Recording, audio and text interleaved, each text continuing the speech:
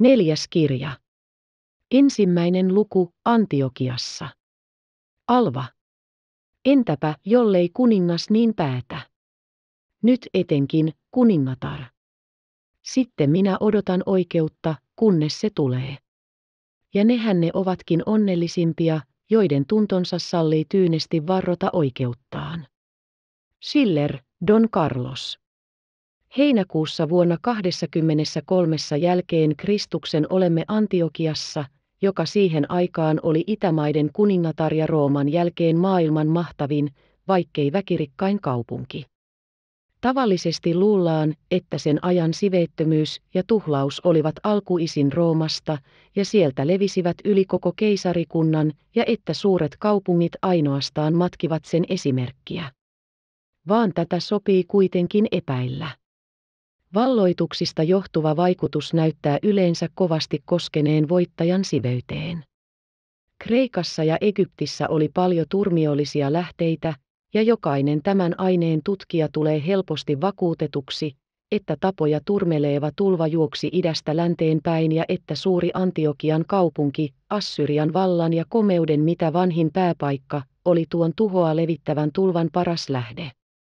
Kuormalaiva laski meren siniselältä Orontesjokeen. Oli aamupuoli päivästä. Kuumuus oli pahtava, mutta kaikki, joilla oli oikeutta, oleskelivat kannella, muiden muassa myöskin Benhur. Nämä viisi vuotta olivat kehittäneet nuoren juutalaisen täydeksi mieheksi. Vaikka valkoinen liinapuku, joka hänellä oli yllä, osaksi kätki hänen vartalonsa, näytti se tavattoman miellyttävältä. Hän oli jo toista tuntia istunut purjeen varjossa, ja monta matkustajaa, hänen kansalaistansa, oli turhaan koettanut aloittaa puhelua hänen kanssaan. Hän vastaili kysymyksiin lyhyesti, vaikkakin arvokkaan kohteliaasti ja latinaksi. Hänen puhdas kielensä, sivistynyt käytöksensä ja umpimielisyytensä vain sitä enemmän kiihottivat heidän uteliaisuuttaan. Hänen käytöksensä oli levollinen ja miellyttävä kuin ylimyksellä ainakin, mutta jotkut hänen ruumiinsa ominaisuudet tuntuivat olevan siihen nähden ristiriidassa. Niinpä esimerkiksi hänen käsivartensa olivat suhteettoman pitkät, ja kun hän, pysyäkseen tasapainossa laivan heiluessa, otti kiinni jostakin esineestä, niin hänen käsiensä suuruus ja väkevyys heti pisti silmään. Arvailtiin, kuka ja mikä miehiänsä hän oli, ja hartaasti haluttiin oppia tuntemaan hänen elämänsä yksityiskohtia. Tai toisin sanoen, hänen ulkomuotonsa näytti, ettei hänen elämänsä historia ollut mikään tavallinen. Laiva oli matkallaan poikennut Kypron satamaan, ja sieltä oli matkustajaksi tullut eräs näöltään hyvin kunnianarvoinen hebrealainen. Benhur teki hänelle pari kysymystä. Vastaukset herättivät hänessä luottamusta, ja viimein alkoi heidän keskensä pitempi puhelu. Laivan saapuessa Oronteen lahteen saapui sinne kaksi muutakin laivaa, jotka jo oli nähty ulkona merellä, ja laski yhtä aikaa jokeen, nostaen kumpikin koko joukon pieniä vaaleankeltaisia lippuja.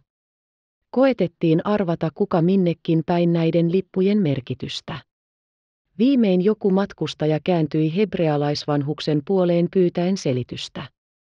Kyllä tiedän noiden lippujen merkityksen, hän vastasi, ne eivät ilmaise mitään kansallisuutta, vaan ovat ainoastaan omistajan merkkejä. Onko hänellä monta laivaa? On. Tunnetko sinä häntä? Olen minä asioissa hänen kanssansa. Matkustajat katsoivat vanhusta, ikään kuin tahtoen kehottaa häntä puhumaan tarkemmin. Benhur kuunteli erittäin halukkaasti. Hän asuu Antiokiassa, jatkoi hebrealainen levollisesti, kuten hänen tapansa oli. Hänen suunnaton rikkautensa on tehnyt hänet kuuluisaksi, ja ihmisten ajatus hänestä ei ole aina lempein. Kerran oli Jerusalemissa ruhtinas ikivanhasta suvusta, nimeltä Hur. Judah koetti näyttää välinpitämättömältä, mutta hänen sydämensä sykki kiireemmin. Ruhtinas oli kauppias ja erinomainen asioimiskyky hänellä olikin. Hän ryhtyi suuriin yrityksiin sekä itä- että länsimaissa.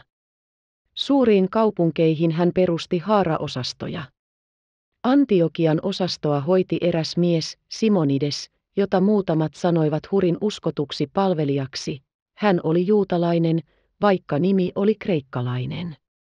Ruhtinas hukkui merimatkalla. Hänen liikkeensä jatkui kuitenkin ihan entisellään. Vaan jonkun ajan kuluttua sattui perheelle suuri onnettomuus. Ruhtinaan ainoa poika, joka oli juuri mieheksi pääsemässä, koetti surmata roomalaista prokuraattoria Gratusta Jerusalemin kadulla, mutta ei onnistunut, eikä hänestä ole siitä päivin kuulunut mitään. Roomalaisen kosto kohtasi koko sukua, ei ainoatakaan, jolla oli hurnimenä jätetty eloon. Palatsi lukittiin sineteillä ja on nyt kyyhkysien hallussa. Hursuvun omaisuus anastettiin valtiolle, eikä siitä mitään säilynyt roomalaishallituksen ahneudella. Prokuraattori osasi lääkitä haavansa kultaisella voiteella. Kuulijat nauroivat. Se on toisin sanoen, hän piti koko omaisuuden itse, virkkoi eräs heistä. Niin sanotaan, vastasi juutalainen, minä kerron historian ainoastaan siten, kuin itse sen kuulin. Ja kertoakseni edelleen, Simonides, joka oli ollut ruhtinaan asiamies täällä Antiokiassa, avasi kohta liikkeen omassa nimessään ja vaurastui uskomattoman lyhyessä ajassa kaupungin etevimmäksi kauppiaksi. Entisen isännän tavalla hän lähetti karavaneja Indiaan, ja hänen kalerejansa on merellä enempi kuin aluksia jossakin kuninkaallisessa laivastossa. Hänelle sanotaan kaiken onnistuvan. Hänen kamelinsa kuolevat ainoastaan vanhuudesta, hänen laivansa eivät joudu koskaan haaksirikkoon, ja jos hän heittäisi lastun virtaan, niin se palaisi hänelle kultaisena takaisin. Kuinka kauan hän on sillä tavalla kauppaa käynyt? Ei täyttä kymmentä vuotta. Hän lienee päässyt hyvästi alkuun. Niin sanotaan, että prokuraattori sai käsiinsä ainoastaan näkyvän omaisuuden, niin kuin ruhtinaan hevoset, karjan, kartanon, maat, laivat ja mitä muuta oli arvokasta. Rahaa ei löydetty, vaikka sitä olisi pitänyt olla suunnattomasti. Mihin se oli joutunut on vieläkin selviämätön arvoitus. Ei minusta, sanoi eräs matkustaja, omituisesti nauraen. Kyllä ymmärrän, vastasi juutalainen. Ovat muutkin ajatelleet samaa kuin sinä. Yleinen ajatus on juuri se, että hurin rahat ne auttoivat Simonides vanhuksen vauhtiin. Prokuraattorikin ajattelee samaa taikka ainakin on ajatellut, sillä viiden vuoden kuluessa hän on kahdesti otattanut kauppiaan kiinni ja kiduttanut häntä. Judah tarttui kovemmin kiinni köyteen, jota vasten nojasi. Hänen ruumiissaan ei sanota olevan ainoatakaan ehyttä luuta. Viimeksi hänet nähdessäni hän istui muodottomana rujona tuolissaan, tyynyjä ympärillä. Hirveätä huudahtivat useimmat kuulijat yhtä aikaa. Ei mikään tautikkaan olisi voinut tehdä häntä niin muodottomaksi, vaan hän ei sittenkään huolinut kidutuksista. Mitä hänellä oli, oli hänen laillista omaisuuttaan, ja hän oli käyttänyt sitä laillisella tavalla, muuta tunnustusta häneltä ei saatu. Nyt on kuitenkin vaino loppunut. Hän on Tiberiukselta saanut avonaisen kirjeen, jossa hänelle on tunnustettu rajaton kauppaoikeus. Siitä hän on kyllä saanut maksaa hyvät rahat. Nuo laivat ovat hänen, jatkoi hebrealainen, huolimatta vastata huomautukseen. Hänen meriväellään on tapana tervehtiä toisiansa keltaisilla lipuilla, kun sattuvat vastakkain, ja ne merkitsevät sitä, että heillä on ollut onnellinen matka. Siihen vanhus lopetti kertomuksensa. Kalerin päästyä onnellisesti joen uomaan puhutteli Juda vanhaa juutalaista. Mikä oli kauppiaan herran nimi? Benhur, Jerusalemin ruhtinaita. Mihin ruhtinaan perhe joutui? Poika lähetettiin kalereille. Saatan vaikka vakuuttaa, että hän on kuollut. Vuosi on tavallinen elon aika soutupenkkiin kiinni tuomituille. Leskestä ja tyttärestä ei ole kuulunut mitään. Ne, jotka tietävät heidän kohtalonsa, eivät tahdo mitään sanoa. Luultavasti he kuolivat jossakussa niistä vankiloista, jotka saastuttavat Judean maata. Juda meni pois perämiehen lähelle. Hän oli niin ajatuksiinsa vaipunut, että tuskin huomasi joen rantoja, jotka merestä kaupunkiin asti olivat erittäin viehättävät. Syrialaiset hedelmäpuistot ja viinimäet ympäröivät siellä huviloita, jotka olivat yhtä komeita kuin Neapelin seuduilla. Yhtä vähän hänen huomionsa kiintyi laivoihin, joita edes takaisin liikkui tavattoman paljon, tai merimiesten lauluihin ja huutoihin. Taivas säteili täydessä puolipäivän loistossa, ja kuumuus pahtoi sekä maata että vettä. Ainoastaan hänen elämänsä oli synkkäin varjojen pimittämä. Kerran vain hän hetkiseksi heräsi ajatuksistaan, silloin, kun hänen matkakumppaninsa osoittivat Daphnen metsikköä, joka näkyi muutamassa joen polvekkeessa. Toinen luku, etsimässä. Kaupungin tullessa näkyviin matkustajat laivan kannella tähystelivät hyvin kiihkeästi kaikkea, ettei vain suinkaan jäisi mitään merkillistä huomaamatta. Kunnianarvoinen juutalainen, jonka jo olemme esittäneet lukijalle, parastaan yksinänsä puhui tai ainakin puhui enimmän. Joki juoksee tässä länttä kohti, hän sanoi yleiseksi vastaukseksi matkustajain kysymyksiin. Muistan vielä ajan, jolloin se huhteli muurien juuria, mutta Rooman alammaisina olemme eläneet rauhassa, ja kauppa on saanut tahtonsa toteutumaan, kuten sellaisissa oloissa aina käy. Nyt on koko Joensuu täynnä laivaveistämöitä. Tuolla, hän sanoi viitaten etelää kohti, on Kasius, eli Orontesvuori, joksi sitä kansa sanoo, se katselee veljäänsä Amnusvuorta, ja niiden välillä on Antiokian tasanko. Etempänä ovat mustavuoret, joilta kuningasten vesijohdot kulettavat kirkkainta vettä kaupunkiin, virvoittamaan kansaa ja kostuttamaan katuja.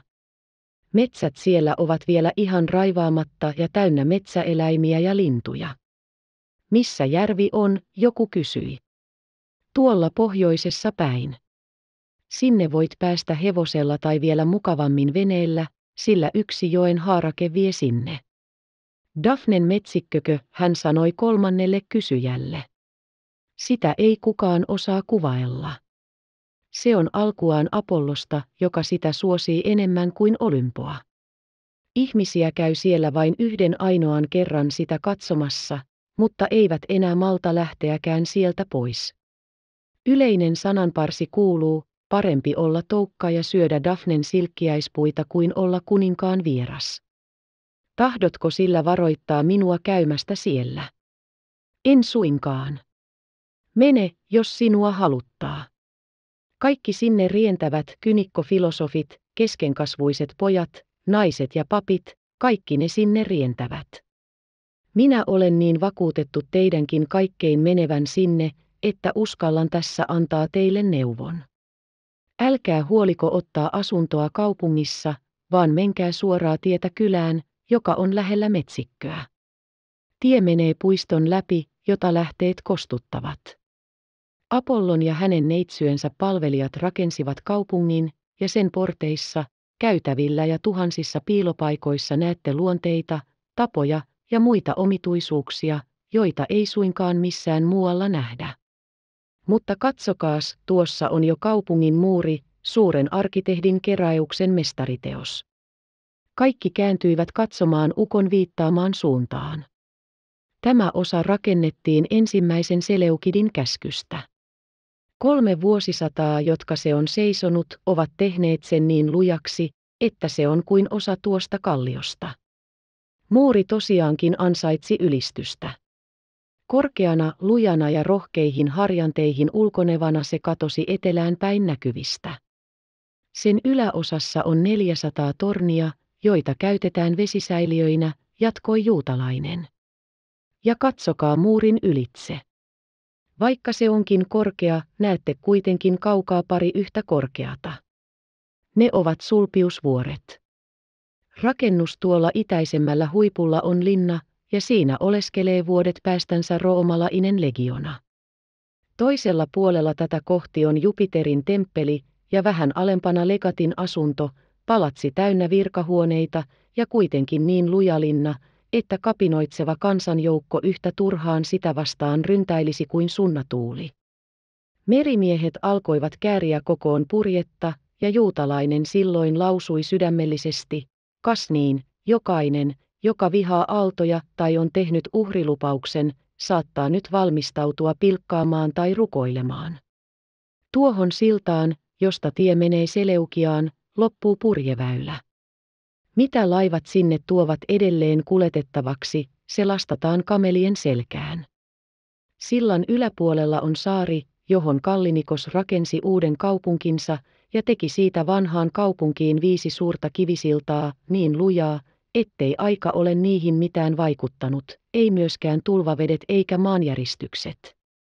Kaupungista sanon vain yleensä, että kuka hyvänsä voi koko ikänsä pitää itseään onnellisena, jos on saanut sitä katsella.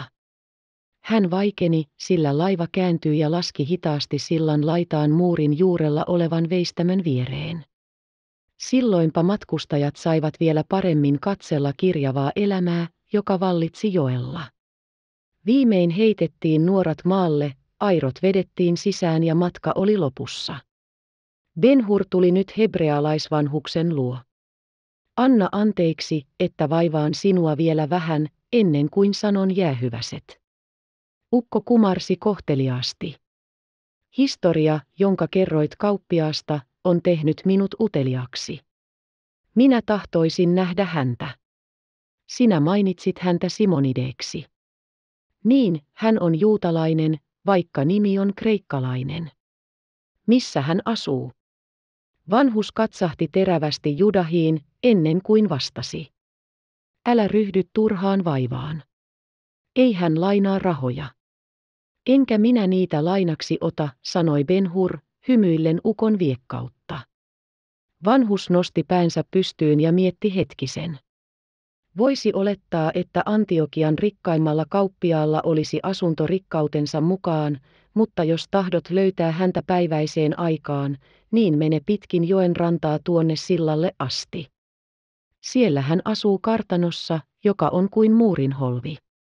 Oven edessä on suuri laivasilta, ja se on aina täynnä tulevia ja lähteviä tavaroita. Laivasto, joka on siellä ankkurissa, on hänen omansa. Sinun ei ole helppo olla löytämättä taloa. Minä kiitän sinua. Isäin Jumala sinua siunatkoon. Tapahtukoon sinulle samoin. Vastasi Juda, poistuen. Kaksi kantajaa otti veistämöllä vastaan Benhurin tavarat ja käskyt. Viekää linnaan hän sanoi, ja se määräpaikka osoitti käskijän olevan valtakunnan sotilasvirassa. Kaksi leveää katua, jotka kulkivat toistensa poikki suorakulmaisesti, jakoi kaupungin neljänneksiin. Sen kadun päässä, joka kulki pohjoisesta etelään, näkyi omituinen, tavattoman suuri rakennus, nimeltä Nymfeum. Kun kantajat siitä kääntyivät etelään päin, ihmetytti kadun komeus Benhuria, vaikka hän olikin äsken saapunut Roomasta. Kummallakin puolen seisoi pelkkiä palatseja ja niiden välillä kahdet marmoriset pylväät, niin että oli eri käytävät jalkamiehille, karjalle ja ajajille, kaikki katon peitossa ja viileänä ainiaan kuohuvista suihkulähteistä. Benhur ei ollut sillä mielellä, että olisi voinut nauttia tästä komeudesta. Simonideen historia pyöri hänen ajatuksissaan. Päästyään Omfaluksen luo muistomerkin, jonka kahdeksas Seleukidi Epifanes oli rakennuttanut omaksi kunniakseen, ja jossa oli neljä runsaasti maalauksilla koristettua, koko kadun levyistä kaariporttia, hän äkisti muutti päätöksensä. Minä en huoli vielä tänä iltana lähteä linnaan, sanoi hän kantajille, viekää minut majataloon, joka on lähinnä Seleukiaan vievää tietä. Kantajat kääntyivät ja kohta Judah pääsi yksinkertaiseen, mutta tilavaan majataloon, noin kivenheiton päähän siitä laivasillasta, jonka edessä vanhan Simonideen asunto oli. Judah oleskeli koko yön majatalon katolla. Hänen mielessään lakkaamatta kaikui ajatus, nyt minä toki viimeinkin saan kuulla jotain kodista, äidistä ja pikkutirtsasta. Jos he ovat elossa, niin minä saan nähdä heitä. Kolmas luku, rauenneet toiveet.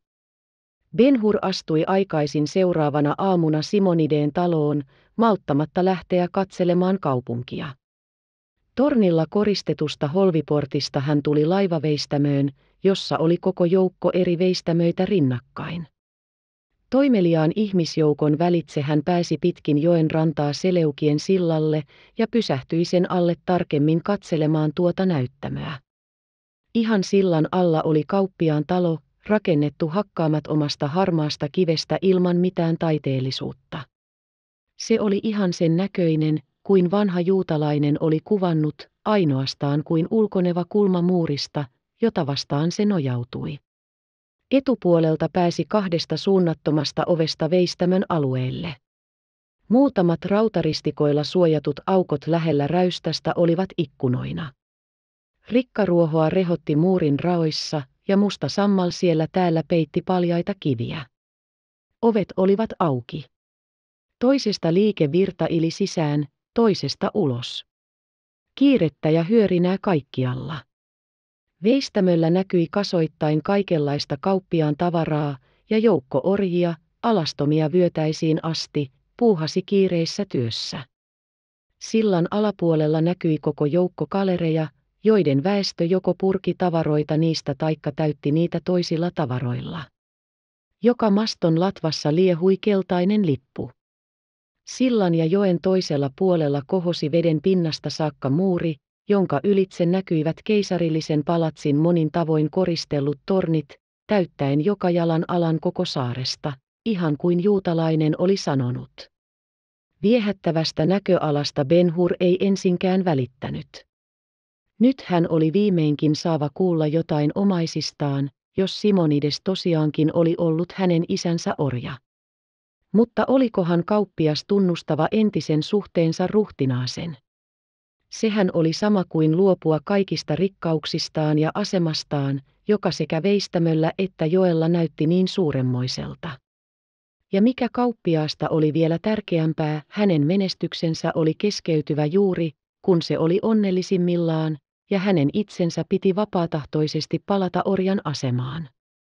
Sellaisen vaatimuksen ajatuskin jo tuntui Benhurista vastenmieliseltä rohkeudelta. Kaunistelematta olisi se samaa kuin sanoa, sinä olet minun orjani, anna minulle kaikki, mitä sinulla on, ja vielä itsesikin. Oikeudestansa Benhur kuitenkin tunsi saavansa voimaa, ja hänen sielunsa toivo antoi hänelle rohkeutta odottaa tätä kohtausta. Jos kertomus, johon hän vaatimuksensa perusti, oli tosi, niin Simonides kuului hänelle kaikki ne rikkauksineen. Mitä rikkauksiin koskee niin totta puhuen, niistä hän ei pitänyt lukua. Pysähtyessään ovelle hän teki itsekseen lupauksen, jos hän minulle antaa tietoa äidistäni ja Tirtsasta, niin minä lahjoitan hänelle vapauden ilman mitään ehtoja. Hän astui päättävästi huoneeseen. Sisältä se oli suunnaton varasto, jossa määrätyillä paikoillaan kaikenlaisia tavaroita oli huolellisesti kokoon ladottuna. Vaikka huoneessa oli hämärä ja ilma tuntui tukahduttavalta, liikkui siellä koko joukko miehiä, kiireesti puuhaten. Siellä täällä näkyi käsityöläisiä vasaroineen ja sahoineen tekemässä laatikoita vientitavaroita varten. Hän astuskeli hiljaa tavarakasain välille jätettyä käytävää pitkin, itsekseen kysellen, oliko mies, jonka kauppiasnerosta tässä oli niin monta todistusta, tosiaankin voinut olla hänen isänsä orjana. Ja jos oli ollut, mihin luokkaan hän sitten kuului? Jos hän oli juutalainen, niin oliko hän elinkautisen orjan poika? Vai velkamies taikka velkamiehen poika? Taikka oliko hänet tuomittu ja myöty varkaudesta? Nämä ajatukset eivät millään tavalla vähentäneet hänen kunnioitustansa kauppiasta kohtaan, jonka erinomaisesta kyvystä hän joka hetki tuli yhä enemmän vakuutetuksi. Viimein muuan mies lähestyi ja puhutteli häntä. Mitä te haluatte? Tahtoisin tavata kauppias Simonidesta. Olkaa hyvä, seuratkaa minua. Monen käytävän kautta, joita oli jätetty tavarakasain välille, he lopulta saapuivat rappusille.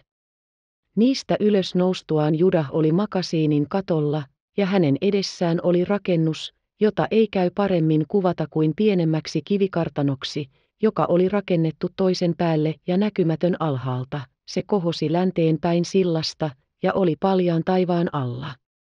Matalalla muurilla ympäröity makasiinin katto näytti pengermältä, joka hänen kummastuksekseen oli täynnä kauneimpia kukkia.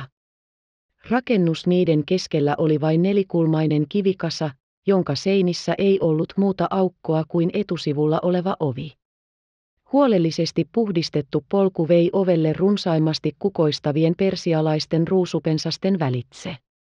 Hän seurasi tiennäyttäjää hengittäen suloista tuoksua. Pitkän ja pimeän käytävän päässä he pysähtyivät hiukan syrjään vedetyn esiripun eteen. Saattaja puhui siitä sisään. Vieras haluaa puhella kauppiaan kanssa. Kirkas ääni vastasi. Tulkoon hän Jumalan nimessä. Roomalainen olisi sitä huonetta, johon Benhur saatettiin sisälle, sanonut atriumiksi. Seinämuureja peitti laudoitus, joka oli jaettu komeroihin, ja niistä joka ainoa oli täynnä vanhuudesta ja ahkerasta käyttämisestä kuluneita isoja kirjoja. Komeroiden välissä ja ylä- sekä alapuolella olevat välilaudat olivat aikoinaan olleet valkoisia, mutta vähitellen kellastuneet kerman värisiksi. Katto kohosi huvihuoneen tapaan jonkinlaiseksi holviksi, joka sadoista sinipunervista ruuduista päästi vapaasti sisään runsaan ja silmää miellyttävän valovirran. Lattia oli peitetty niin paksuilla matoilla, että tulijan jalat siihen aivan äänettömästi upposivat. Keskellä huoneita oli kaksi henkilöä, mies, joka istui tyynyjen keskellä korkeaselkäisessä nojatuolissa, ja hänen vasemmalla puolellaan tuolin selkään nojaavana nupustaan kohta puhkeava neitonen. Benhur tunsi heidät nähdessään punehtuvansa otsaa myöten. Hän kumarsi yhtä paljon kunnioituksesta kuin tointuakseenkin eikä siis huomannut, miten vanhus korotetuin käsin väristen ja vavisten oli tervehtimäisillään häntä, vaikka se liike tosin haihtui yhtä nopeasti, kuin oli tullutkin. Benhur jälleen katsoessaan ylös huomasi heidän olevan entisessä asennossaan, paitsi että tytön käsi oli painunut miesvanhuksen olkapäälle. Molemmat he katselivat häntä tarkkaan. Jos olet kauppias Simonides ja juutalainen, Benhur vaikeni hetkiseksi, niin Jumalan, isäimme Jumalan rauha olkoon sinulle ja omaisillesi. Viime sana oli lausuttu tytölle. Olen Simonides, josta puhut, ja synnyn oikeudella juutalainen, vastasi mies tavattoman selvällä ja heleällä äänellä. Vastaukseksi tervehdykseesi pyydän sinun sanomaan, kuka olet. Benhur katseli puhujaa ja huomasi, että vaikka olisi voinut luulla hänen olennossaan olevan tervettä, elinvoimaista täyteläisyyttä, olikin siinä vain muodoton kasa tyynyjen varaan vaipuneena ja tumman paksun silkkipeitteen suojassa. Sen rujoruumiin yläpäässä oli kuninkaallisen kaunis pää, joka olisi voinut olla kunniaksi niin hyvin valtiomiehelle kuin valloittajallekin, leveä alapäästä ja pyöreä ylhäältä, juuri sellainen, kuin Angelo olisi tehnyt kaissarille. Valkoiset kiharat riippuivat hopealta hohtavilla kulmakarvoilla asti, jotka tekivät mustat silmät vielä mustemmiksi niiden välähdellessä kuin himmeät salamat. Kasvot olivat verettömät ja täpö täynnä poimuja, varsinkin leuan alta. Toisin sanoin, siinä oli sellaisen miehen pää ja kasvot, joka ennemmin hallitsee tahtonsa mukaan maailmaa kuin antaa itseänsä maailman hallita, miehen, joka ennemmin vaikka parikymmentä kertaa kärsi kidutuksia, jotka olivatkin tehneet hänet rujoksi, kuin antoi kiusata itseään valittamaan, vielä vähemmin mitään tunnustamaan, ja joka ennemmin luopui hengestään kuin jostakin aikomuksestaan tai päätöksestään. Häntä kohden Benhur ojensi avoimet kätensä ikään kuin samalla kertaa tarjoten rauhaa, kuin sitä itsekin pyysi. Minä olen Juda, Itamarin poika, Hursuvun viimeinen päämies ja Jerusalemin ruhtinaita. Kauppiaan oikea käsi, hieno, laiha ja kidutuksista melkein tuntemattomaksi rumennut käsi oli paljaana peitteellä ja sulkeutui suonenvedon tapaisesti, mutta muuten ei näkynyt vähintäkään mielen ilmausta hänessä, ei mikään osoittanut kummastusta eikä uteliaisuutta. Hän vastasi ihan levollisesti. Puhdasveriset Jerusalemin ruhtinaat ovat aina minulle tervetulleita vieraita. Tervetuloa! Ester tuo tälle nuorelle miehelle tuoli. Nuori tyttö nosti viereltänsä matalan istuimen Benhurille. Kun hän nousi laskemasta sitä maahan, sattuivat heidän silmäyksensä vastakkain. Jumalamme rauha olkoon sinulle, sanoi Ester yksinkertaisesti. Käy istumaan ja lepäämään. Mennessään jälleen paikallensa isänsä viereen hän ei aavistanut Benhurin asiata. Naisen käsitys ei niin kauas ulotu. Jos sitä vastoin on puheena hennommat tunteet, kuten sääliväisyys, armeliaisuus tai myötätuntoisuus, silloin hän on tarkkanäköinen, se juuri onkin miehen ja naisen erotus, ja se erotus kestää niin kauan, kuin naisia on maailmassa. Ester luuli Benhurin tulleen vain saamaan parannusta jostakin, joka ahdisti hänen sieluansa. Benhur ei käynyt tarjotulle tuolille, vaan sanoi kunnioittavasti. Minä pyydän, hyvä Simonides, älä katso minua tunkeilevaksi. Matkustaessani eilen jokea myöten tänne, sain kuulla sinun tunteneen minun isäni. Minä tunsin ruhtinas Hurin. Olimme kumppanuksina muutamissa yrityksissä, ihan laillisissa kauppiaille, jotka käyttävät voitokseen aavikoiden ja merien takaisia maita. Mutta käy istumaan. Ester tuo vähän viiniä nuorelle vieraallemme. Nehemia kertoo eräästä Hurin pojasta, joka kerran vallitsi puolta Jerusalemia. Vanha suku tosiaankin, hyvin vanha. Mooseen ja Josuan aikoina muutamat sen suvun jäsenet saivat armon Herran kasvoin edessä, ja heillä oli kunniapaikkoja näiden suurmiesten rinnalla.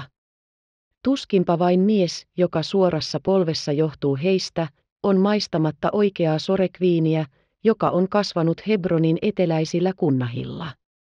Vanhus oli lähellä puheensa loppua, kun Ester pysähtyi Benhurin eteen, kädessä hopeapikari, täytettynä astiasta, joka seisoi pöydällä lähellä nojatuolia. Hän tarjosi alaspäin katsoen nuorukaiselle tervehdysjuomaa. Benhur ottaessaan vastaan pikaria kosketti keveästi hänen käteensä, ja heidän katseensa yhtyivät taas. Hän huomasi nyt, että tyttö oli lyhytkasvuinen ja tuskin ulottui häntä olkapäähän, mutta että hänellä oli miellyttävä ja lempeä muoto sekä mustat, sanomattoman suloiset silmät. Hän on hyvä ja kaunis, hän ajatteli, ja Tirtsa olisi hänen kaltaisensa, jos hän eläisi. Tirtsa parka. Sitten hän ääneen virkkoi. Ei sinun isäsi, jos hän on sinun isäsi. Hän vaikeni. Minä olen Ester Simonideen tytär, vastasi tyttö arvokkaasti. Sittepä toivon, kaunis Ester, että isäsi, kuultuaan mitä minulla on sanomista, ei ajattele pahaa minusta, vaikken nyt huolikaan maistaa hänen erinomaista viiniänsä. Samoin toivon, että sinunkin suosiosi säilyy. Pysähdy tähän minun luokseni hetkiseksi. Molemmat kääntyivät ikään kuin yksissä neuvoin kauppiaaseen päin. Simonides, Benhur sanoi vakavalla äänellä, isälläni oli kuollessaan uskollinen palvelija, saman niminen kuin sinä, ja minulle on kerrottu, että sinä olet se mies. Vanhuksen rujot jäsenet värähtivät kiivaasti, ja laiha käsi kouristui kuin äkillisestä suonenvedosta. Ester. Ester lausui kauppias ankarasti, tässä on sinun paikkasi eikä siellä, jos sinä olet äitisi ja minun lapseni. Tyttö katsahti isästä vieraaseen, vei pikarin takaisin pöydälle ja meni kuuliaisesti nojatuolin viereen. Hänen kasvoistaan näkyi selvästi ihmettelyä ja pelästystä. Simonides ojentaen vasemman kätensä veti hänet hellästi luokseen ja sanoi levollisesti. Minä olen vanhentunut seurustelussa ihmisten kanssa ja vanhentunut ennen aikaani. Jos se, joka sinulle ilmoitti, mitä nyt lausuit, oli ystävä, joka tietää minun elämäni historian, ja jos hän kertoi sen ilman vihaa, niin hän varmaankin on samalla vakuuttanut sinulle, etten minä juuri voi olla muuta kuin epäluuloinen. Israelin Jumala auttakoon sitä, jonka täytyy elämänsä lopulla tunnustaa niin paljon itsestänsä. Minun rakkaudellani ei ole monta esinettä, mutta niitä on kuitenkin. Yksi niistä on sydän, joka, hän nosti tytön käden ilmeisen hellästi huulillensa, sydän, joka on tähän asti ilman itsekkäisyyttä ollut minun omani ja joka on tuottanut minulle niin suloista lohdutusta, että minä kuolisin, jos se riistettäisiin minulta. Esterin pää painui vähitellen, kunnes hänen poskensa kosketti ukon poskea. Kaikki muut rakkauteni esineet ovat nyt vain muistoja. Niistä minä sanon ainoastaan, että samoin kuin Herran siunaus se rakkaus on niin avara, että siihen mahtuu koko perhekunta, jos minä, hänen äänensä hiljeni ja vapisi liikutuksesta, jos vain tietäisin, missä sen jäsenet ovat. Benhurin kasvot hehkuivat mielenliikutuksesta, hän liikahti askelen lähemmäksi vanhusta ja huudahti kiihkeästi, minun äitini ja sisareni. Heistäkö sinä puhut? Ester kohotti päätänsä ikään kuin häntä olisi puhuteltu, mutta Simonides tyyntyi ja vastasi kylmäkiskoisesti. Kuule loppuun asti. Koska minä olen se, joka olen, ja koska olen ilmaissut sen rakkauden, jota minä tunnen, niin toivon, että ennen kuin minä vastaan kysymykseesi, missä suhteissa olin ruhtinas huriin, sinä todistat, kuka sinä olet. Senhän pitää oikeudenkin mukaan tapahtua ensiksi. Onko todistuksesi kirjallinen, vai onko sinulla vieraita miehiä? Tämä pyyntö oli suora ja kieltämätön. Benhur punehtui pani kätensä ristiin, tapaili sanoja ja kääntyi neuvottomana pois. Simonides jatkoi kiirehtien. Anna minulle todistuksesi. Levitä ne silmäini eteen, minun käsiini. Mutta Benhur ei löytänyt vastausta. Hän ei ollut aavistanut sellaista pyyntöä. Vasta nyt, kun se esitettiin hänelle, johtui hänen mieleensä selvemmin kuin koskaan ennen hirveä totuus, että nuo kolme kalereilla vietettyä vuotta olivat ikään kuin lakaisseet pois kaikki todistukset, kuka hän oikeastaan oli. Nyt, kun hänen äitinsä ja sisarensa olivat kuolleet, hän ei enää elänyt kenenkään muistissa. Monta kyllä oli, jotka hänet tunsivat, mutta siinä olikin kaikki. Jos Quintus Arrius olisi ollut läsnä, ei hänkään olisi voinut todistaa muuta kuin että oli löytänyt hänet soutupenkiltä ja että hän uskoi hänen sanansa, että hän oli hurin poika. Mutta kuten tuonnempana huomaamme, roomalainen merisankari oli jo kuollut. Juda oli jo ennenkin tuntenut yksinäisyytensä, mutta nyt hän sitä tunsi sydämensä syvimpään pohjaan saakka seisoessaan siinä kädet ristissä, poispäin käännetyin kasvoin. Simonides näki hänen neuvottomuutensa ja ääneti odotteli vastausta. Simonides, Benhur viimein alkoi, minä voin ainoastaan kertoa historiani, ja kerron sen ainoastaan sillä ehdolla, että sinä jätät päätöksesi tekemättä, kunnes hyvän tahtoisesti kuulet sen loppuun asti. Puhu, vastasi Simonides ollen nyt täydellisesti voitolla, puhu, ja minä sitä mieluisemmin kuuntelen kertomustasi, kun en ole koskaan kieltänytkään sinun olevan se, joksi itseäsi sanot. Benhur alkoi siis lyhyissä piirteissä kertoa historiaansa. Me, kun jo tiedämme sen aina siihen asti, jolloin hän voittoisan Arriuksen kanssa palasi Misenumiin, jatkamme nyt ainoastaan siitä hetkestä asti kertomusta. Hyvän tekijäni nautti keisarin suosiota ja sai siitä paljon osoituksia. Itämaiden kauppiaat toivat sitä paitsi kalliita lahjoja, niin että hän tuli kahta vertaa varakkaammaksi kuin Rooman rikkaimmat. Voiko juutalainen unhottaa uskontonsa, kehtonsa, jos se on ollut isäimme pyhässä maassa? Jalo Arrius otti minut kaikkien lainsääntöjen mukaan omaksi pojakseen, ja minä koetin olla kiitollinen. Hänen oikea oma lapsensa ei olisi voinut olla tottelevaisempi kuin minä. Hän tahtoi tehdä minusta oppineen miehen ja hankkia minulle kuuluisimpia taiteen, filosofian ja kaunopuheen opettajia. Minä en suostunut hänen hartaimpiinkaan pyyntöihinsä, koska olin juutalainen enkä voinut unhottaa Herraa Jumalaa, en profeettain kunniaa enkä Davidin ja Salomonin perustamaa kaupunkia. Ehkä kysyt, mitenkä minä saatoin ottaa vastaan hyvyyttä roomalaiselta. Minä rakastin häntä ja toivoin sitä paitsi hänen avullaan voivani hankkia vaikutusvaltaa, joka tekisi minulle kerran mahdolliseksi nostaa pois hunnun, joka nyt verhoaa äitini ja sisareni kohtaloa. Oli minulla toinenkin syy, josta en huoli lausua muuta kuin että minä sen johdosta antauduin harjoittelemaan aseiden käyttöä ja kaikkea, mitä katsotaan tarpeelliseksi sotataidon täydelliseen osaamiseen. Kävin ahkerasti kaupungin sirkuksessa ja kilpailukoulussa ja yhtä ahkerasti sotaleirissä. Kaikilla voimankoetuksen aloilla olen saavuttanut kuuluisan nimen.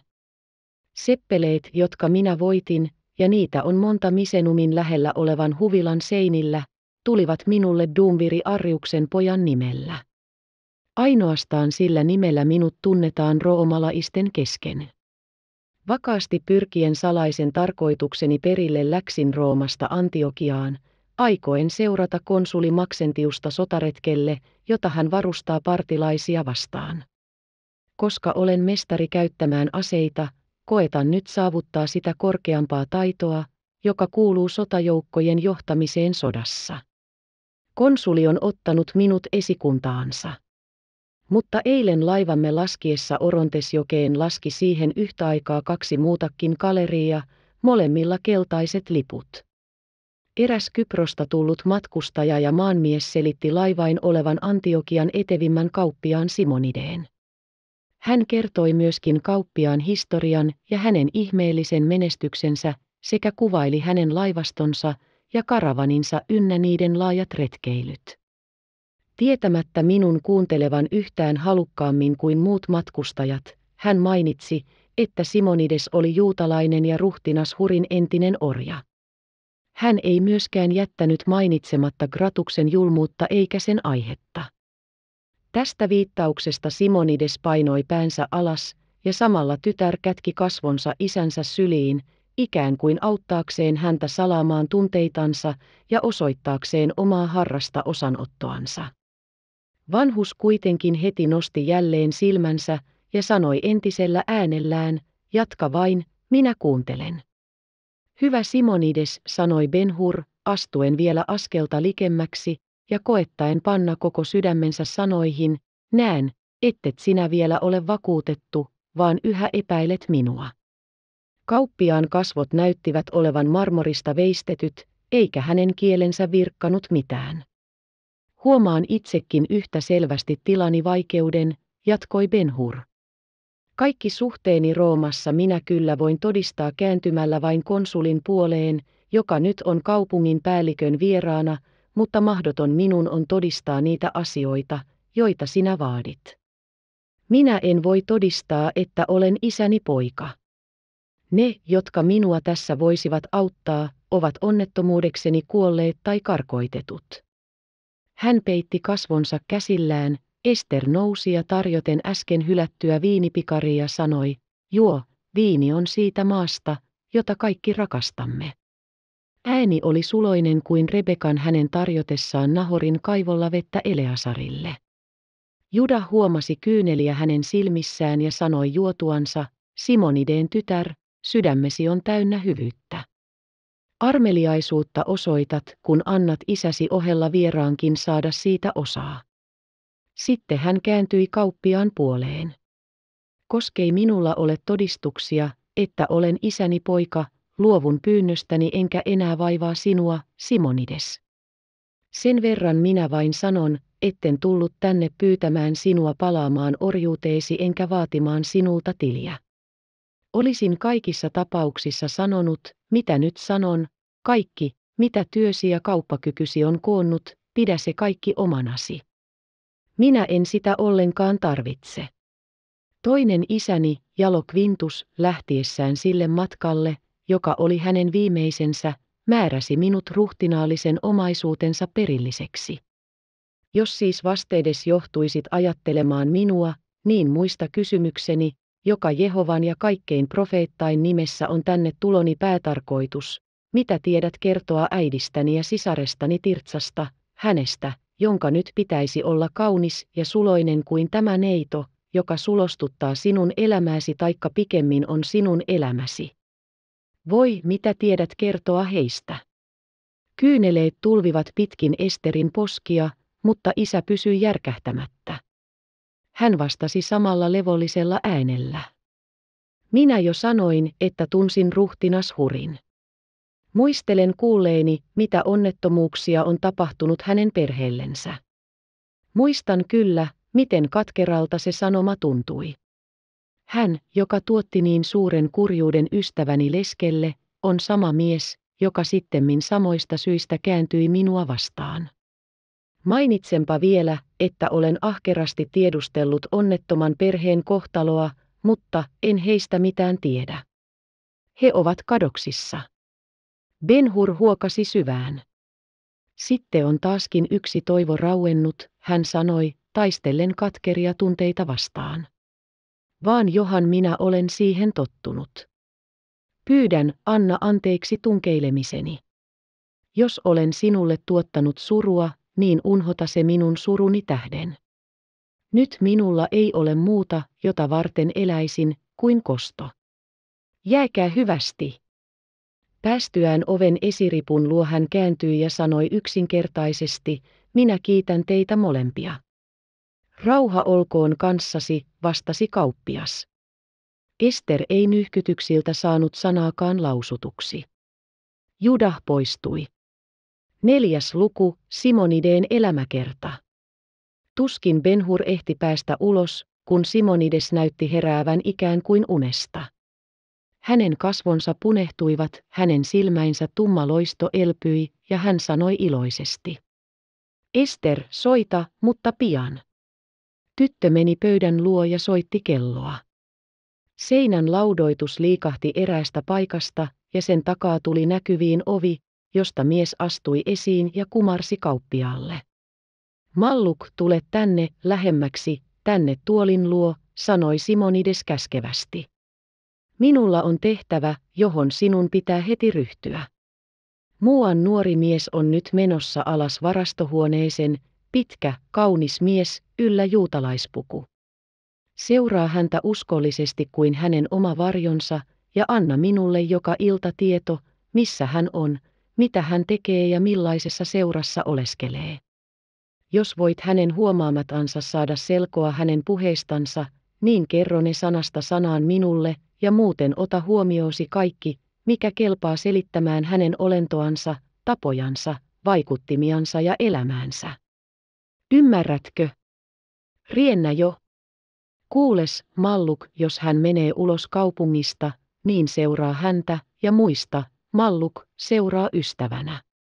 Jos hän puhuttelee sinua, niin vastaa, mitä milloinkin soveliaimmaksi huomaat, paitsi että olet minun palveluksessani. Siitä et saa virkkaa sanaakaan. Mutta riennä nyt jo. Mies lähti huoneesta, kumartaen jäähyväsiksi. Simonides hieroi käsiään ja nauroi. Mikä päivä nyt on tänään, tyttäreni, hän kysyi keskellä iloansa. Tahdon muistaa tätä päivää sen onnen tähden, jonka se on tuonut. Katso sitä, Ester, iloinen hymy huulillasi, ja sano se sitten minulle hymyillen. Vanhuksen iloisuus tuntui tyttärestä luonnottomalta, ja ikään kuin pyytäen häntä karkoittamaan sitä hän vastasi suruisesti. Voi minua, jos koskaan unhottaisin tämän päivän. Vanhuksen kädet vaipuivat heti peitteelle, leuka painui alas ryntäille ja hävisi lukemattomien poimujen peittoon. Totta, ihan totta, tyttäreni, hän sanoi ylös katsomatta. Nyt hän on 20, S-päivä neljä kuussa. Viisi vuotta sitten tänä päivänä minun Rakelini, sinun äitisi, lankesi kuoliaana maahan. Minut tuotiin kotiin tässä tilassa, jossa nyt olen, ja me tapasimme hänet kuolleena surusta. Oi, minusta hän oli kuin enkedin palsamirypäleet. Me hautasimme hänet yksinäiseen paikkaan, hautaan, joka hakattiin vuoreen, hän lepää siellä yksinään. Mutta hän jätti kuitenkin minulle pimeyteeni vähäisen valon, joka on vuosien kuluessa kasvanut aamun kultaloistoksi. Hän nosti kätensä ja laski sen tyttärensä pään päälle. Hyvä Jumala, minä kiitän sinua, että Rakel vainaja on jälleen herännyt eloon sinussa, minun Esterini. hän nosti äkisti päätänsä ja sanoi, ikään kuin jotakin olisi mieleensä juolahtanut, eikö ulkona ole valoisa päivä. Oli jo silloin, kun nuori mies tuli. Tulkoon sitten Abimelek viemään minua puutarhaan, johon näkyy joki ja laivat. Siellä minä kerron sinulle, rakas Ester, minkä tähden suuni oli äsken naurussa, ja kieleni riemussa, ja sieluni iloitsi kuin nuori kauris tai hirvi ruohoisilla vuorilla. Kellon helähdyksen kuultuaan palvelija tuli ja Esterin käskystä työnsi pyöräjalkaisen tuolin ulos varastohuoneen katolle. Se oli kauppiaan puutarha. Välitse ruusupensasten ja kukkapenkkien, joista niiden huolellinen hoitaja tosiaankin saattoi iloita, mutta joita nyt ei ollenkaan huomattu, työnnettiin vanhus sellaiseen paikkaan, josta hän voi katsella vastapäisen saaren linnaa, siltaa aina sen etäällä kapenevaan toiseen päähän asti, ja sen alla virtaavaa jokea, jonka alloilla laivoja vilisi aamuauringon välkkeissä. Palvelija jätti hänet kahden kesken Esterin kanssa. Meluavat työmiehet ja sillalla liikkuvan ihmisjoukon hälinä eivät häntä häirinneet, sillä se kaikki oli hänelle yhtä tuttua kuin silmäinsä edessä oleva näköalakin.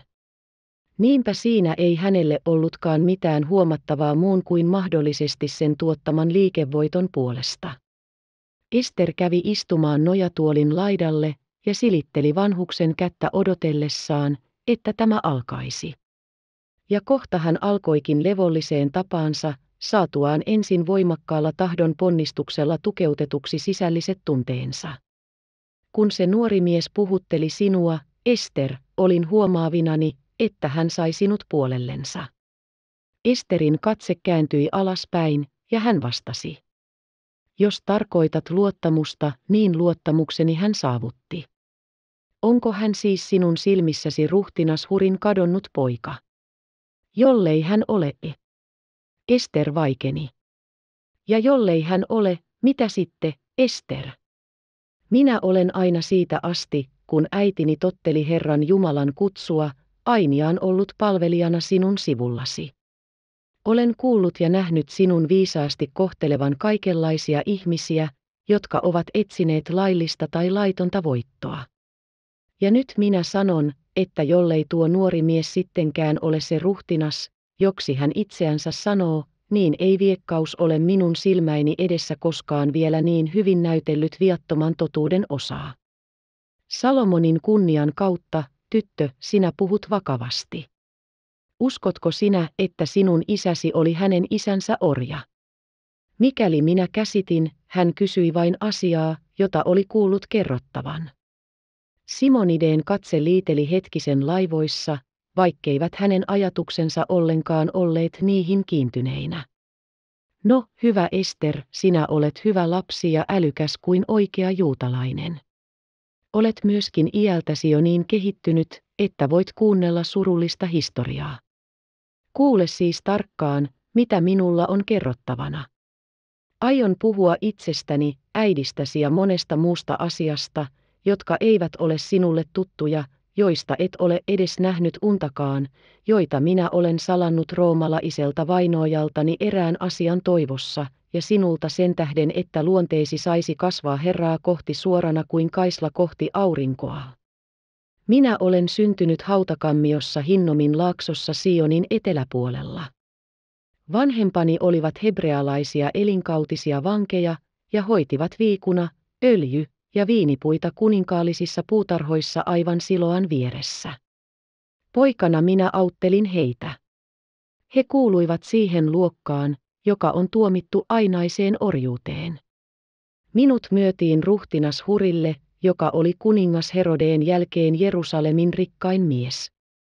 Hän siirsi minut puistoistaan Egyptiin, Aleksandriassa olevaan varastoonsa, jossa minä kasvoin. Minä palvelin häntä kuusi vuotta ja pääsin seitsemäntenä Mooseen lain mukaan vapaaksi. Ester taputti iloisesti käsiänsä. Ah, sinä et siis ole hänen isänsä orja.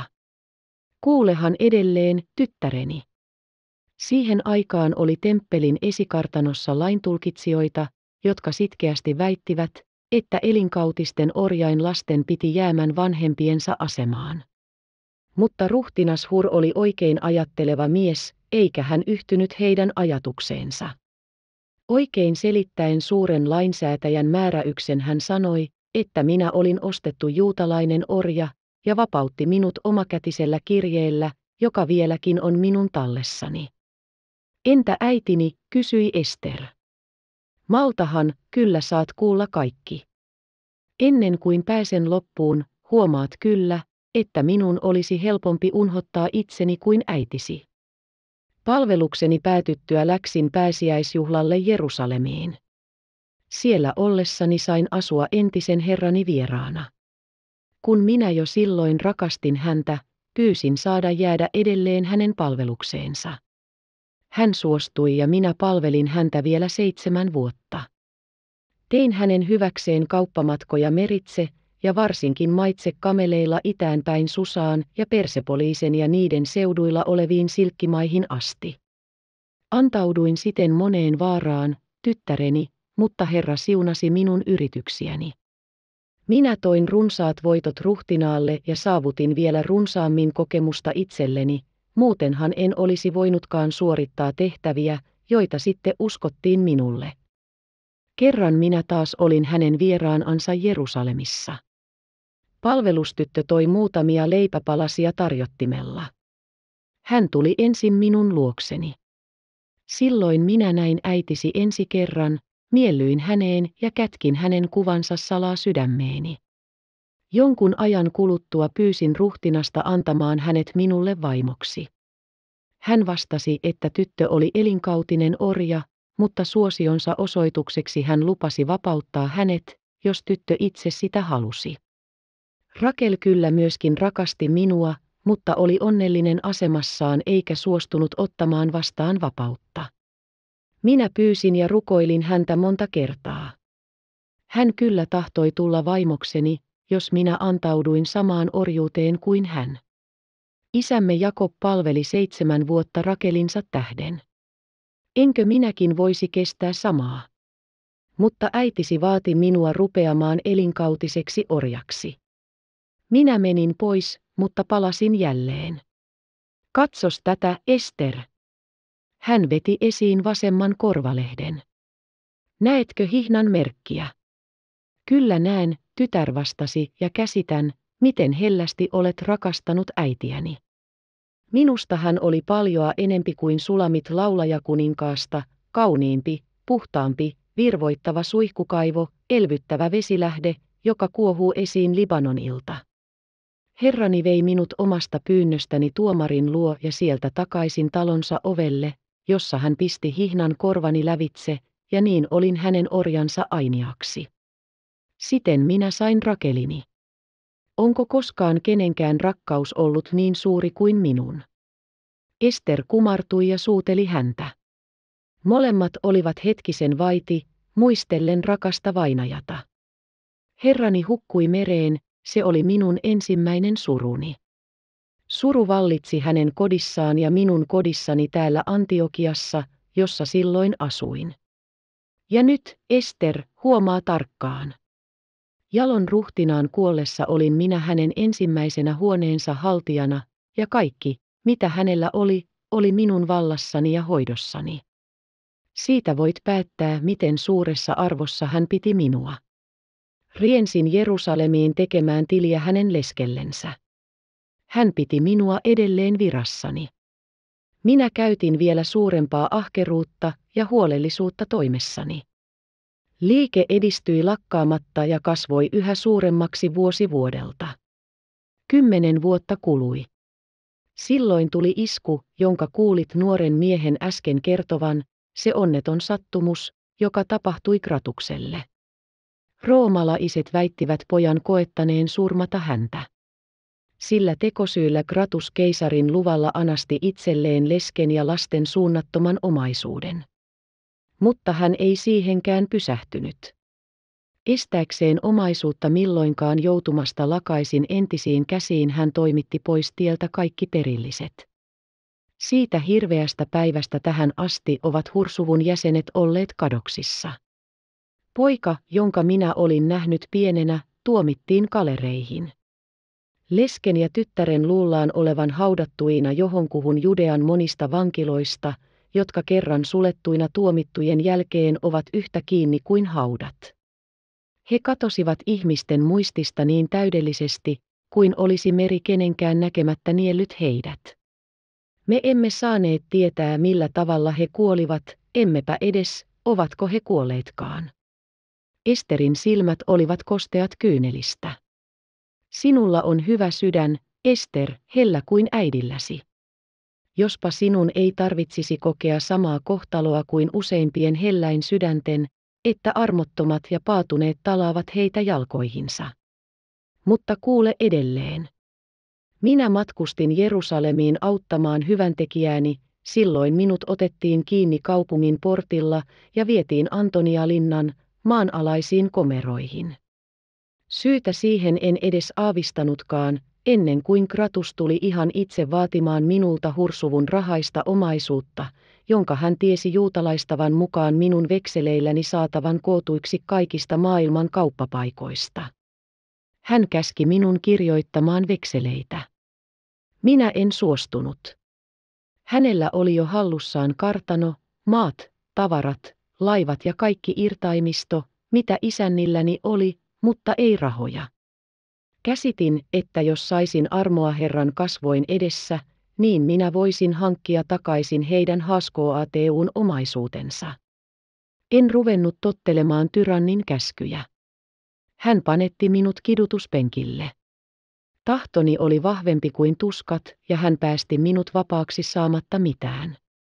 Matkustin kotiin, lakkasin käyttämästä liikkeissä Jerusalemin ruhtinaan Hurin nimeä, ja jatkoin sitä Antiokian Simonideen nimessä.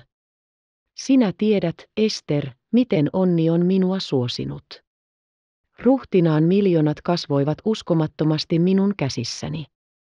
Tiedät myöskin, että, kun minä kolmen vuoden kuluttua matkustin Kaissareaan, Gratus otatti minut taas kiinni ja kidutti uudestaan, pakottaakseen minua tunnustamaan, että kaikki omaisuuteni ja rahavarani olivat takavarikon alaiset hänen käskystään. Tiedät, ettei hän silloinkaan onnistunut.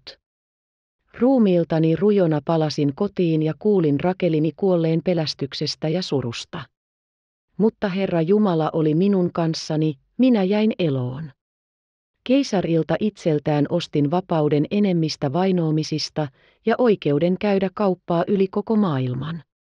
Tätä nykyä ylistetty olkoon hän, joka tekee pilvet sotavaunuiksensa ja kulkee myrskyn siivillä. Tätä nykyä Ester on se, jonka haltiaksi minut asetettiin, karttunut moninkertaiseksi, niin että ne talentit riittävät tekemään rikkaaksi vaikka keisarinkin. Hän nosti ylpeästi päätänsä. Heidän katseensa sattuivat yhteen, ja he lukivat silmistä toistensa ajatukset. Mitä minä näillä rikkauksilla teen, Ester, vanhus kysyi luomatta katsettansa alas. Isä Ester vastasi hiljaa, eikö oikea omistaja juuri äsken ilmoittautunut. Vanhus katseli häntä silmiään väräyttämättä. Ja sinä lapseni, pitääkö minun jättää kerjäläissauva sinulle perinnöksi? Mutta isä, enkö minä sinun lapsenasi ole hänen elinkautinen orjansa? Ja kenestä onkaan kirjoitettu, voima ja kunnia ovat hänen vaatteensa, ja hänen pitää riemu itsemään tulevaisuudessa. Sanomattoman rakkauden heijastus kirkasti vanhuksen kasvoja hänen vastatessaan, Herra on osoittanut minulle paljon hyvyyttä, mutta sinä, Ester, olet kaikkein hänen laupeutensa osoitusten kruunu. Vanhus veti tyttären syliinsä ja suuteli häntä monta kertaa. Sitten hän sanoi entistä kirkkaammalla äänellä. Kuule nyt, minkä tähden minä nauroin äsken. Se nuori mies näytti minusta olevan ihan kuin isänsä ennen muinoin pirteimmässä nuoruudessaan. Minun sieluni halusi tervehtiä häntä. Tunsin vaivojeni päiväin olevan lopussa ja huolieni päättyneen. Tuskin voin olla sitä kovalla äänellä julistamatta. Mieleni teki ottaa häntä kädestä ja näyttää hänelle voittoani, sanoen, kas tässä, kaikki on sinun, ja nyt minä, sinun palvelijasi, olen valmis pois kutsuttavaksi. Ja niin minä olisin tehnytkin, Ester, jollei samana silmänräpäyksenä kolme ajatusta olisi syöksynyt mieleeni ja pidättänyt minua. Ensimmäinen ajatukseni oli, jos hän on herrani poika, niin tahdon vähän oppia tuntemaan hänen luonnettansa. Eikö moni synny rikkauteen, vaikka se hänen kädessään tulee vain kiroukseksi? Vanhus vaikeni, kädet kouristuivat nyrkkiin, ja hänen äänensä alkoi vavista mielen liikutuksesta. Ester, muista, mitä tuskia minä sain kärsiä roomalaisen käsissä, eikä yksistään gratuksen, ne tunnottomat heittiöt, jotka alusta loppuun asti toimeenpanivat hänen käskyjänsä, olivat roomalaisia, ja he kaikki nauroivat ja pilkkasivat minun tuskan huutojani. Ajattele minun riutunutta ruumistani, niitä pitkiä vuosia, jotka olen ollut rujona, ajattele äitiäsi hänen yksinäisessä haudassaan murtuneena sielultaan niin kuin minä ruumiiltani, ajattele hurin perheen suruja, jos sen jäsenet vielä ovat elossa, ja heidän kärsimänsä julmuutta, jos he jo ovat kuolleet. Ajattele tätä kaikkea Jumalan rakkauden tähden, ja sano minulle, tyttäreni, eikö pidä yhdenkään hiuskarvan pudota, eikö yhdenkään veripisaran vuotaa sovinnoksi. Älä sano, kuten pappien on tapana, Herran on kosto. Eikö hän paneta tahtoansa toimeen käskyläisillään sekä rangaistessansa että siunatessansa? Eikö hänen sotilaitansa ole ollut paljoa enempi kuin profetoita? Eikö hän ole antanut lakia silmä silmästä, hammas hampaasta? Oi, minä olen uneksinut kostoa kaikki nämä vuodet, olen rukoillut ja varustautunut, olen kasvavan rikkauteni katselemisesta koonnut kärsivällisyyttä ja yhä ajatellut, että kerran minä, niin totta kuin Jumala elää, kostan rangaistuksen pahantekijöille. Ja kun nuori mies äsken puhui perinpohjin harjoitelleensa sotataitoa eikä sanonut vielä voivansa ilmoittaa, mitä varten, silloin minulla oli sana valmiina, kosto. Ja se Ester se oli, kolmas ajatus, joka minua piti levollisena ja jäykkänä niin kauan kuin hänen kertomastansa kesti, ja sai minut nauramaan hänen lähdettyänsä. Ester silitteli isän kuihtuneita käsiä ja sanoi, ikään kuin olisi sielussaan aavistanut, mitä tuleva oli, hän meni pois. Tokkohan hän enää tulee takaisin. Tulee kyllä, Malluk on luotettava palvelija. Hän seuraa häntä kaikkialle ja tuo hänet takaisin, milloin vain minä olen valmis. Ja milloin se tapahtuu, isä? Pian, pian. Hän luulee kaikki todistajat kuolleiksi. Yksi elää kuitenkin, joka ei suinkaan pety, jos hän tosiaankin on minun herrani poika. Hänen äitinsäkö? Ei, tyttäreni, kyllä minä sen todistajan tuon hänen silmäinsä eteen. Mutta nyt minua jo väsyttää. Huuda Abimelek tänne. Ester huusi palvelijaa ja he palasivat sisälle. Viides luku, tutkimusretkellä. Benhur lähti suuresta varastohuoneesta, mielessä ajatus, että uusi toivon pettymys oli tullut niiden lisäksi, jotka hän jo oli kärsinyt omaisiansa etsiessään. Tämä ajatus oli sitä enemmän mieltä masentava, kun hänen huoliensa esineet olivat hänelle niin kalliit. Se herätti hänessä sanomatonta yksinäisyyden tunnetta, joka enemmän kuin mikään muu on omiaan riistämään ihmissielusta viimeisenkin elämänhalun. Hän pujotteli he ihmisjoukon ja tavarakasain välitse laivasillan reunalle, jossa viileät varjot ja viettelevän mustat syvänteet häntä houkuttelivat. Hitaasti juokseva vesi näytti pysähtyvän häntä odottamaan. Lumous haihtui, kun hänen mieleensä juohtuivat matkustajan sanat, parempi olla toukkaa ja syödä Daphnen silkkiäislehtiä kuin istua kuninkaan pöydässä. Hän kääntyi nopeasti astumaan pitkin sillan laitaa majataloonsa. Daphnen tiekö ovenvartija vastasi, kummastuen Benhurin kysymyksestä. Etkö ole ennen ollut täällä? No, sittenpä lue tämä päivä elämäsi onnellisimmaksi. Tie on helppo löytää. Ensimmäinen katu tästä vasempaan vie etelään päin suoraa päätä Sulpiusvuorelle, jonka huipulla on alttari Jupiterin kunniaksi ja pyöröteateri. Astu sitä suuntaa kolmanteen tienhaaraan asti, jota sanotaan Herodeen pylvästöksi.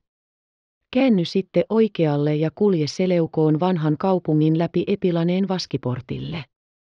Siitä Daphnen tie alkaa ja Jumalat saattakoot sinua. Annettuaan pari käskyä tavaroistansa Ben-Hur lähti matkalle. Hän löysi helposti Herodeen pylvästön. Sitten hän alkoi astua vaskiporteille päin pitkin marmorista pylväskäytävää, joka oli täpö täynnä ihmisiä kaikista kauppaa harjoittavista maailman kansakunnista. Oli neljäs päivän hetki, kun hän astui portista ja huomasi joutuneensa loppumattoman pitkään ihmisvirtaan, joka lainehti kuuluisaa metsikköä kohti. Tie oli jaettu eri ratoihin jalan astujia, ratsastajia ja vaunuilla ajajia varten, ja kukin niistä vielä erittäin tulijoita ja menijöitä varten. Eri ratoja suojelivat matalat aidat, joita siellä täällä katkasivat mahtavan suuret, osaksi kuvapatsailla koristetut kantakivet. Molemmin puolin tietä oli hyvin hoidettuja ruohokenttiä, joita siellä täällä tammi- ja metsäviikunapuuryhmät sievistivät, sekä köynnöskasvisia lehtimajoja väsyneiden varalle, joita paluumatkalla oli erittäin runsaasti. Jalkatiet olivat punaisesta kivestä ja ratsastiet lujaan pakatusta valkoisesta hiekasta, joka teki hevoskavioiden ja pyöräin äänet kuulumat omiksi. Suihkukaivoja oli ihmetyttävän paljon, kaikki muistoina kuningasten käynneistä ja nimitetyt antajain mukaan. Tämä suuremmoinen katu, kulkien luunaista kohti, oli kaupungista pyhän paikan porteille asti noin kuuden virstan pituinen. Ollen katkeralla mielellä Benhur tuskin tuli huomanneeksi kuninkaallista anteliaisuutta, joka näkyi koko tierakennuksesta. Yhtä vähän hän alussa välitti kansajoukostakaan. Puhuaksemme suoraan, hajamielisyytensä ohella hänessä oli melkoisesti ylevää itsetuntoa, kuten roomalaisessa, joka äsken tultuaan maailman keskuskaupungin suurenmoisesta komeudesta kulki katselemassa etäisiä maakuntia. Eihän niissä voinut hänelle olla mitään uutta eikä erinomaista nähtävää. Benhur pikemmin käytti hyväkseen jokaista tilaisuutta tunkeutua ihmisjoukkojen läpi, jotka astuivat liian hitaasti hänen maltittomuuteensa verraten. Saavuttuaan Herakleaan, kaupungin ja pyhän paikan väliseen kauppalaan, hän alkoi tuntea vähän väsymystä ja sen tähden enemmän halua tarkastelemaan kirjavaa taulua. Kerran hänen huomionsa kiintyi pariin vuoheen, joita kaunis nainen talutti, kaikki koristettuina loistavilla nauhoilla ja kukilla. Sitten hän pysähtyi katselemaan suurta, lumivalkoista härkää, se oli seppelöity tuoreilla lehdillä ja kantoi leveässä selässään alastonta lasta korissa, nuoren bakkuksen kuvaa, joka pusersi kypsiä rypäleitä pikariin ja tyhjensi aina sen, kutsuttuaan tavallisen juomauhrin sanat. Lähtiessään jälleen astumaan hän itsekseen arvaili, minkä hän Jumalan alttarille nuo lahjat olivat menossa. Komeapukuinen ratsastaja lennätti ohitse ratsulla, jolta silloisen tavan mukaan oli harja lyhyeksi leikattu. Benhur hymyili huomatessaan ratsastajan ja hevon samanvertaisen ylpeyden. Sen jälkeen hän monestikin käänti päätänsä kuunnellakseen pyöräin natinaa ja kavioiden kapsetta, hän oli huomaamattaan viehtynyt vaunujen ja ajajain tarkastelemiseen. Kohta hän alkoi itsekseen tehdä huomioita myöskin niistä ihmisistä, joiden keskellä kulki. Siellä oli sekä miehiä että naisia, kaikenikäisiä ja säätyisiä, kaikki juhlapuvussa. Muutamalla seuralla oli valkoiset vaatteet, toisella mustat, jotkut kantoivat lippuja, toiset heiluttivat suitsutusastioita. Muutamat marssivat hitaasti eteenpäin hymnejä laulellen, toiset astuivat huilujen ja rumpujen tahdin mukaan. Jos tuolla tavalla joka päivä käytiin Daphnea tervehtimässä, miten ihmeellinen se paikka olikaan. Viimein hän kuuli ilohuutoja ja kovaa käsien taputusta.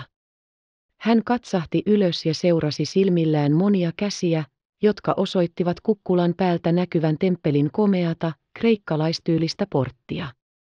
Hymnit kaikuivat kovemmin, musiikki kiihtyi sukkelammaksi, ja hän astui mahtavan ihmisvirran viemänä sisään, jopa itsekin vähän innostuen yleisestä kiihkosta.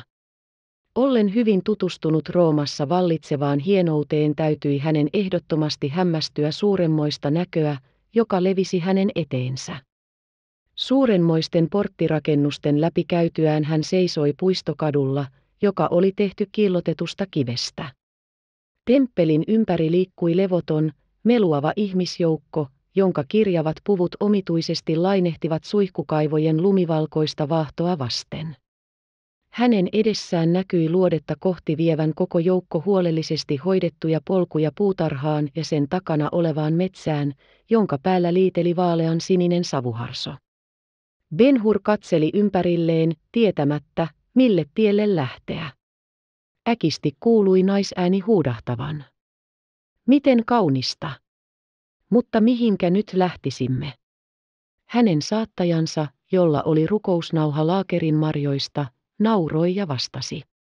Astu vain, sinä kaunis pikku barbaari. Kysymyksesi osoittaa maallista pelkoa. Emmekö sopineet jättävämme kaikki maalliset huolet jäljellemme Antiokiaan? Tuulet, jotka täällä puhaltelevat, ovat Jumalain hengitystä. Antautukaamme siis tuulien leikkikaluiksi. Entä jos eksymme? Sinä pikku pelkuri.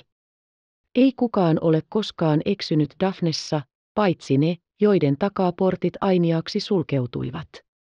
Ja ketä ne olivat, kysyi tyttö vielä levottomana.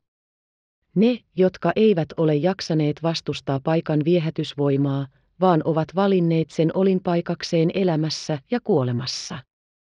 Kuulehan.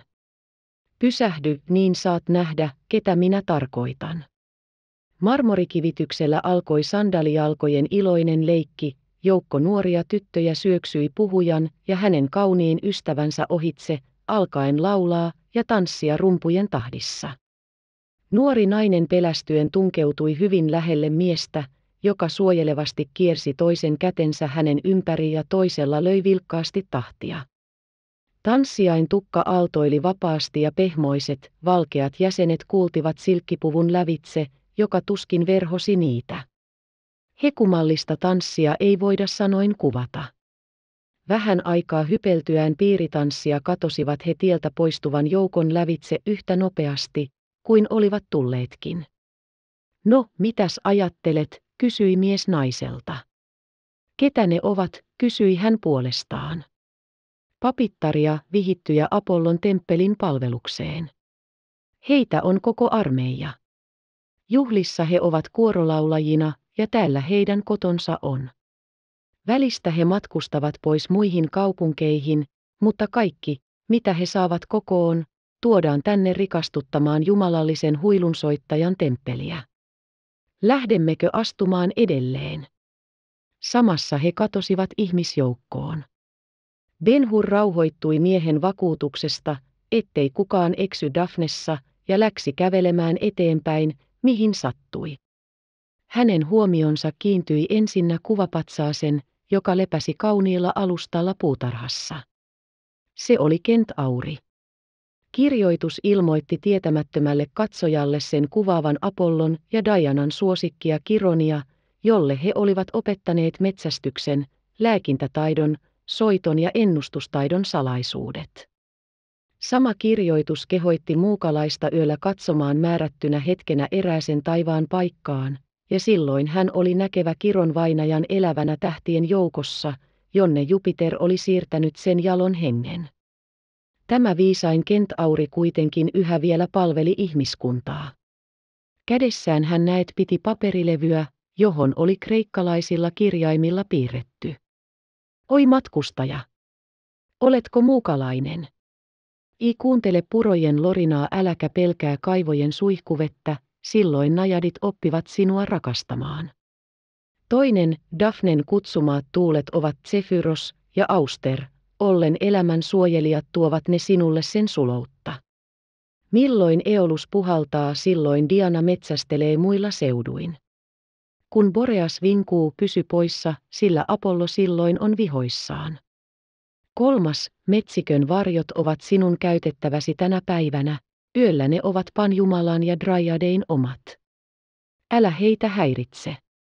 Neljäs syö varovasti lotuskasvia, joka kasvaa purojen varsilla, elle tahdo kadottaa entisyyden muistoa, joka kyllä soveltuu Daphnen lapsille. V väisty verkkoansa kutovaa hämähäkkiä, se on Arakne, joka tekee työtä Minervalle. Kuudes. Jos tahdot nähdä Daphnen kyyneliä, taita vain nuppu laakerin oksasta ja kuole. Ole varoillasi. Pysähdy, tule onnelliseksi. Ben-Hur jätti tämän salaperäisen kirjoituksen muiden selitettäväksi, jotka melkein läpipääsemättömänä ryhmänä ympäröivät häntä, ja poistui juuri silloin, kun valkoista härkää talutettiin ohitse. Poika istui yhä vielä korissansa juhlasaaton seuraamana, ja sen jäljestä tuli nainen vuohinensa. Heitä seurasi huilu ja rummut sekä toinen uhrin tuojain joukko. Mihinkä ne menevät, kysyi eräs lähellä seisoja. Toinen vastasi, härkä viedään isä Jupiterille, vuohetki. Eikö Apollo ennen muinoin paimentanut Admeton laumoja? Paimensi ja vuohet viedään juuri Apollolle. Meidän täytyy vielä kerran pyytää lukijaa jättämään pois ankara arvostelu. Meidän käy jonkun verran helpommaksi mukautua toisten uskonnollisen käsityksen mukaan, jos usein oleskelemme heidän parissansa. Me käsitämme vähitellen sen totuuden, että joka uskonopilla on kannattajina ollut hyviä ja jaloja henkilöitä, joilla on oikeus saavuttaa meidän ihmettelyämme, mutta joita me emme voi kunnioittaa samalla kunnioittamatta heidän uskonkäsitystänsä. Siihen asemaan oli Ben Hur joutunut. Eivät kalereilla eikä Roomassa vietetyt vuodet olleet vaikuttaneet mitään hänen uskontoonsa, hän oli yhä vielä juutalainen. Eipä hänen mielestänsä kuitenkaan ollut vähäkään jumalatonta katsella, mitä kaunista oli Daphnen metsikössä. Kuudes luku, Daphnen metsikkö. Benhur astui metsään juhlasaaton seurassa. Alussa hän oli niin välinpitämätön, ettei viitsinyt kysyä mihinkä mentiin, mutta hän kuitenkin himmeästi aavisti, että matka kävi temppelejä kohti, jotka seisoivat keskellä metsikköä miellyttävässä suuruudessaan. Äkisti huomasi hän itsekseen ääneti ajattelevansa, parempi on olla toukka ja syödä Daphnen silkkiäispuita kuin istua kuninkaan pöydässä. Kun se ajatus oli värehtinyt hänen edessään moneen kertaan, tuli hänelle mieleen koko joukko vaikeita kysymyksiä. Oliko sitten elämä temppelissä niin suloinen? Mikä se viehätys oli? Tokkohan käsittämättömän filosofian syvyys. Vai oliko se jotakin todellista, käsin kosketeltavaa, jonka valpas mieli voisi milloin hyvänsä käsittää? Tuhansittain ihmisiä luopui joka vuosi maailmasta ja antautui temppelipalvelukseen. Ja löysivätkö he tosiaan, mitä etsivät? Ja jos löysivät, oliko se palvelus kylliksi saamaan aikaan niin syvää unhotusta, että mielestä haihtuivat elämän äärettömästi vaihtelevat tapaukset ja suhteet, sekä sulostuttavat että katkeroittavat, toiveet, liihoittelevat lähimpään tulevaisuuteen, ja huolet, jotka ovat syntyneet entisyydessä. Jos temppeli vaikutti niin hyvää heihin, miksei se vaikuttanut samaa häneen? Hän oli juutalainen, totta kyllä, mutta olivatko nämä suloiset asiat kaikille muille, vaan ei Abrahamin lapsille? Näitä ajateltuaan hän ryhtyi kaikin tavoin tutkimaan paikan salaisuuksia, pitämättä lukua uhraajain laulusta tai lähellä seisojain leikinlaskusta. Siinä tutkimuksessa hän ei saanut mitään apua taivaasta, se oli hohtavan sininen ja korkea ja täynnä viserteleviä pääskyjä aivan kuin kaupungissakin. Vähän etempänä tuli oikean puolisesta metsästä häntä vastaan tuulenpuuska, tuoden suloista ruusujen tuoksua ja suitsutussavua. Hän pysähtyi kuten muutkin katselemaan sinne päin, josta tuoksu tuli. Varmaankin on puutarha tuolla toisella puolella, hän sanoi vieressään seisojalle. Sano ennemmin, että papit ovat toimittamassa jotakin uhria Dianalle, Panille tai jollekin metsän jumalalle. Tämä vastaus lausuttiin Benhurin äidinkielellä. Hän katsahti kummastuneesti vastaajaan. Oletko hebrealainen, hän kysyi. Mies vastasi kohteliaasti hymyillen. Minä synnyin kivenheiton päässä Jerusalemin markkinapaikasta. Benhur alkoi juuri jatkaa keskustelua, kun ihmisvirta syöksyi eteenpäin, työnsi hänet tien syrjään lähelle metsää ja samalla vei pois puhekumppanin. Juutalaisten tavallinen päällysvaate, sauva, keltaisilla nauhoilla koristeltu tummanruskea päähine ja voimakkaat juutalaiskasvot jäivät Penhurin muistiin pikaisesta tutustumisesta. Tämä yhtyminen tapahtui paikassa, josta metsä alkoi, tarjoten hyvää tilaisuutta päästä pois meluisista uhrisaatoista, ja Ben-Hur käytti sitä hyväkseen. Ensin hän tuli tiheään metsikköön, joka tieltä katsoen näytti olevan ihan luonnon tilassa, läpipääsemätön metsälintujen asunto. Mutta jo muutaman askeleen päässä hän näki sielläkin hoitelevan käden merkkejä. Pensaat kukoistivat taikka kantoivat hedelmiä, nuokkuvain oksain alla oli maatäpö täynnä kirjavia kukkia, ja niiden ylitse ojenteli jasmiinipensas hentoja haarojansa. Liljoista, ruusuista, tulpaaneista, oleandereista ja mansikoista, jotka kaikki olivat hänelle hyviä tuttuja siitä asti, kun hän käveli laaksoissa Davidin kaupungin ympärillä, levitti tuuliöt päivät hyvänhajuista tuoksua, ja ettei mitään puuttuisi nymfien ja najadien autuudesta, suikerteli purokukkahista maata pitkin monenmoisesti polveillen. Hän kuuli yllänsä ja ympärillään lintujen laulua, ja kyyhkysten kuherrusta satakieli istui pelkäämättä oksallaan, vaikka hän astui ihan sen vieritse. Peltokana, vihellellen poikasiaan, juoksi aivan hänen jalkainsa editse, kun hän pysähtyi häiritsemästä niiden matkaa. Kaikki oli rauhaa ilman pelkoa, yleistä, häiritsemätöntä rauhaa. Hän istahti maahan sitruunapuun viereen, joka ojenteli kauas ulos harmaita juuriaan ulottuakseen puron lähimpään polvikkeisen asti. Talitiaisen pesä riippui lähellä porisevan veden pintaa, ja se pikku olento katseli pesästään häntä ihan hänen silmäinsä edessä.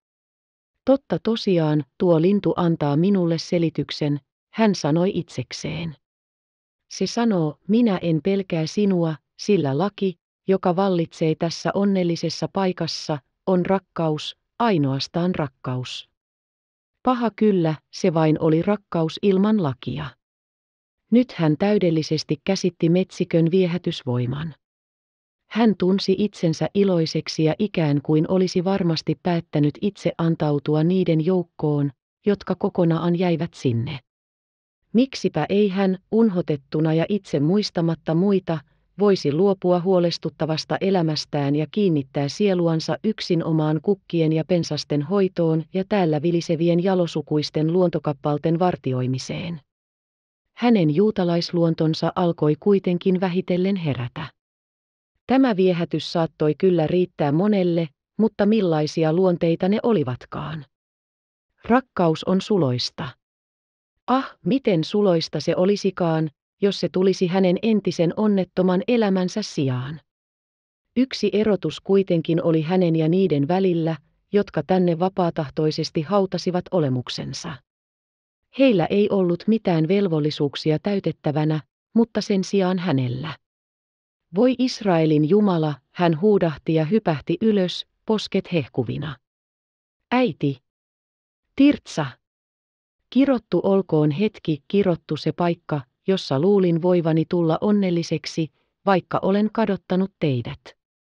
Hän riensi metsikön läpi ja saapui kanavalle, jossa oli muuratut laidat ja siellä täällä sulkuja, siitä edelleen sillan poikki, jolle näkyi monta muuta siltaa, kaikki erilaisia. Hänen olansa vesi lepäsi syvänä lampena, kuultavana kuin varjo, vähän matkan päässä se syöksyi kohisten kallioiden ylitse, kunnes taas levisi syväksi ja tyyneksi lammikoksi sitten oli koski ja lammikko vuorotellen niin loitolle, kuin silmä kantoi. Sillat, sulut ja kosket kaikki puhuivat selvään samaa, äänetöntä kieltä, että ne napisematta täyttivät yhden Herran tahtoa, kuten Jumalain palvelijoiden tuleekin. Loitompaa näkyi maisema, jossa oli avaroita laaksoja ja säännöttömiä kukkuloita, metsiköitä, järviä ja viehättäviä rakennuksia sekä välillä valkealta välkkyviä polkuja ja loistavia jokia. Laaksot olivat siellä täällä alempana, niin että joki saattoi kuivan aikana niitä katsella, ja ne näyttivät vihreiltä kukkamatoilta, joilla siellä täällä käveli lumivalkoisia lammaslaumoja. Paimenten ääniä kuului etäältä. Alttareja taivasalla näytti olevan lukemattomia, ja jokaisen luona toimi valkopukuinen olento, uhrisaattojen marssiessa hitaasti edestakaisin.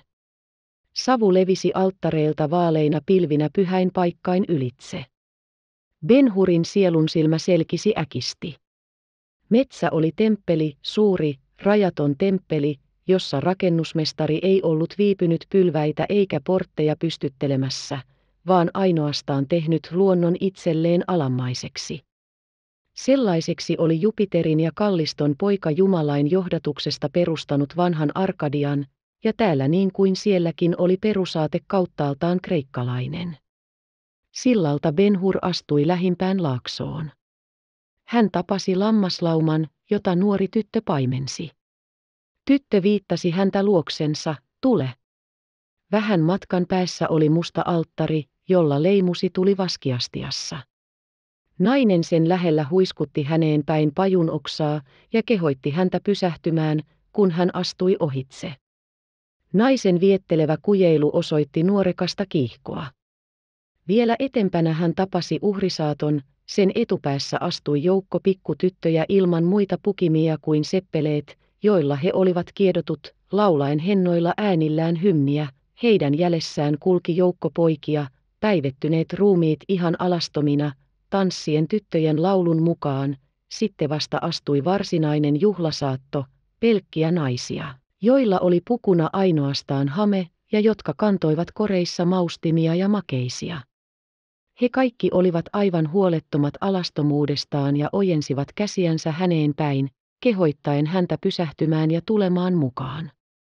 Hän kuitenkin jatkoi välinpitämättömästi matkaansa ja saapui rehevään metsikköön, joka oli keskellä laaksoa sellaisessa paikassa, josta se näytti kaikkein viehättävimmältä. Saavuttuaan lähelle hän tunsi sen varjon houkuttelevan, ja lehtien välitse oli hän näkevinään erittäin kauniin kuvapatsaan. Niinpä hän poikkesi sinne ja astui sen vilpoiseen siimekseen. Ruoho oli tuoretta ja hyvin hoidettua. Kaikenlaisia Itämaan puita kasvoi hajallansa, majesteetillisia palmuryhmiä metsäviikunapuita, jotka varjostivat tummalehtisiä laakeripuita, ainiaan viheriöiviä tammia sekä kuninkaallisia setripuita, yhtä jaloja kuin Libanonilla, ja tärpättipuita, joiden olisi luullut olevan kotoisin paratiisin yrttitarhasta. Kuvapatsas oli erinomaisen kaunis Daphne.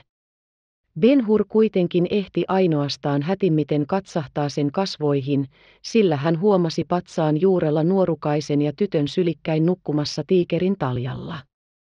Vieressä olivat työkalut, joista näkyi heidän päivätyönsä, pojan kirves ja sirppi, tytön kori huolettomasti heitettynä lakastuneiden ruusujen päälle. Tämä näkö saattoi hänet hämilleen. Hän oli tuolla metsän hiljaisuudessa luullut huomaavansa, että tämän pyhän paikan lumousvoimana oli rauha ilman pelkoa, ja hän oli ollut vähällä kukistua sen viehätyksen valtaan.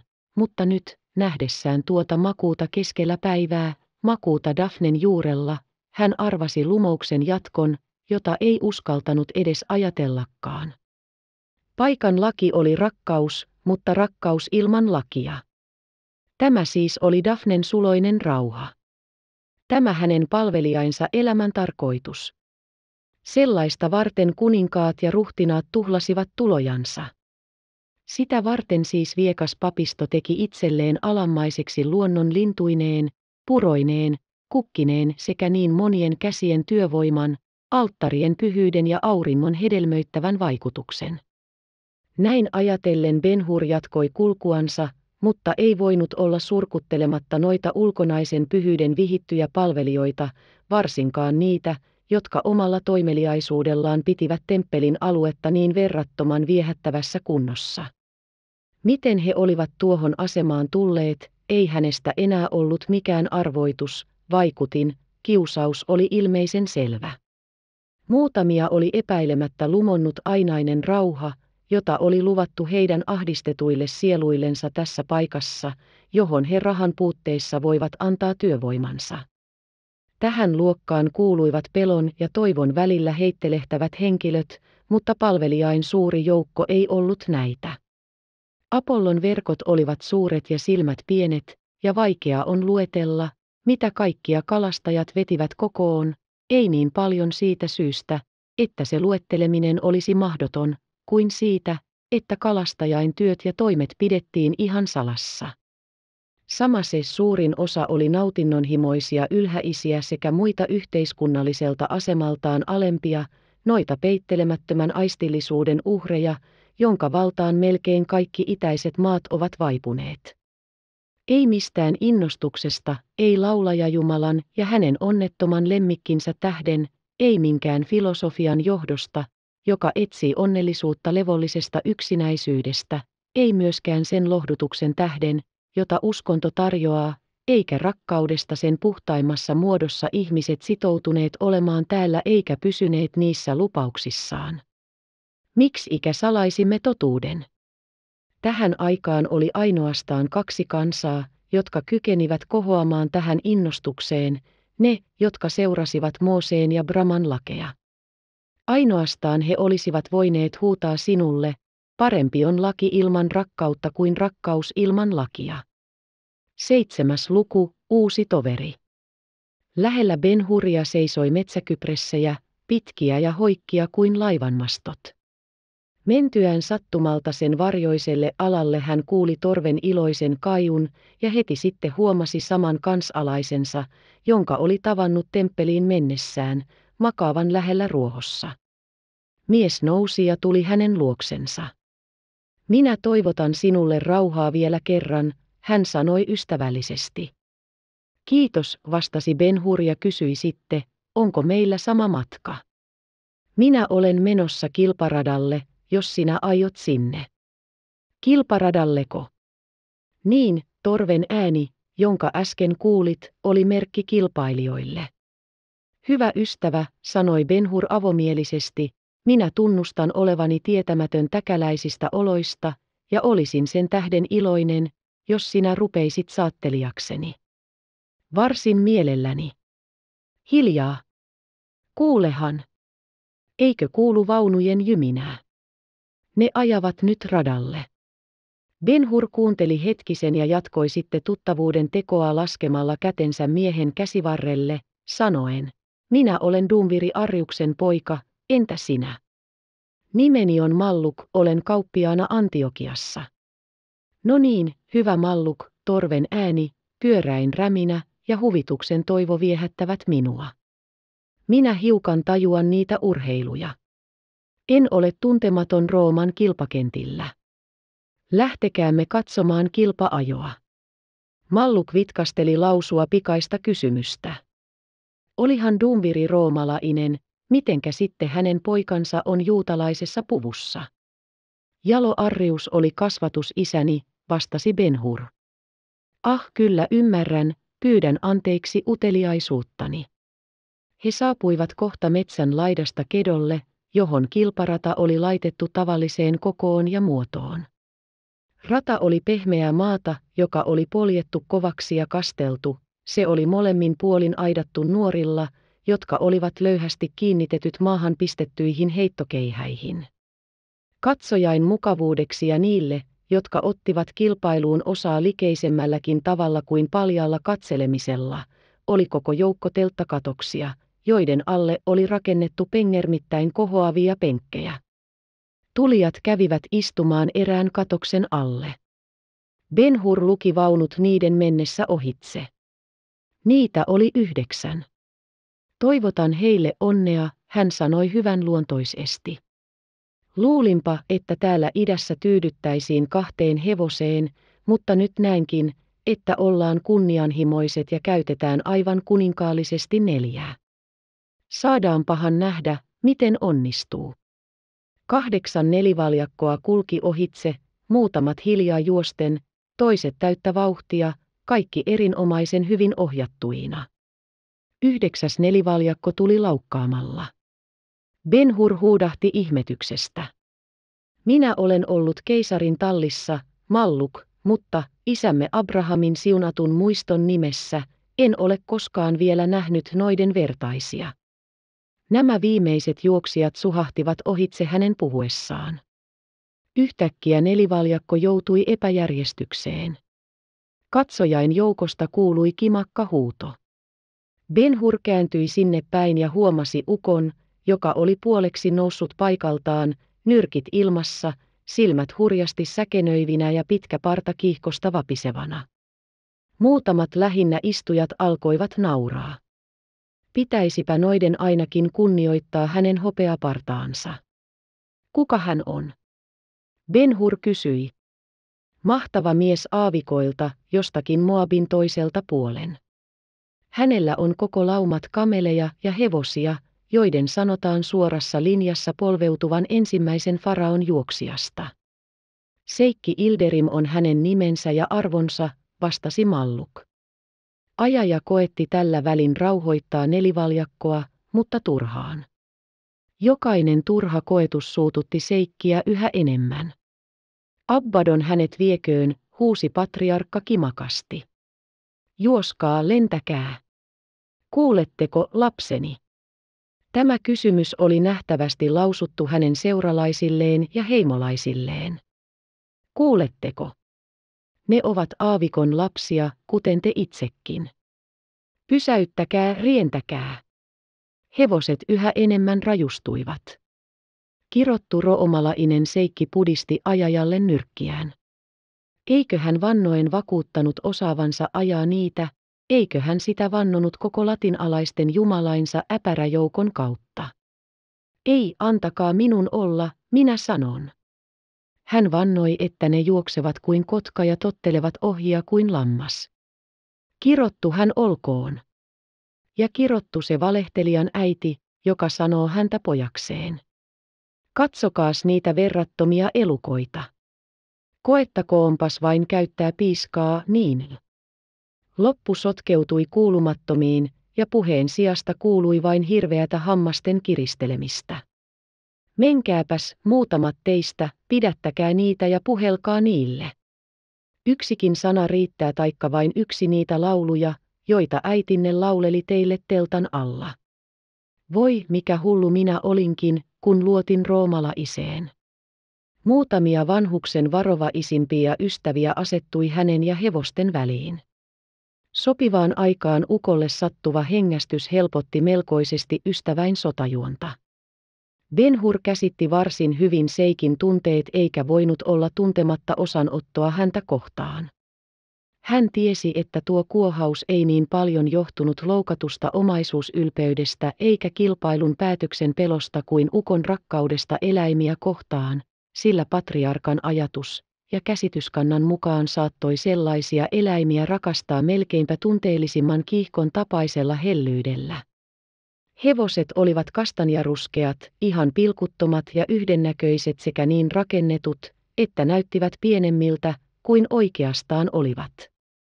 Hienot korvat koristivat pikkupäitä, jotka olivat leveät silmäin kohdalta, leveiden sieramien sisäiho loisti punaiselta kuin tuli, kauniin kaarevia kauloja sievisti tuuheat harjat, jotka peittivät myös koko rinnan, ja otsajouhet olivat, kuten koko muukin karva pehmoiset kuin silkki.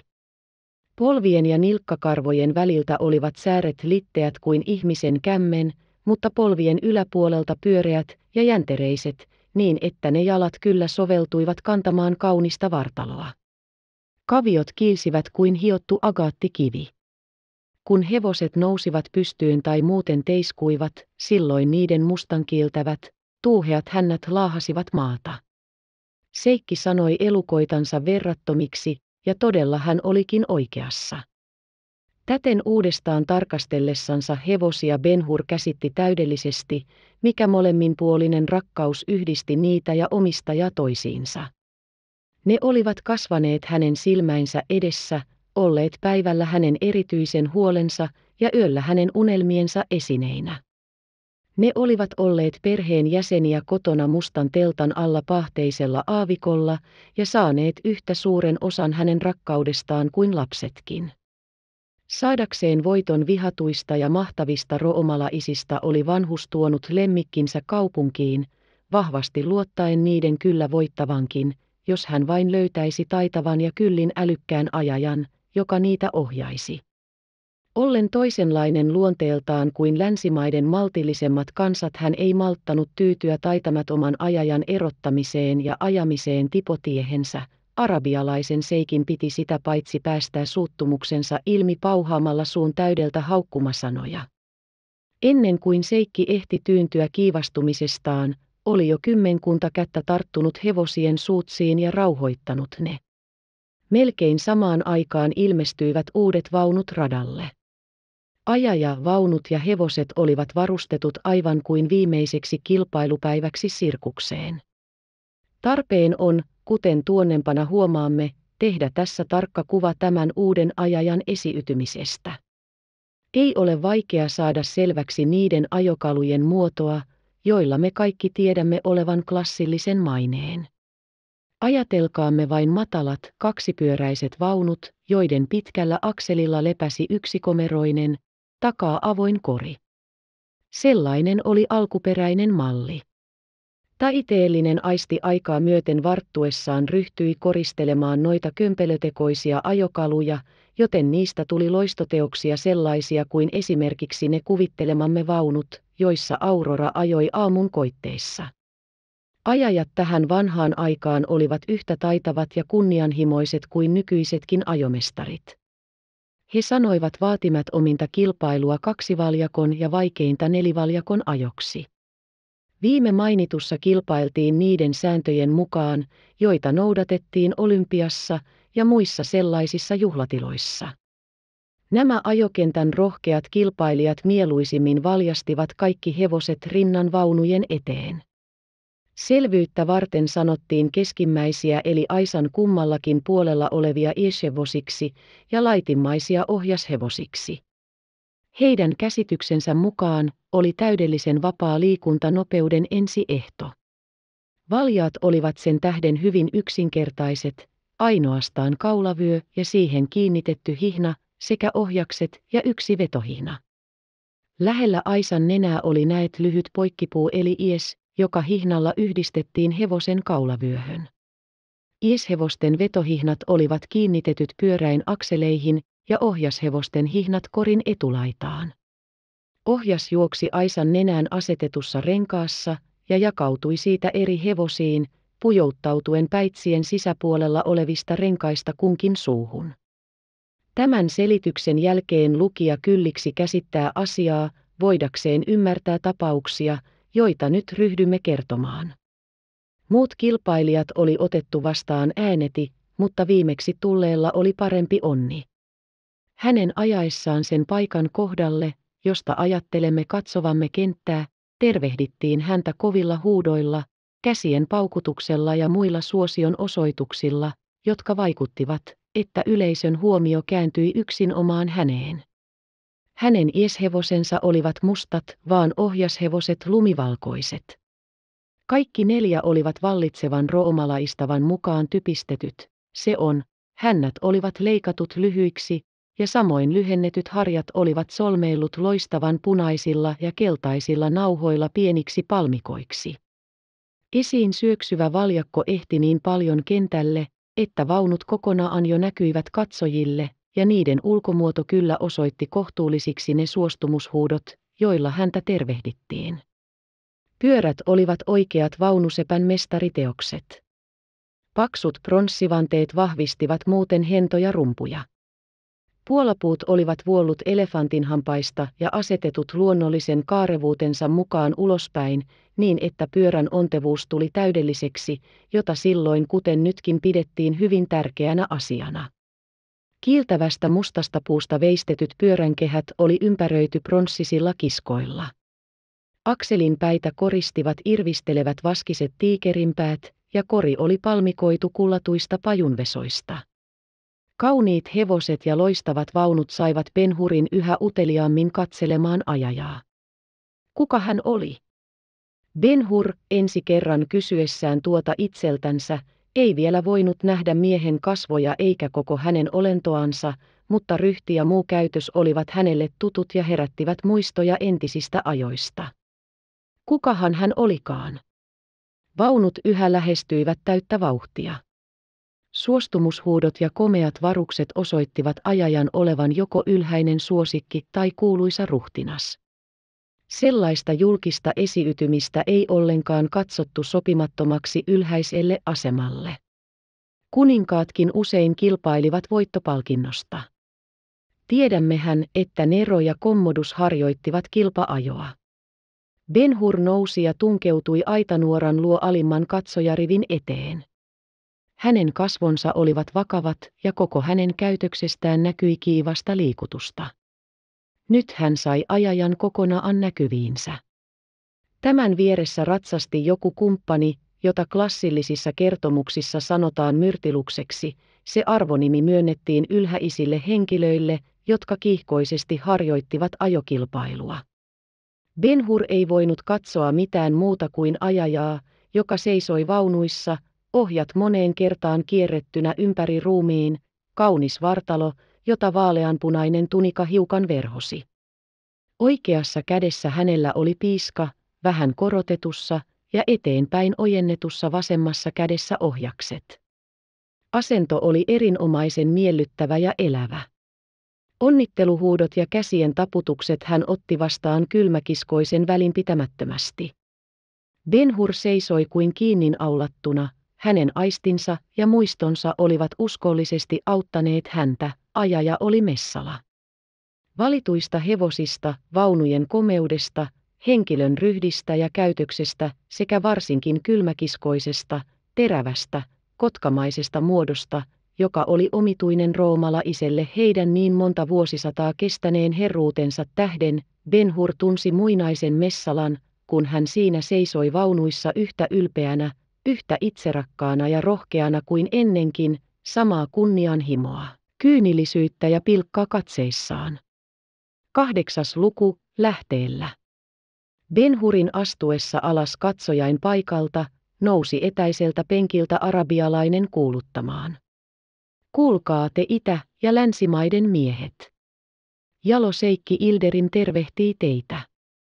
Hän kilpailee suurimmasta palkinnosta neljällä hevosella, jotka ovat viisaan Salomon lempihevosten jälkeisiä. Mutta hän tarvitsee voimakasta kättä niitä ohjaamaan.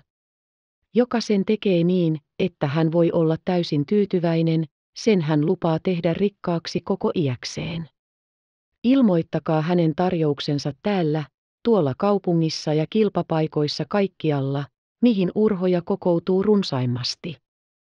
Niin sanoo minun herrani, Seikki Ilderim, antelias. Tämä julistus sai aikaan vilkkaan liikkeen ihmisjoukossa telttakaton alla. Iltaan asti sitä arvattavasti toisteltiin ja siitä keskusteltiin Antiokian kaikissa urheilua rakastavissa seuroissa. Benhur, kuultuaan sen, pysähtyi ja antoi katseensa vitkastellen liidellä julistajasta seikkiin.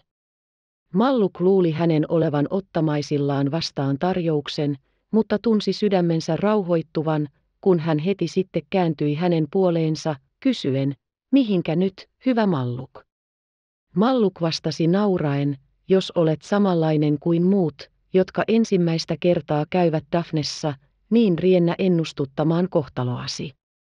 Kohtaloaniko, sanoitko niin? Vaikka tuo ajatus on vähäpakanallinen, niin lähtekäämme kuitenkin kuulemaan Jumalattaren ajatusta.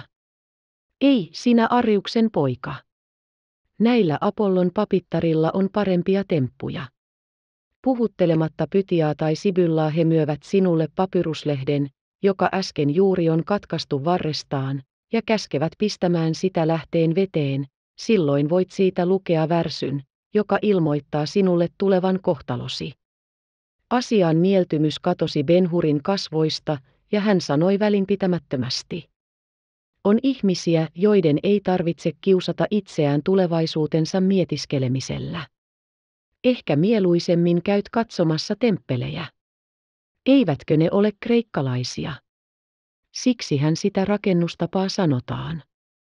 Helleniläiset olivat taiteissa kauneuden mestareja, mutta he ovat rakennustaiteissa jäykän kauneuden tähden uhranneet vaihtelevaisuuden.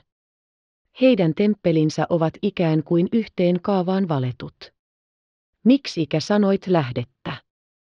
Kastalia se on. Ah, se on kuuluisa yli koko maailman. Käykäämme sitä katsomassa. Malluk tarkasteli seuraajaansa ja huomasi, että tämän iloisuus oli ainakin siksi kertaa haihtunut. Hänhän ei ollenkaan pitänyt lukua ohi virtailevasta ihmisjoukosta, eikä kertaakaan ääneen ihmetellyt taidelaitoksia, joiden ohi kulkivat, vaan astui ääneti, melkeinpä äreänä hitain askelin eteenpäin. Oikeastaan oli asia niin, että Messalan näkeminen oli tehnyt Benhurin miettiväiseksi. Hänestä tuntui kuin olisi tuskin tuntia vielä kulunut siitä, kun raat kädet kiskoivat hänet pois äitinsä luota ja roomalainen lukitutti isän kodin portit. Hän ajatteli, mitenkä hänellä toivottomassa elämässään kalereilla, jos sitä voi elämäksi sanoakaan, ei työnsä ohella ollut mitään muuta tekemistä kuin hautoa kostounelmia, joissa Messala oli päähenkilönä. Gratukselle, sanoi hän aina itsekseen, voi antaa anteeksi, mutta Messalalle ei koskaan. Ja vahvistaakseen ja karaistakseen päätöstänsä hän oli moneen kertaan toistellut mielessään, kuka osoitti meidät vainoijillemme. Ja kun anoin apua, vaikken anonutkaan itselleni, kuka silloin meni pilkallisesti nauraen tiehensä. Ja ainiaan oli hänen unelmissaan ollut sama päätös, sinä päivänä, kun me jälleen tapaamme toisemme, auta minua, sinä isäimme Jumala, auta kostamaan oikein erinomaisella tavalla. Nyt tämä yhtyminen oli tapahtunut. Ehkäpä jos Benhur olisi tavannut Messalan köyhänä ja kärsiväisenä, hänen tunteensa olisivat olleet toisenlaiset, mutta nyt ei ollut niin. Messala oli ylen onnellinen, ja siinä onnessa näkyi välkettä, päivänpaistetta ja kultausta. Se mitä Malluk luuli vain hajamielisyydeksi, se siis tosiaan oli mietiskelemistä, mitenkä hän voisi tavata Messalan ja miten tehdä sen yhtymisen niin muistettavaksi kuin mahdollista. Hetkisen kuluttua he kääntyivät tammikujalle, jossa ihmisiä virtaili edes takaisin sekä jalkaisin että ajaen. Orjat kantoivat naisia kantotuoleissa ja vaunuja rämisten vieri ohitse. Käytävän päästä vei vähän viettävä alamäki vihreälle kentälle, jota toiselta puolen rajoitti harmaa vuorenseinä. Sielläpä jo kuuluisa Kastalian lähden näkyikin. Tunkeutuen sinne kokoutuneen ihmisjoukon lävitse Ben Hur näki vesisuihkun tulvivan kalliolohkareen huipusta mustaan marmorisäiliöön, johon se kuohuen ja poristen katosi, mennen arvattavasti edelleen jostakin näkymättömästä viemäristä. Säiliön vieressä näkyi pienen, kallioon hakatun katoksen alla parrakas ja ryppyinen vanha pappi, yllä kaapu. Ihmisten asennosta oli vaikea päättää, Ainiaan suihkuava lähteen suoniko veti puoleensa suurimman huomion, vaiko pappi, joka myöskin Ainiaan oli paikallansa. Tämä vanhus kuuli, näki ja oli nähtävänä, mutta ei puhunut koskaan. Välistä joku ojensi häntä kohti kätensä, tarjoten rahaa. Viekkaasti tirkistäen pappi otti rahan ja antoi sijaan papyruslehden. Ostaja kiiruhti heti kastamaan lehtensä lähteisen ja katsomaan sitä, veden pois juostua, aurinkoa vasten, jolloin hän vaivansa palkaksi sai lehden pinnalta lukea runomuotoon sepitetyn kirjoituksen. Lähteen mainetta kannattikin hyvästi se runollinen kekseliäisyys, joka ilmeni vastauksissa. Ennen kuin Benhur ehti kysyä kohtaloansa, näkyi muutamia muita tulevan niityn poikki, ja heidän sekä ryhtinsä että koko ulkoasunsa kiihottivat niin hyvin hänen kuin muidenkin uteliaisuutta. Hän näki ensin hyvin kookkaan lumivalkoisen kamelin, jota ratsumies talutti. Päiväteltta kamelin selässä oli tavattoman tilava ja koristettu punaisella ja kullalla. Jäljestä seurasi vielä kaksi ratsumiestä, pitkät keihät käsissä. Ihmeen kaunis kameli, sanoi joku joukosta. Luultavasti ulkomainen ruhtinas, arvasi toinen. Taikka pikemmin kuningas. Jos se olisi elefantti, luulisin minäkin samaa. Kamelia lisäksi valkoinen, sanoi eräs mahtavasti. Totta Apollon kautta, ystävät, nuo, jotka tulevat tuolla, näettehän, että heitä on kaksi, eivät ole ruhtinaita eikä kuninkaita, vaan naisia. Tämän puhelun aikana tulijat jo saapuivat lähteen luo. Kameli ei läheltä katsoen näyttänyt yhtään rumemmalta kuin etäältä.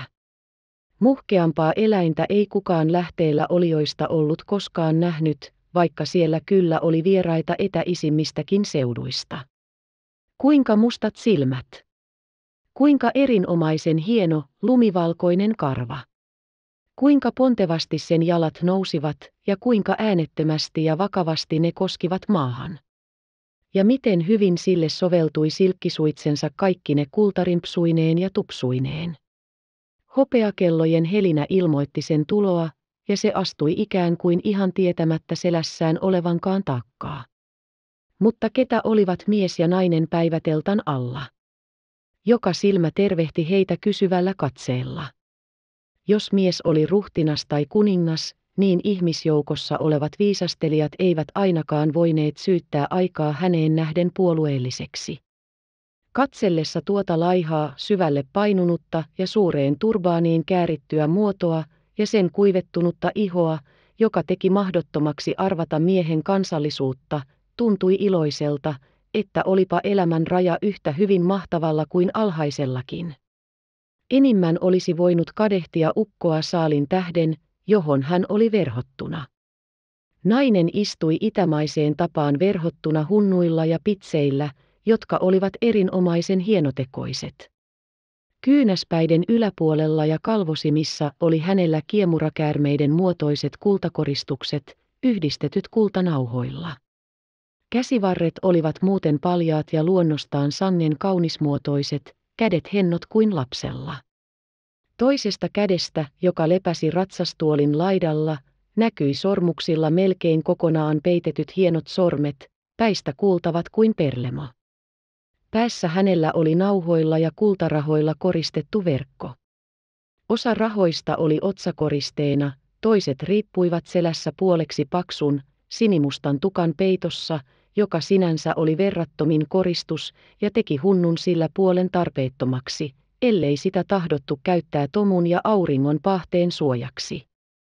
Hän katseli korkealta istuinpaikaltaan levollisesti ihmisjoukkoa, ollen nähtävästi niin kiintynyt siihen tarkasteluunsa, ettei ollenkaan näyttänyt tietävän, miten suurta huomiota itse herätti. Mutta tavatonta jopa ihan vastoin ylhäisten naisten tapaa oli, että hän katsellessaan muita piti kasvonsa paljaina. Hänen muotonsa oli kaunis, nuorekas ja pyöreä. Iho ei ollut vaalea, kuten kreikkalainen, ei tumma, kuten roomalainen, eikä kellahtava, kuten kallialainen, vaan pikemmin näytti yläniilin aurinko siihen lumonneen sellaista kuultavuutta, että veri loisti lävitse, poskista ja otsasta, kuten lampun himmennetty valo. Luonnostaan suuret silmät olivat maalatut pitkin luomia mustalla värillä, kuten Itämaissa on ollut tapana ikivanhoista ajoista asti. Huulet ollen vähän raollaan, näyttivät purpurakehyksensä sisältä loistavan valkoisia hampaita. Jos näihin kauneuskohtiin vielä lisäämme hänen pikkupäänsä miellyttävän ryhdin ja klassillisen muodon sekä kohtuullisen pitkän kaulan sopivan kaarevuuden, niin jopa syystä kyllä saatamme sanoa häntä näöltään kuningattareksi. Ikään kuin kylliksi tarkasteltuaan väkijoukkoa ja paikkaa, kaunis nainen kääntyi antiokialaisen taluttajan puoleen, joka nyt ohjasi kamelin lähemmäksi lähdettä ja käski laskeutumaan polvilleen, otti sitten naisen kädestä pikarin ja meni sitä täyttämään. Samassa pyöräin ja hevoskavioiden jyminä häiritsi vierasten tulosta ja naisen ihmettelemisestä syntynyttä äänettömyyttä ja ihmiset huutaen hajaantuvat kaikkiin suuntiin. Luulempa, että tuo roomalainen aikoo ajaa päälle, pidä varasi, huusi Malluk Benhurille, samassa jo kiireimmiten itse paeten. Benhur katsahti sinne päin, josta ääni tuli, ja huomasi Messalan nelivaljakollaan laskevan suoraan ihmisjoukkoa kohti. Nyt hän näki hänet läheltä ja selvään. Hajaantunut joukko jätti suojattomaksi kamelin, jonka pelastaakseen olisi pitänyt olla sukkelampi liikkeiltään, kuin kameli yleensä on, mutta hevoskaviot jo melkein koskivat siihen ja se kuitenkin makasi polvillaan, silmät ummessa, lakkaamatta märehtien, niin tyynenä, että kyllä voi huomata sitä jo kauan hyvänä pidetyn. Aitiopialainen väänteli kauhusta käsiään. Vanhus valmistautui pakenemaan päiväteltasta, mutta ikä oli hänet jo liiaksi rammannut eikä hän myöskään voinut pahimmassa vaarassakaan unhottaa arvokkaisuutta, joka jo näytti hänellä olevan juurtuneena tapana. Naisen oli liian myöhä pelastua, Benhur seisoi lähimpänä ja huusi Messalalle. Seis! Katso, mihin ajat! Pidätä seis! Tuo ylimys nauroi itsetyytyväisesti, ja kun Benhur ei nähnyt muuta pelastuskeinoa, syöksyi hän esiin ja tarttui vasemman ieshevosen ja sen lähimmän kumppanin suutsiin. Sinä roomalainen koira. Onko ihmishenki sinusta niin arvoton, niin huutaen hän työnsi koko voimallaan hevosia takaperin. Ne nousivat pystyyn ja pakottivat toisetkin hevoset kääntymään syrjään. Aisa työntäytyi korin alle ja oli vähällä kaataa sen kumoon. Messalatöin tuskin pysyi vaunuissa, mutta hänen suosikkinsa myrtilus vierähti kuin puunpölkäre maahan. Ihmiset nähtyään vaaran jo olevan ohitse, remahtivat ivanauruun. Nytpä näkyi roomalainen ylpeys koko loistossaan. Messala päästi ohjakset vyöltänsä, viskasi ne syrjään, hypähti maahan, astui kamelin ympäri, katsahti Benhuriin ja sanoi puolittain vanhukselle, puolittain naiselle.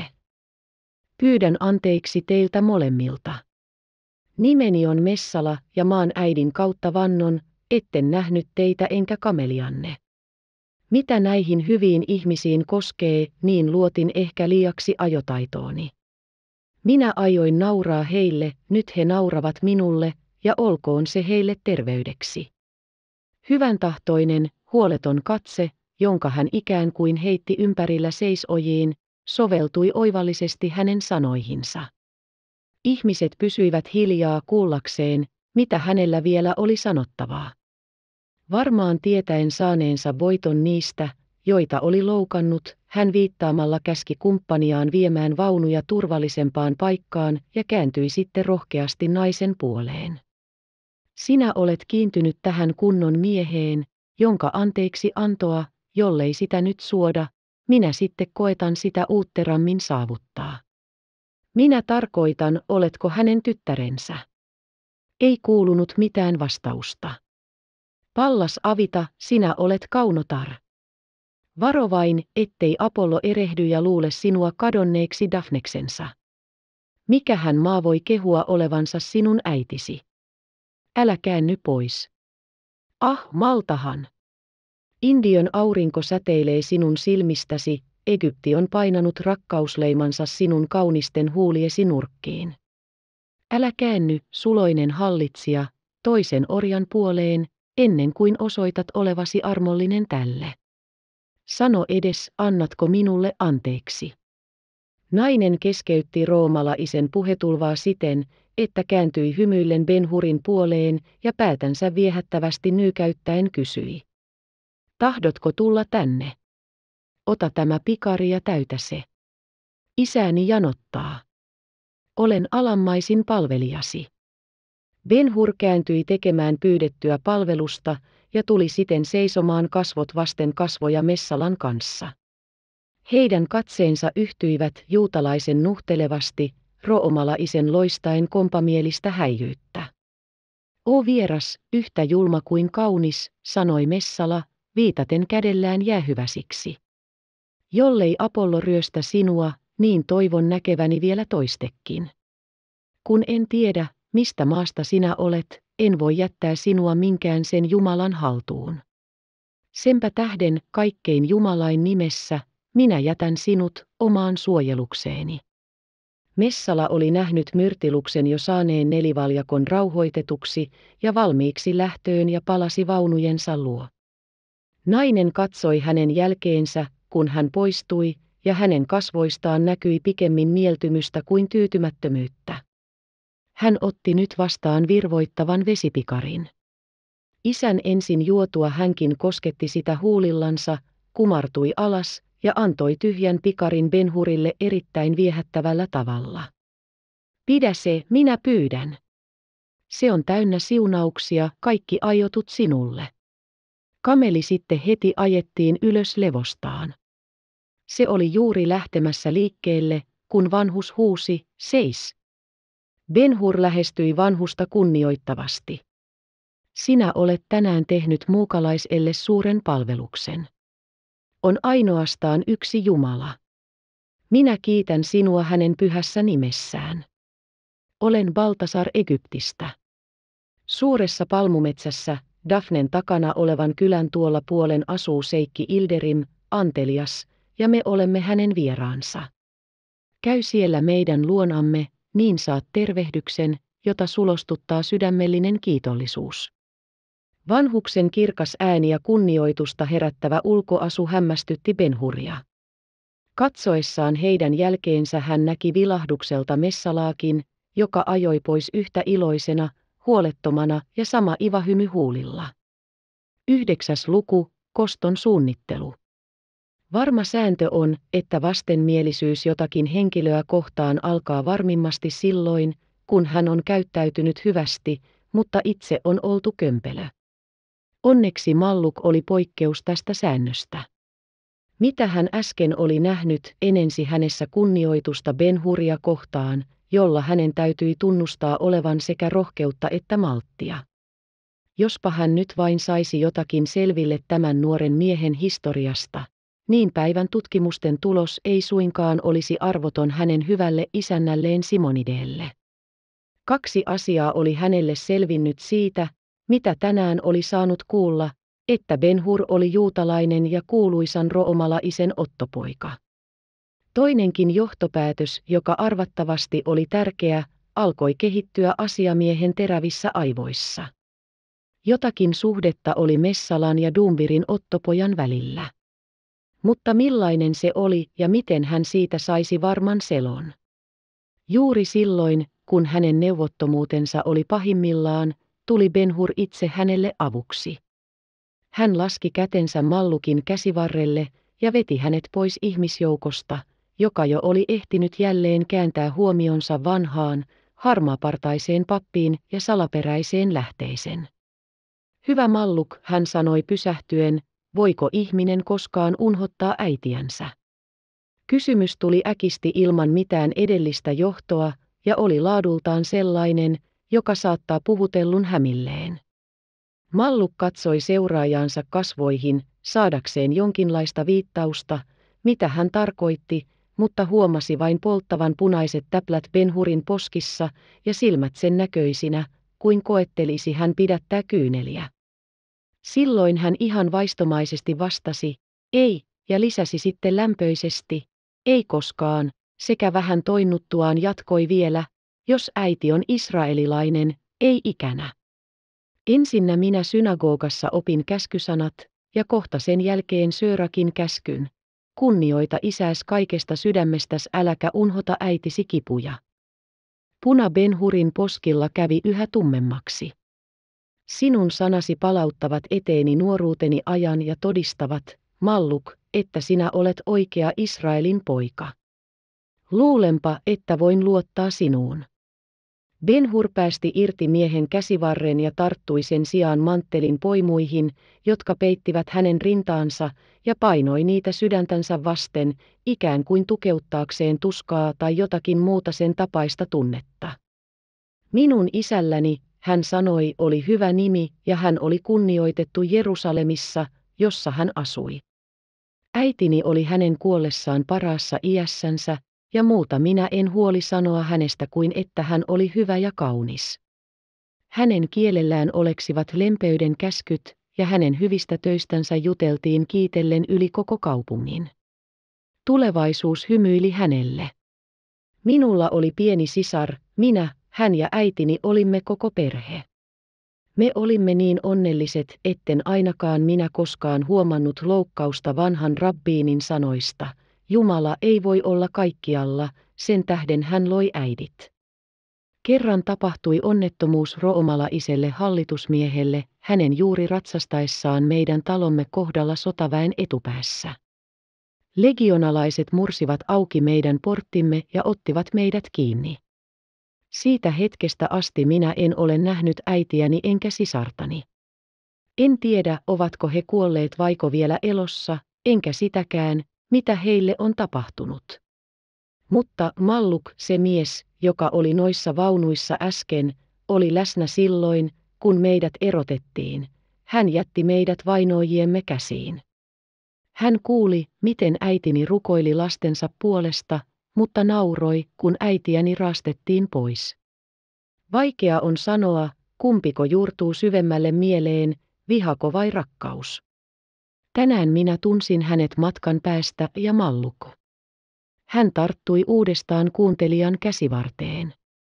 Ja Malluk hän tietää ja pidättää itselleen salaisuuden, josta minä tahtoisin uhrata koko ikäni.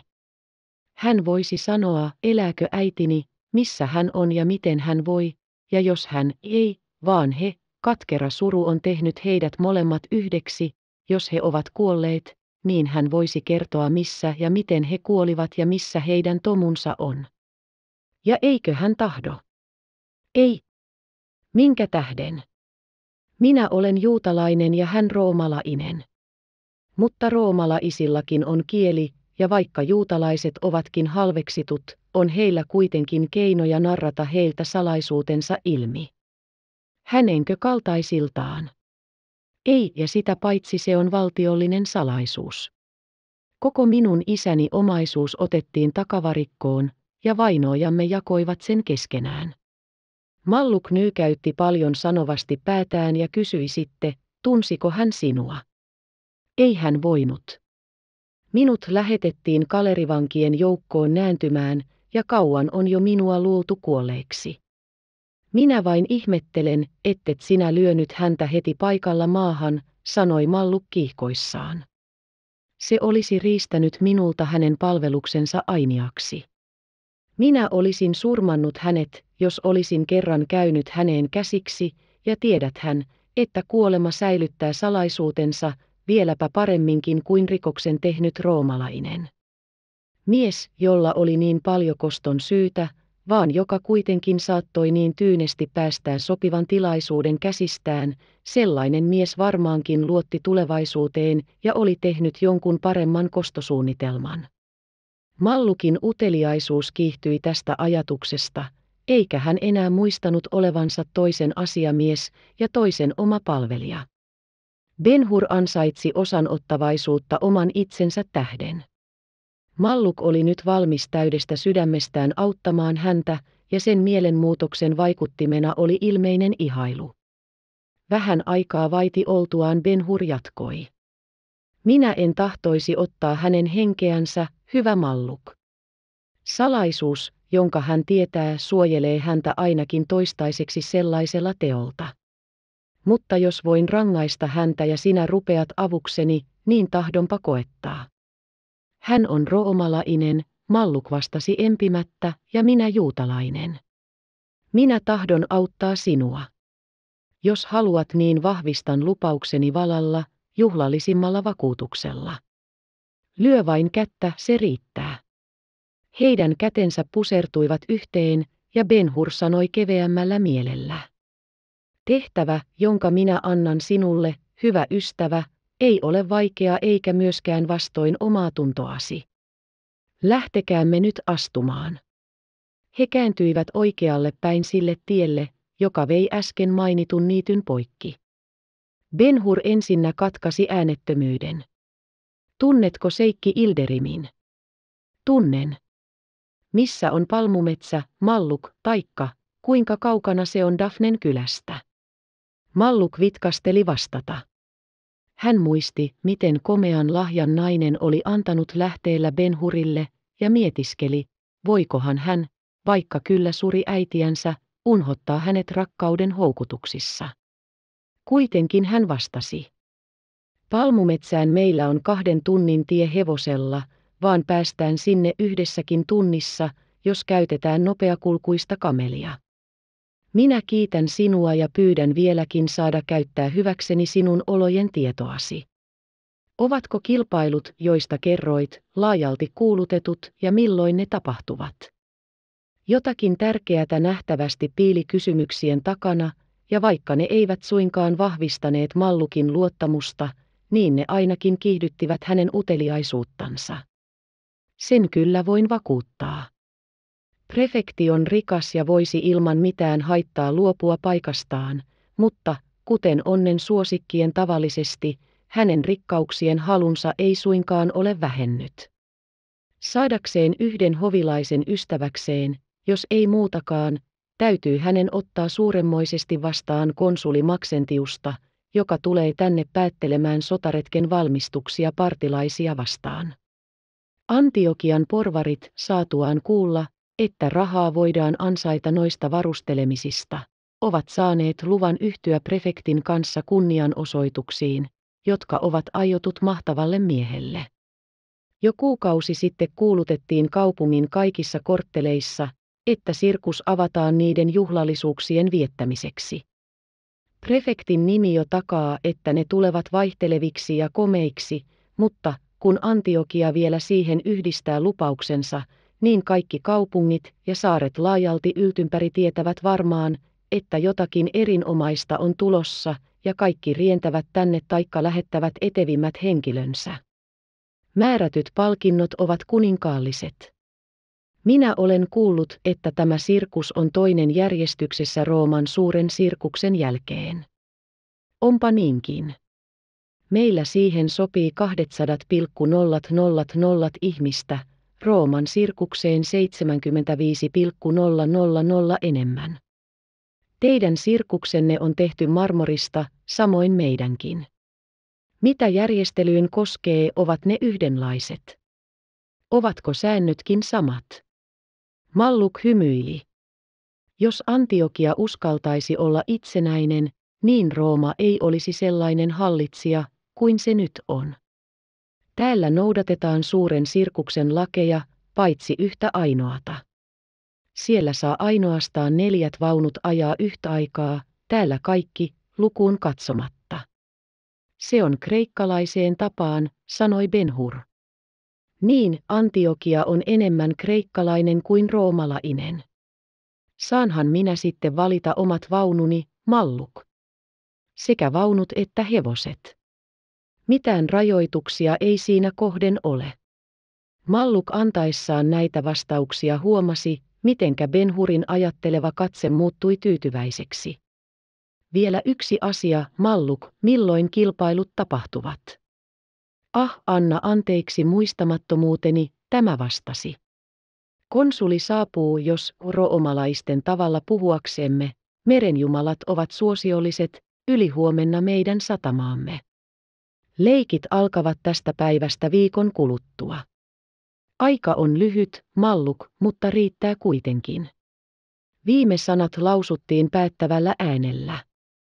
Vanhan Israelimme kaikkein profeettain kautta, minä tahdon vielä kerran tarttua ohjaksiin. Mutta Maltahan, vielä yksi kysymys. Onko varma, että Messala tulee kilpailemaan? Malluk jo nyt käsitti hänen aikeensa, ja kaikki siinä piilevät mahdollisuudet nöyryyttää roomalaista. Hän ei olisi ollut oikea Jakobin perillinen, jollei olisi heti laskenut menestyksen toivoa, vaikka olikin vilkkaasti mieltynyt asiaan. Hänen äänensä oikein vapisi, kun hän kysyi. Oletko harjautunut sellaiseen taisteluun? Älä pelkää ystäväni. Voittajat suuressa sirkuksessa ovat kolmena viime vuonna saaneet kruununsa minun päätökseni mukaan. Viimeisiin suuriin kilpaajoihin tarjosi keisari itse minulle suojelustansa, jos olisin ottanut hänen hevosensa ja vaatinut koko maailmaa kanssani kilpailemaan. Mutta sinä et ottanut, kysyi Mallu kiihkeästi. Minä, minähän olen juutalainen, Benhur näytti puhelevan itsekseen, ja vaikka minulla on roomalainen nimi, en uskaltanut ryhtyä ammatin tavoin mihinkään, joka olisi voinut häväistä isäni muistoa temppelin esikartanoissa ja pyhässä sijassa. Kilpakoulussa minä saatoin antautua sellaisiin harjoituksiin, mutta en sirkuksessa. Jos minä täällä esiinnyn kilpaajoissa, niin vannon, etten sitä tee voittopalkinnon tähden. ST. Älä vanno hätäili malluk, palkinto on 10,000 sestertiota. Onhan siinä koko rikkaus. Ei minulle, vaikka prefekti suurentaisi summaa kolmesti viisikymmentä kertaa. Minulla on jotakin parempaa kuin se raha, parempaa kuin kaikki keisarilliset tulot ensimmäisen kaissarin ensimmäisestä hallitusvuodesta asti. Minä otan osaa kilpailuun ainoastaan nöyryyttääkseni vihollista, ja kostohan on lain mukaan luvallinen. Malluk hymyili ja nyykäytti päätään, ikään kuin sanoen, ihan niin, luota siihen, että minä, juutalainen, kyllä asian käsitän. Messala tulee kilpailuun, hän sitten sanoi, hän on monenmoisella tavalla velvoittautunut ottamaan osaa kilpaajoon julkisesti kuuluttamalla kaduilla, kylpyhuoneissa, teattereissa, palatseissa ja kasarmeissa. Nyt hänellä ei ole enää mitään peräytymisen tilaisuutta, koska hänen nimensä on piirrettynä jokaisen nuoren tuhlarin muistikirjaan koko Antiokiassa. Vetojen esineenäkö Malluk? Niin, vetojen, ja hän käy joka päivä harjoittelemassa yhtä kerskailevasti, kuin nyt näimme. Aha, niillä vaunuillako ja hevosilla hän aikoo kilpailla. Kiitos, Malluk, olet jo tehnyt minulle suuren palveluksen, ja minä olen hyvin tyytyväinen. Lähden nyt saattamaan minua palmumetsään ja esittelemään Seikki Ilderimille. Millonka? Nyt juuri. Hänen hevostensa pitää oleman huomenna minun käsissäni. Oletko siis mieltynyt niihin? Ben-Hur vastasi innoissaan.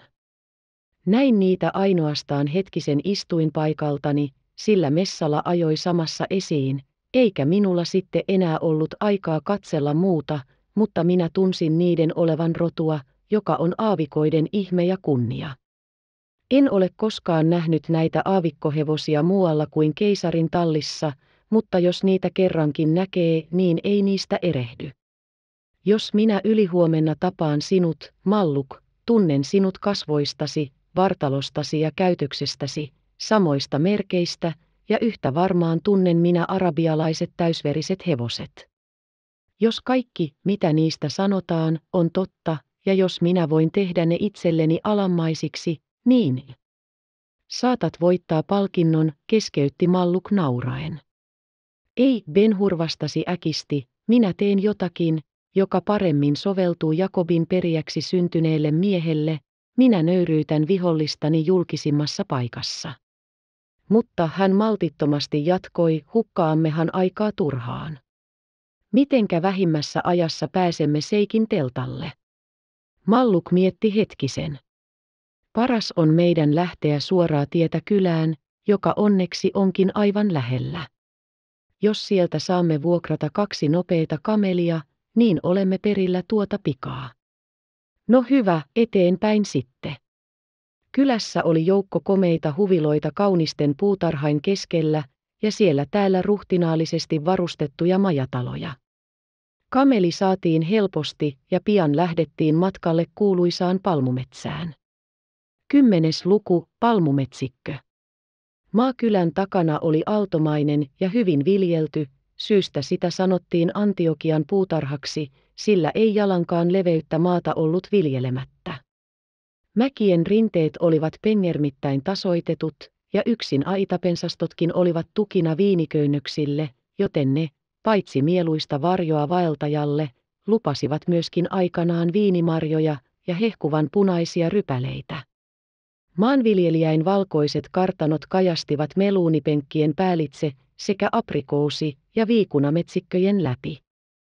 Hedelmällisyys, rauhan hymyilevä tytär, tervehti kaikkialla matkamiestä, ilahutti hänen sydäntänsä ja sovitti hänet sen ajatuksen kanssa, että täytyi maksaa veroa Roomaan. Sieltä täältä näkyi etäältä Taurus ja Libanon, joiden välitse Orontes hiljaa juoksi kuin kiemurteleva hopeavyö. Ystävät saapuivat matkallaan joelle, jonka mutkaista kulkua he sitten seurasivat, milloin jyrkkien mäkien ylitse, milloin laaksojen poikki, jotka kaikki luonnostaan soveltuivat viljeltäviksi. Jospa maa hohti vihreyttään tammien, metsäviikunapuiden ja myrttien, arbuttien ja tuoksuvain jasminipensasten alla, niin loisti jokikin auringon valossa, joka vinosti paistoi veteen ja siinä olisi rauhassa uinahtanut, ellei lukematon joukko laivoja olisi lipunut virtaa pitkin, mikä ylös, mikä alaspäin, muutamat tuulen avulla luovien, toiset airoilla matkaa tehden. Mielikuvitukselle ei ole mikään niin viehättävää kuin merelle päin laskeva laiva, ellei ehkä kotiin päin kääntyvä purje onnellisesti päättyneen matkan jälkeen. Ystävät jatkoivat matkaa pitkin rantaa, kunnes saapuivat järvelle, joka sai kirkkaan, syvän ja tyynen vetensä joesta. Vanha palmupuu seisoi joen suussa. Sen juurelle päästyään Malluk kääntyi vasempaan päin ja käsiään taputtaen huudahti. Kas tuolla, se on palmupuisto. Tässä näkyvää maisemaa ei varmaan ollut missään muualla kuin ehkä Arabian kauneimmissa kosteikoissa, taikka Ptolemaiojen maatiluksilla pitkin Niilin varsia.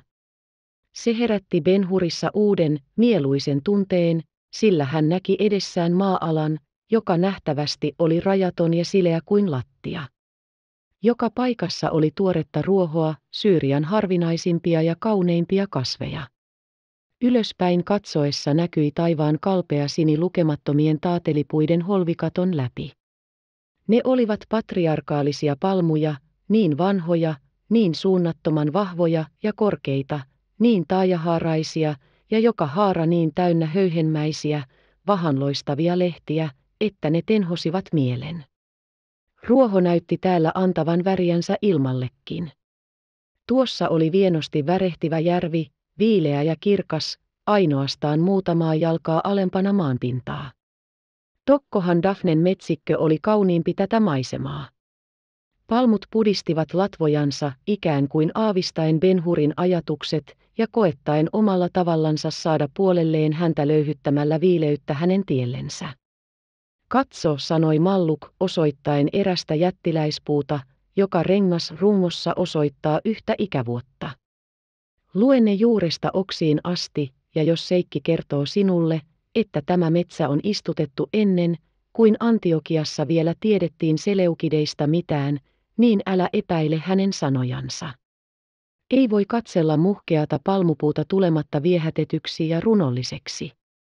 Siitäpä selviää, minkä tähden taiteilijat ovat aina olleet mieltyneet palmuun, sillä ihan ensimmäiset rakennusmestaritkaan eivät löytäneet mitään sopivampaa pylvään kaavaa palatseihin ja temppeleihin. Sama tunne antoi Benhurillekin aihetta ihmetellä. Kun näin tänään seikki Ilderimin kilpakentällä, niin hän minusta näytti hyvin tavalliselta mieheltä. Pelkäänpä, hyvä malluk, että Jerusalemin rabbinit katselisivat häntä halveksien ja pitäisivät häntä edomilaisena koirana. Miten hän on saanut haltuunsa tämän metsän, ja miten hän on saanut sen suojelluksi roomalaisen maaherran ryöstönhimolta. Jos veri puhdistuu aikaa myöten, niin Ilderin vanhus on totisesti vanhaa aatelia, vaikka onkin ympärileikkaamaton edomilainen, sanoi Malluk innokkaasti. Kaikki hänen esi-isänsä ovat olleet seikkejä. Eräs heistä aikoinaan kerran pelasti vainotun kuninkaan, joka oli hengen vaarassa. Tarina kertoo hänen lainanneen hänelle tuhat ratsumiestä, jotka tunsivat aavikoiden polut ja piilopaikat yhtä hyvin, kuin paimenet tuntevat ne paljaat vuoret, joilla asuskelevat laumoinensa. He seurasivat pakolaiskuningasta hänen harharetkillään, kunnes sovitteliaassa tilaisuudessa voittivat keihäillään hänen vihollisensa ja auttoivat hänet jälleen valtaistuimellensa. Kuninkaan sanotaan pitäneen muistissa tätä apua ja tuoneen erämaan pojan tähän paikkaan sekä pyytäneen hänen pystyttämään tähän telttansa ja tuomaan tänne perheensä ja laumansa, sillä järvi, metsä ja maa ovat hänen ja hänen lastensa ikuisiksi ajoiksi. Eikä heitä ole koskaan häirittykään. Sen kuninkaan jälkeiset hallitsijat ovat huomanneet valtion etuihin soveltuvaksi olla hyvässä sovussa tämän heimon kanssa, jolle Herran siunaus on kartuttanut ihmisiä, hevosia, kameleja ja rikkautta. Heidän hallussaan ovat monen tärkeän paikan väliset kauppatiet, ja he voivat mielensä mukaan huutaa kauppiaille menkää rauhassa. Tai ysähtykää. Ja mitä he käskevät, sen täytyy tapahtua. Antiokian linnan prefektikin katsoo sitä päivää onnelliseksi, jolloin Ilderim, antelias, kuten häntä nimitetään hyväin tekojensa tähden, tulee tänne vaimoineen, lapsineen ja seurueineen, hevosineen ja kameleineen, kuten ennen muinoin isämme Abraham ja Jakob, siirtyen vaihteeksi aavikon yksitoikkoisuudesta vähäksi ajaksi tähän viehättävään paikkaan, jonka näet edessäsi. Mitenkä sitten tapahtui, sanoi Benhur, ollen niin kiintynyt kertomuksen kuuntelemiseen, että häneltä jäi kamelin käynnin hiljeneminen huomaamatta, että Seikki repi vihoissaan partaansa, kun oli luottanut roomalaiseen jos keisari olisi kuullut hänen puheensa, olisi hän sanonut, sellainen ystävä minua ei miellytä, toimittakaa hänet pois tieltä. Se olisikin sattuva tuomio, sanoi Malluk nauraen, Ilderim ei ole mikään Rooman ystävä. Hänellä on syytä valittaa eräästä vääryydestä. Kolme vuotta sitten kulkivat partilaiset pitkin Botsran ja Damaskon välistä tietä ja ryöstivät karavanin, jolla oli kuormana muun muassa sen tien varrelta eräästä piiristä koottu vero. Partilaiset tappoivat kaikki karavaanissa olleet ihmiset, Rooman sensorit kyllä olisivat sen antaneet anteeksi, jos vain keisarillinen vero olisi säilynyt ja saapunut Roomaan. Veronvuokraajat, joiden täytyi korvata vahinko, valittivat keisarille, ja keisari vaati korvausta Herodeelta, joka puolestaan kävi käsiksi Ilderimin omaisuuteen, koska tämä muka oli kavalasti laiminlyönyt velvollisuutensa, teiden vartioimisen. Seikki vetosi keisariin, mutta sai ainoastaan hyvin kaksimielisen vastauksen. Vanhus hyvin loukkautui siitä vääryydestä, ja hekumoiden nyt joka päivä hautoo yhä enemmän kasvavaa harmiansa. Eikä voi mitään tehdä, niinkö, Malluk? Siitä minä toisten lausun ajatukseni tarkemmin, vastasi Malluk. Mutta katsos, Seikin vierasvaraisuus alkaa jo kaukaa. Lapset puhuttelevat sinua. Kamelit pysähtyivät ja Benhur katsahti alas, jossa muutamat syrialaiset pikkutalonpoikaistytöt tarjosivat hänelle taatelikorejansa. Hedelmät olivat äsken poimittuja eikä suinkaan hylättäviä. Benhur kumartui alas ja otti kouran täyden. Silloin kuului puusta, jonka alle he olivat seisahtuneet, miesääni huutavan, rauha olkoon teille. Tervetuloa! Kiitettyään lapsia he läksivät edelleen, antaen kamelien kulkea, mihin tahtoivat. Sinun tulee tietää, jatkoi Malluk, ottaen silloin tällöin lisää taateleja, että minä nautin kauppias Simonideen luottamusta ja saan välistä senkin kunnian, että hän kysyi minulta neuvoa. Hänen talossansa käydessäni olen minä tutustunut moneen hänen ystäväänsä, jotka tietäen, millainen heidän isäntänsä ja minun välini on, puhuvat vapaasti minunkin läsnä ollessani. Sillä tavalla minä hiukan tunnen myöskin Seikki Ilderimiä. Benhurin tarkkaavaisuus haihtui hetkiseksi. Hänen sielunsa silmäin eteen ilmestyi kauppiaan tyttären Esterin puhdas, lempeä ja miellyttävä kuva. Tytön mustat silmät, joissa oli omituinen juutalainen loiste, katsoivat häneen kainosti. Hän oli aivan selvään kuulevinaan Esterin askeleet, kun hän toi viiniä, ja hänen äänensä, kun hän tarjosi pikaria.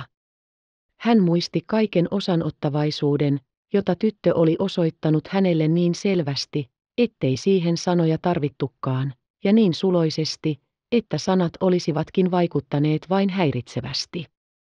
Se näky oli erittäin viehättävä, vaan katosi heti, kun hän kääntyi Mallukin puoleen, joka puhui. Tämä vanha arabialainen oli muutama viikko sitten Simonideen luona minun läsnä ollessani. Näin, että hän oli hyvin liikutettu ja minä sen tähden ajoin poistua, mutta hän itse pyysi minua jäämään huoneeseen. Sinä, kun olet israelilainen, hän sanoi, niin voit jäädä kuulemaan, sillä minulla on ihmeellinen historia kerrottavana. Paino, jonka hän pani tuohon israelilaissanaan, herätti minun uteliaisuuttani. Minä jäin huoneeseen, ja jotenkin tällainen oli hänen kertomuksensa, jonka minä nyt juttelen vain lyhimmiten, koskaan jo olemme lähellä telttoja, ja jätän tarkemman kertomisen ukon itsensä tehtäväksi. Monta vuotta sitten tuli kerran etäällä aavikolla kolme miestä Ilderimin telttaan. He olivat kaikki muukalaisia, hindulainen, egyptiläinen ja kreikkalainen. He tulivat valkoisilla kameleilla, joiden koko isiä hän ei ollut koskaan nähnyt. Hän toivotti heille tervetuloa ja pyysi levähtämään. Seuraavana aamuna he ylös noustuaan rukoilivat rukouksen, joka oli aivan uusi Seikille, he rukoilivat Jumalaa ja hänen poikaansa. Syötyään aamiaista kertoi egyptiläinen, ketä he olivat ja niistä kotoisin. Kukin heistä oli nähnyt tähden, josta ääni oli huutain käskenyt heitä lähtemään Jerusalemiin ja kysymään, missä on äsken syntynyt juutalaisten kuningas. He tottelivat. Jerusalemista oli tähti johtanut heidät Betlehemiin, josta he eräästä luolasta löysivät lapsen, lankesivat polvilleen sen eteen ja kunnioittivat sitä sekä antoivat sille kalliita lahjoja, todistaen mikä se lapsi oli. Sen tehtyään he nousivat ja pakenivat viipymättä Seikin luo, sillä jos Herodes suuri olisi tavannut heidät, niin hän varmaankin olisi heidät surmauttanut. Seikki tapansa mukaan otti heidät suojelukseensa ja kätki heitä vuoden ajan, jonka kuluttua he, annettuaan hänelle runsaita lahjoja, läksivät kukin omaa tietänsä kotimatkalle. Se oli tosiaankin kummallinen historia, huudahti Ben Hurmallukin vaiettua. Mikä olikaan se kysymys, joka heidän piti esittää Jerusalemissa? Heidän piti kysyä, missä on äsken syntynyt juutalaisten kuningas. Eikö mitään muuta? Oli siinä jotakin vielä, mutta se on minulta unohtunut. Löysivätkö he lapsen? Löysivät ja he kunnioittivat sitä. Se on ihme, Malluk. Ilderim on selväjärkinen mies, vaikka vähän ärtyinen, kuten kaikki arabialaiset. Valhe on mahdoton hänen kielellänsä, vastasi Malluk vakavasti. Kamelit, joita ei kiirehditty, poikkesivat yhtä huonomuistisina kuin ratsastajatkin pois tieltä ja alkoivat syödä runsasta ruohoa. Eikö Ilderim ole sittemmin saanut mitään tietoa niistä kolmesta miehestä, kysyi Benhur. Kuinka heille sitten kävi? Senpä tähden juuri hän tuli Simonideen luo sinä päivänä, kuin mainitsin. Edellisenä yönä oli egyptiläinen saapunut hänen luoksensa. Mihinkä? Tänne teltan ovelle, joka näkyi tuolla. Kuinka hän tunsi hänet? Samalla tavalla, kuin sinä tunsit tänään hevoset, näöstä ja käytöksestä. Eikö mistään muusta? Hän ratsasti samalla valkoisella kamelilla ja ilmoitti saman nimen, Baltasar Egyptistä. Sepä on jumalallinen ihme. Benhur oli aivan haltioissaan. Malluk kysyi kummastuen, kuinka niin? Etkö sanonut Baltasar? Niin, Baltasar Egyptistä. Saman nimenhän se vanhus tänään lausui Kastalian lähteellä. Malluk myöskin tuli liikutetuksi siitä muistosta. Se on totta, hän sanoi, kameli oli myöskin sama. Sinä pelastit ukon hengen. Ja nainen, sanoi Benhur ikään kuin puhuen itsekseen, nainen oli hänen tyttärensä. Hän vaipui ajatuksiin. Lukijakin ehkä olettaa ruskean neidon kuvan astuneen hänen silmäinsä eteen ja olleen paremmin tervetullut kuin Esterin, ellei mausta syystä niin siitä, että se viivähti kauemmin, mutta ei se niin ollut. Sano minulle vielä kerran, Benhur virkkoi, pitikö niiden kolmen miehen kysymän, missä on hän, joka on tuleva juutalaisten kuninkaaksi? Ei juuri niin. Sanat olivat, joka on syntynyt juutalaisten kuninkaaksi. Ne sanat olivat ensimmäiset, jotka Seikki kuuli heidän lausuvan aavikolla, ja hän on siitä asti lakkaamatta odottanut kuninkaan tuloa. Hänen uskonsa, että kuningas on tulossa, on nytkin horjumaton. Millä tavalla? Kuninkaan ako. Niin, ja hän antaa tuomion kohdata Roomaa, niin Seikki väittää. Benhur vaipui uudestaan äänettömiin ajatuksiin ja koetti hillitä liikutustansa. Vanhus on niitä monia, hän sitten hitaasti virkkoi, yksi niistä miljoonista, joilla on vääryys kostettavana. Tämä ihmeellinen lupaus on leipää ja viiniä hänen toivollensa, sillä kukapa muu kuin Herodes voi olla juutalaisten kuningas niin kauan, kuin Rooma on olemassa. Vaan että historia tulisi täydelliseksi, kuulitko Simonideen vastauksen? Jos Ilderim on arvokas mies, niin on Simonides viisas, vastasi Malluk. Minä kuuntelin ja hän sanoi. Mutta hiljaa nyt. Joku tuolla koettaa saavuttaa meitä. Etäältä kuuluva jyminä selveni yhä enemmän, kunnes he viimein voivat erottaa vaununpyöräin ja hevoskavioiden töminän. Muutaman silmänräpäyksen kuluttua jo Seikki Ilderim saapui lähelle ratsain, seurueineen, jossa oli myöskin neljän viinipunaisen arabialaishevosen vetämät vaunut. Seikin pää, jota pitkä hopeankarvainen parta ympäröitsi, oli kumarruksissa rintaa vasten. Ystävät olivat ehtineet tänne ennen häntä, ja heidät nähtyään vanhus nosti päänsä pystyyn ja sanoi ystävällisesti. Rauha olkoon teille. Kas, ystävä Malluk. Tervetuloa. Toivoakseni olet juuri tullut, etkä vielä paluumatkalla, ja sinulla on varmaan jokin sanoma hyvältä Simonideelta, suokoon hänen isänsä Jumala hänelle vielä pitkän iän. Tarttukaa ohjiinne ja seuratkaa minua. Minulla on leipää, viiniä ja nuorta vohlaa tarjota. Tulkaa. He seurasivat häntä teltan ovelle. Siinä oli jo Seikki itse ottamassa heitä vastaan, tarjoten lautasella pikarissa kerman kaltaista juomaa, jota hän oli laskenut teltan keskitangossa riippuvasta, savun mustuttamasta nahkasäkistä. Juokaa, hän sanoi ystävällisesti, juokaa, sillä tämä on sydämen lämmitystä niille, jotka asuvat teltoissa. Tulijat tarttuivat pikareihin ja joivat. Astukaa sisään Jumalan nimessä. Sisällä Malluk vei Seikin syrjään ja puheli hänen kanssansa kahden kesken sekä meni sitten Benhurin luo ja sanoi anteeksi pyytäen. Minä olen puhunut Seikille sinusta ja hän jättää sinulle hevoset huomenna koetteeksi. Hän on sinun ystäväsi, ja kun minä nyt olen tehnyt sinun puolestasi kaikki, mitä voin, saat sinä itse pitää huolen muusta ja päästää minut palaamaan Antiokiaan. Olen luvannut tavata siellä erästä henkilöä tänä iltana, ja sen tähden täytyy minun lähteä. Tulen takaisin huomenna, jos kaikki käy toivon mukaan, ja jään sitten luoksesi siihen asti, kunnes kilpailut päättyvät. Kun molemmin puolin oli toivotettu toisilleen onnea, läksi Mallu palumatkalle.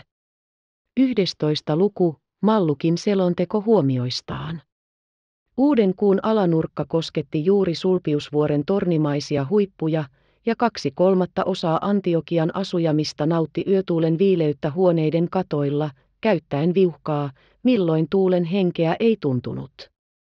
Simonides istui tuolissaan, joka oli tullut ikään kuin osaksi hänen olemuksestaan, ja katseli katon pengermältä jokea ja laivoja, jotka kiikkuivat hiljaa ankkureissaan.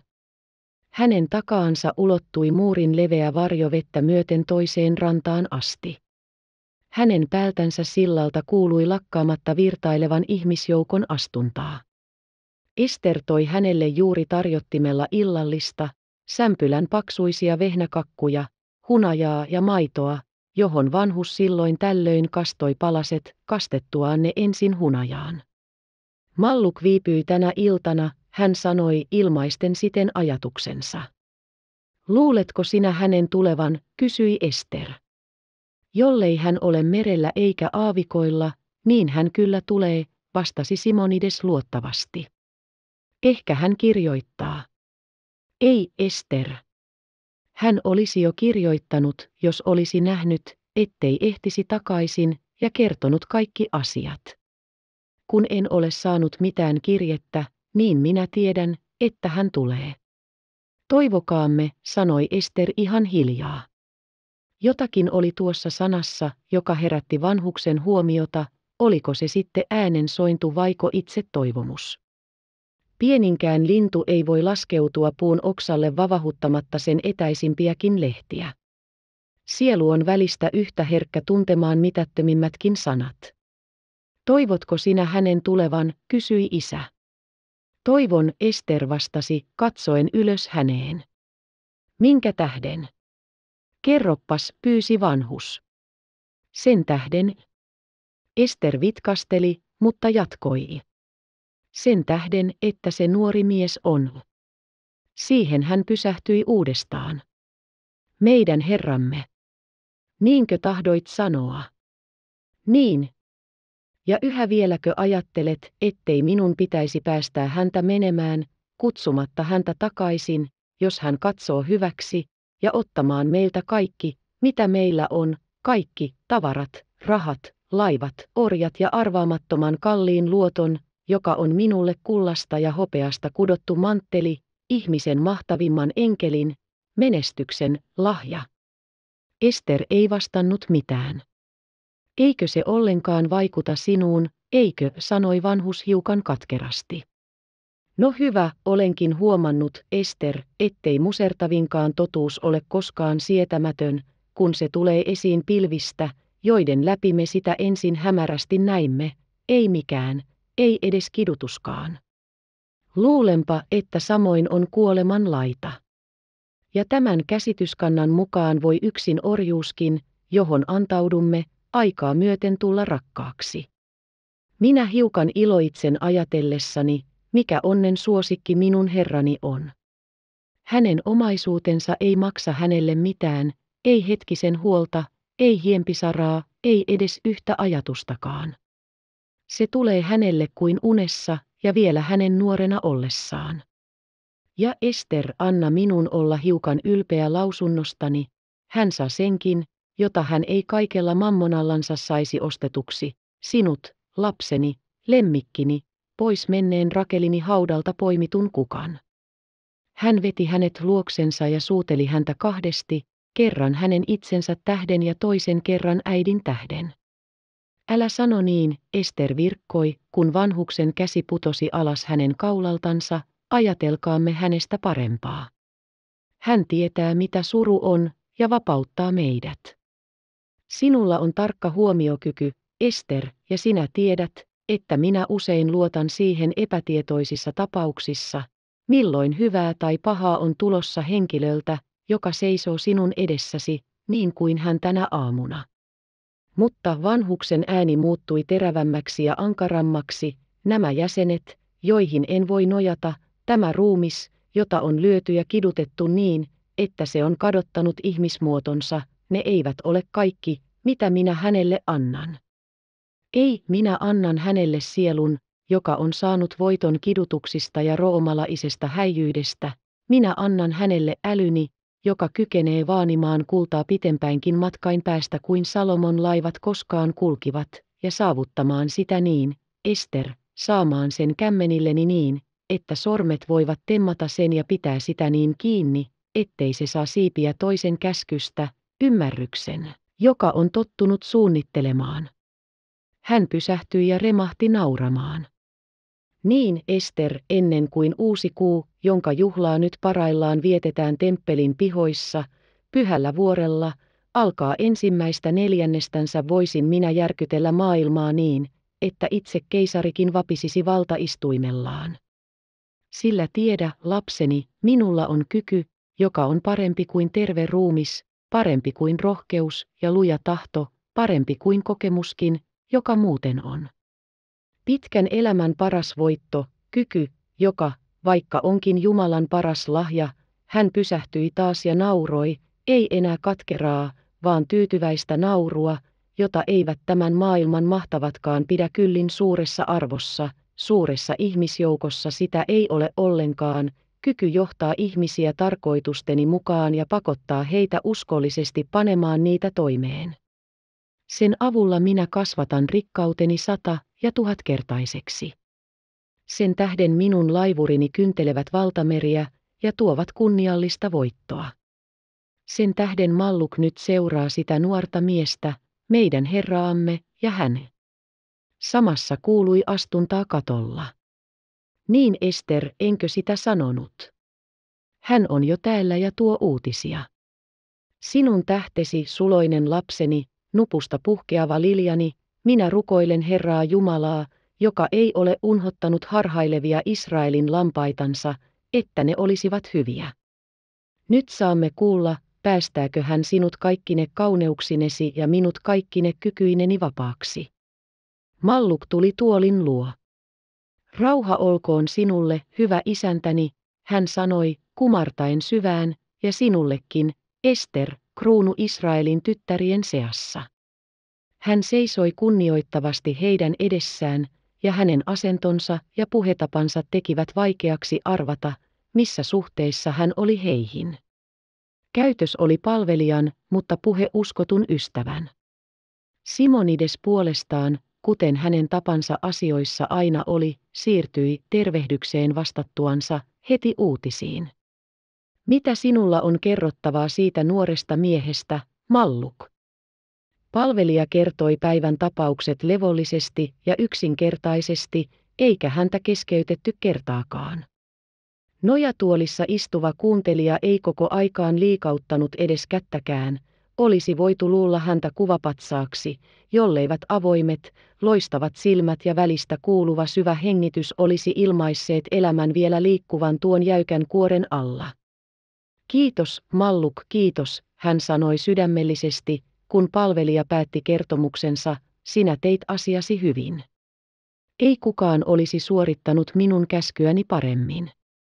No, mitä arvelet sen nuoren miehen kansallisuudesta? Hän on israelilainen ja Juudan suvusta. Oletko ihan varma siitä? Täydellisesti. Hän näyttää kertoneen sinulle ainoastaan vähäisen osan elämästänsä. Hän on oppinut olemaan varovainen. Voin melkein sanoa häntä epäluuloiseksi.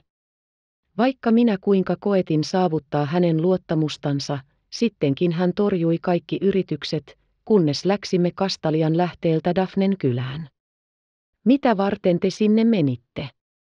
Se on inhottava paikka. Uteliaisuus, kuten monella muulla, oli meilläkin pääsyinä, mutta merkillistä kyllä hän ei mieltynyt mihinkään, mitä näki. Mitä temppeliin koski, kysyi hän ainoastaan, oliko se rakennettu kreikkalaiseen tapaan. Hyvä isäntä, sillä nuorella miehellä on sydämen suru, jota hän tahtoo salata, ja sen tähden hän kävi Dafnessa, luullakseni saadakseen sitä haudatuksi samalla tavalla, kuin me hautaamme kuolleitamme.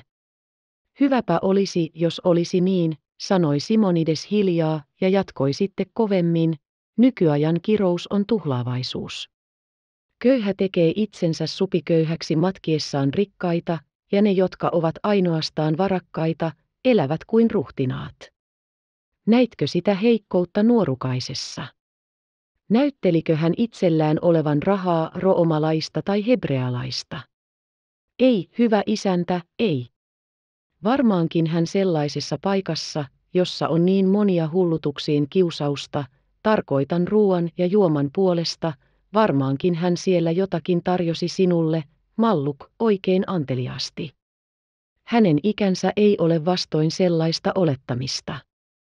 Hän ei syönyt eikä juonut minun seurassani. Voitko siitä, mitä hän sanoi tai teki, huomata mitään johtavaa aatetta hänessä? Tiedät hän, että se kuultaa lävitse kaikkein vähimmissäkin asioissa. Minä en ymmärrä, mitä tarkoitat, sanoi Malluk neuvottomasti. Sitä tiedät hän, että, kun me puhumme tai toimimme, ja vielä enemmän, kun ratkaisemme tärkeitä meihin itseemme koskevia asioita, silloin olemme jonkun johtoaatteen vaikutuksen alaisia. Mitä huomasit siinä kohdassa? Mitä siihen asiaan tulee, voin minä vastata ihan varmasti. Hän käyttää kaiken aikansa ja kykynsä äitinsä ja sisarensa etsimiseen, se on ensimmäinen asia. Sitä paitsi hän on kärsinyt vääryyttä roomalaisilta, ja koska sillä messalalla, josta kerroin, on jotakin osaa siinä asiassa, niin hänen pääpyrintönsä tällä hetkellä on saada nöyryyttää häntä. Kohtauslähteellä oli kyllä sopiva tilaisuus, mutta hän ei käyttänyt sitä hyväkseen, koska se ei ollut kyllin julkinen. Messalalla on vaikutusvaltaa, sanoi Simonides miettivästi. Niin, mutta kun he ensi kerran yhtyvät, niin se tapahtuu sirkuksessa. No entä sitten? Ariuksen poika voittaa. Mistä sinä sen tiedät? Malluk hymyili. Hänen puheistaan. Etkö muusta? Kyllä minulla on parempikin takaus, hänen rohkeutensa. Mutta Malluk, hänen kostontunteensa, mitä se tarkoittaa? Muutamia harvojako ainoastaan, jotka loukkasivat häntä, vai monen moniako? Ja sitten vielä, onko se tunto ainoastaan arkatuntoisen pojan oikkuja, vai onko kärsimyksistä täysi miehuuden ikä antanut sille kestävä isyyttä? Tiedäthän, Malluk, että koston ajatus, joka johtuu ainoastaan tunteista, on vain joutava uni, jonka ensimmäinen valoisa päivä haihduttaa, jota vastoin kiihkoinen kostonhimo on sydämen tauti, joka nousee aivoihin ja elää yhtä aikaa molemmista. Simonides osoitti tässä puheensa osassa ensi kerran kiihtymystä. Hän puhui kiivaasti, puristi kätensä nyrkiksi ja osoitti sellaisen miehen intoa, joka tahtoo tehdä selväksi, mitä tautia hän sairastaa. Hyvä isäntä, Malluk jatkoi yksi niitä syitä, joiden tähden minä luulen, että se nuori mies on juutalainen, on hänen vihansa voima. Minä näin selvästi hänen olevan varoillaan minua kohtaan, joka olikin luonnollista, kun tiesin, miten kauan hän oli elänyt roomalaisen epäluuloisuuden ilmassa, mutta näin minä kuitenkin hänen kiihtyvän, ensimmäisen kerran, kun hän tahtoi tietoa Ilderimin tunteista roomalaisia kohtaan, ja toisen kerran, kun minä kerroin Seikin ja kolmen tietäjän historian sekä mainitsin heidän kysymyksensä, missä on äsken syntynyt juutalaisten kuningas. Simonides kumartui äkisti eteenpäin, ollen nähtävästi kiihkeässä odotuksessa. Ah, Malluk, hänen sanansa, mitä hän sanoi. Anna minun niistä arvata, mitä tämä salaisuus vaikutti häneen. Hän tahtoi tietää, miten sanat olivat oikeastaan olleet, kuninkaaksi syntynyt vaiko äsken syntynyt kuningas. Näytti, kuin hän olisi pitänyt hyvin tärkeänä niiden lausetapojen erotusta. Simonides nojautui jälleen entiseen asentoonsa kuuntelemaan. Sitten, sanoi Malluk, minä selitin hänelle, miten Ilderim käsitti salaisuuden, että kuningas oli tuleva tuomitsemaan roomalaisia. Nuorukaisen kasvojen puna tummeni, ja hän sanoi vakavasti, kukapa muu kuin Herodes voi hallita niin kauan, kuin Rooma seisoo. Mitä hän sillä tarkoitti? Että valtakunnan täytyy kukistua ennen, kuin toisesta hallituksesta voi olla puhettakaan. Simonides katseli hetkisen laivoja ja niiden varjoja, jotka hiljaa kiikkuivat yhdessä kuunpaisteisella joen pinnalla. Katsoen jälleen ylös hän lopetti keskustelun. Nyt riittää täksi illaksi, Malluk, hän sanoi. Mene ja hanki jotakin syödäksesi ja ole valmis palaamaan palmumetsään. Sinun pitää auttaa häntä nyt alkavissa toimissaan. Tule aikaisin huomisaamuna, niin saat kirjeen viedäksesi Ilderimille. Sitten hän lausui hiljemmalla äänellä ikään kuin itsekseen, minä tahdon itse olla läsnä kilpa-ajoissa sirkuksessa. Kun Malluk toivotettuaan tavan mukaan siunausta, poistui, joi Simonides aika siemauksen maitoa ja näytti siitä virkistyvän ja tulevan iloiseksi. Ota pois tarjotin, Ester, sanoi hän, minä olen ravittu. Tytär totteli. Käy nyt tähän istumaan. Ester istahti tuolin laidalle ihan hänen viereensä. Jumala on hyvä minua kohtaan, sangen hyvä, sanoi Simonides hartaasti. Hänen tapansa on toimia salaperäisesti, mutta välistä hän antaa meidän uskoa näkevämme ja ymmärtävämme hänen tarkoituksensa. Minä olen vanha ja minun aikani loppuu kohta, mutta nyt yhdennellätoista hetkellä, kun toivoni jo alkoi haihtua, nyt hän lähettää minulle lupauksen kipinän, joka virkistää minua. Näen suuren osan eteenpäin viittomaani tietä yhdestä asianhaarasta, joka itsessään on niin paljon vaikuttava, että se muodostaa toisenlaiseksi koko maailman. Minä näen syyn, minkä tähden minulle on uskottu niin suuret rikkaudet ja tarkoituksen, mihin ne ovat määrätyt. Totta tosiaan, lapseni, minä tunnen uuden elämän innon virkoavan itsessäni. Ester työnti he likemmäksi häntä, ikään kuin palauttaakseen hänen ajatuksiansa häilyvästä lennostaan. Kuningas on syntynyt, jatkoi vanhus, ikään kuin yhä puhuen tyttärellensä, ja hän lienee nyt saavuttanut puolimatkan tavallisesta ihmisiästä. Baltasar sanoo hänen vielä olleen lapsena äitinsä sylissä, kun hän kunnioitti häntä ja antoi hänelle lahjoja. Ilderin vakuuttaa viime joulukuussa seitsemän kolmatta vuotta kuluneen siitä, kun Baltasar ja hänen kumppaninsa tulivat hänen telttaansa, pyytäen suojelusta Herodeen vainolta. Niinpä hänen tulonsa ei voi enää viipyä kauan. Se voi tapahtua tänä iltana tai huomenna. Pyhät Israelin isät, eikö tämä ajatus ole sanomattoman autuaallinen minä olen kuulevinani kukistuvain muurien pauhua ja yleistä kapinaa, jonka maailman muutos herättää. Niin, maa avautuu ihmiskunnan iloksi nielemään Roomaa, ihmiset saavat jälleen hengittää vapaasti ja laulaa laulujansa. Hän nauroi itsekseen. Oletko sinä, Ester, koskaan kuullut mitään sellaista? Tunnenpa tosiaankin, että minussa syttyy runoilijan innostus, Mirjamin ja Davidin hehku. Minun ajatuksissani, joiden pitäisi puuhailla ainoastaan numeroiden ja asioimiston kanssa, kilisevät sympaalit, soivat harput ja laulu kaikuu äsken pystytetyn kuninkaan istuimen ympärille kokoutuneen ihmisjoukon huulilta. Toistaiseksi minä karkoitan nämä ajatukset, sillä, tyttäreni, kuningas tarvitsee tullessaan rahaa ja miehiä, ja hän syntyi niin kuin minä itsekin vaimosta, on siis vain ihminen, ihmisellisten tarpeiden alainen, kuten sinä ja minä. Ja rahaa saadakseen hän tarvitsee myyjiä ja ostajia, ja miehiä varten hän tarvitsee johtajia. Siinä, siinä. Näetkö, mikä tie on minulle viitottuna ja mitä tietä meidän nuoren Herramme on kuljettava? Näetkö, että sen päässä on kunnia meille molemmille ja kosto meidän puolestamme ja ja Hän pysähtyi häveten itsekkäitä toiveitansa, joista Esterillä ei ollut edes vähintäkään aavistusta. Sitten hän jatkoi suudellen, ja onnea äitisi tyttärelle. Ester istui hiljaa sanaakaan sanomatta.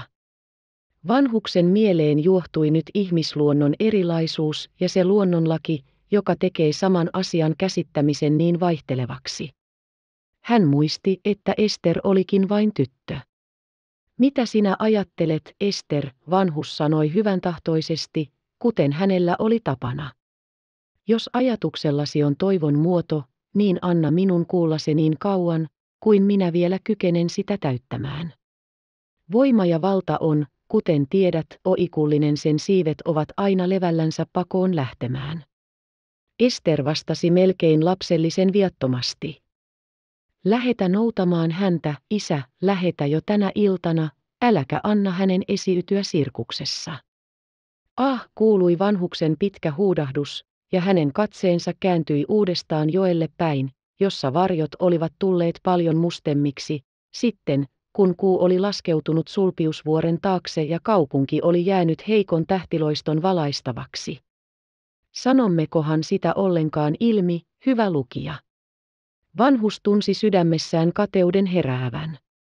Jospa Ester tosiaankin oli rakastunut nuoreen herraansa, oi ei, se ei ollut mahdollista, olihan tyttö liian nuori. Mutta se ajatus oli kuitenkin tarttunut kiinni eikä tahtonut enää päästää vanhusta. Ester oli 16 vuoden iässä. Hän tiesi sen hyvin. Hän oli Esterin viime syntymäpäivänä vienyt hänet laivaveistämöön, josta yksi laiva juuri laskettiin veteen, ja lipussa, jota laiva kantoi kihlauspäivänään aaltojen kanssa, oli nimi Ester. Siten olivat he viettäneet päivää yhdessä. Mutta nyt se ajatus häntä hämmästytti kuitenkin. On olosuhteita, jotka surettavat meitä katkerasti, etenkin sellaiset, jotka koskevat meitä itseämme, esimerkiksi se, että vanhenemme, ja vielä hirveämpää se, että meidän täytyy kuolla. Sellainen suru hiipi vanhuksen sydämeen pimeänä kuin varjo, ja pusersi hänen rinnastaan huokauksen, joka melkein kuului tuskan huudolta. Ei siinä kyllin, että Ester oli orjana astuva neidon kehittyneisen ikään, hänen nyt vielä piti omistaman herralleen muutkin tunteensa, joiden totuuden ja hellyyden ja hienouden vanhus oli niin hyvin saanut kokea, koska ne olivat tähän asti olleet hänen yksinomainen oikeutensa. Vihollisvoima, jonka tehtävänä on meidän kiusaamisemme huolilla ja katkerilla ajatuksilla, harvoin jättää työtänsä puolinaiseksi. Kunnon vanhus unhotti hetkellisen surunsa tähden loistavat tulevaisuussuunnitelmansa, ja niiden esineen, salaperäisen kuninkaan. Hänen onnistui kuitenkin voimakkaalla ponnistuksella hillitä tunteensa niin, että voi kysyä levollisesti. Miksi ei esiytyä kilparadalla? Miksi ei lapseni? Se ei ole Israelin pojalle sopiva paikka, isä. Niin kyllä rabbinit sanovat. Siinäkö kaikki, mitä sinulla on sitä vastaan? Kysymys kuului tutkivalta ja sai Esterin sydämen sykkimään kuuluvasti, niin kovasti, ettei hän kyennyt vastaamaan. Hän tunsi outoa, mutta kuitenkin suloista hämmennystä. Se nuori mies saa suuren omaisuuden, sanoi vanhus hellästi ja tarttui hänen käteensä, hän saa laivat ja rahat, kaikki, Ester, kaikki. Kuitenkaan minä en tunne itseäni köyhäksi, sillä olethan minulla sinä, ja sinun rakkautesi on yhtä luja kuin äitivainajasi rakkaus. Sano, pitääkö hänen saaman vielä sekin?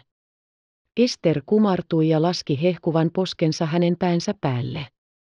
Puhu, Ester, minä saan enemmän voimaa, jos olen varma siitä. Tieto edeltäpäin antaa voimaa. Ester nousi ja sanoi äänellä, joka karkoitti kaiken epäilyksen. Rauhoitu, isä. Minä en koskaan jätä sinua.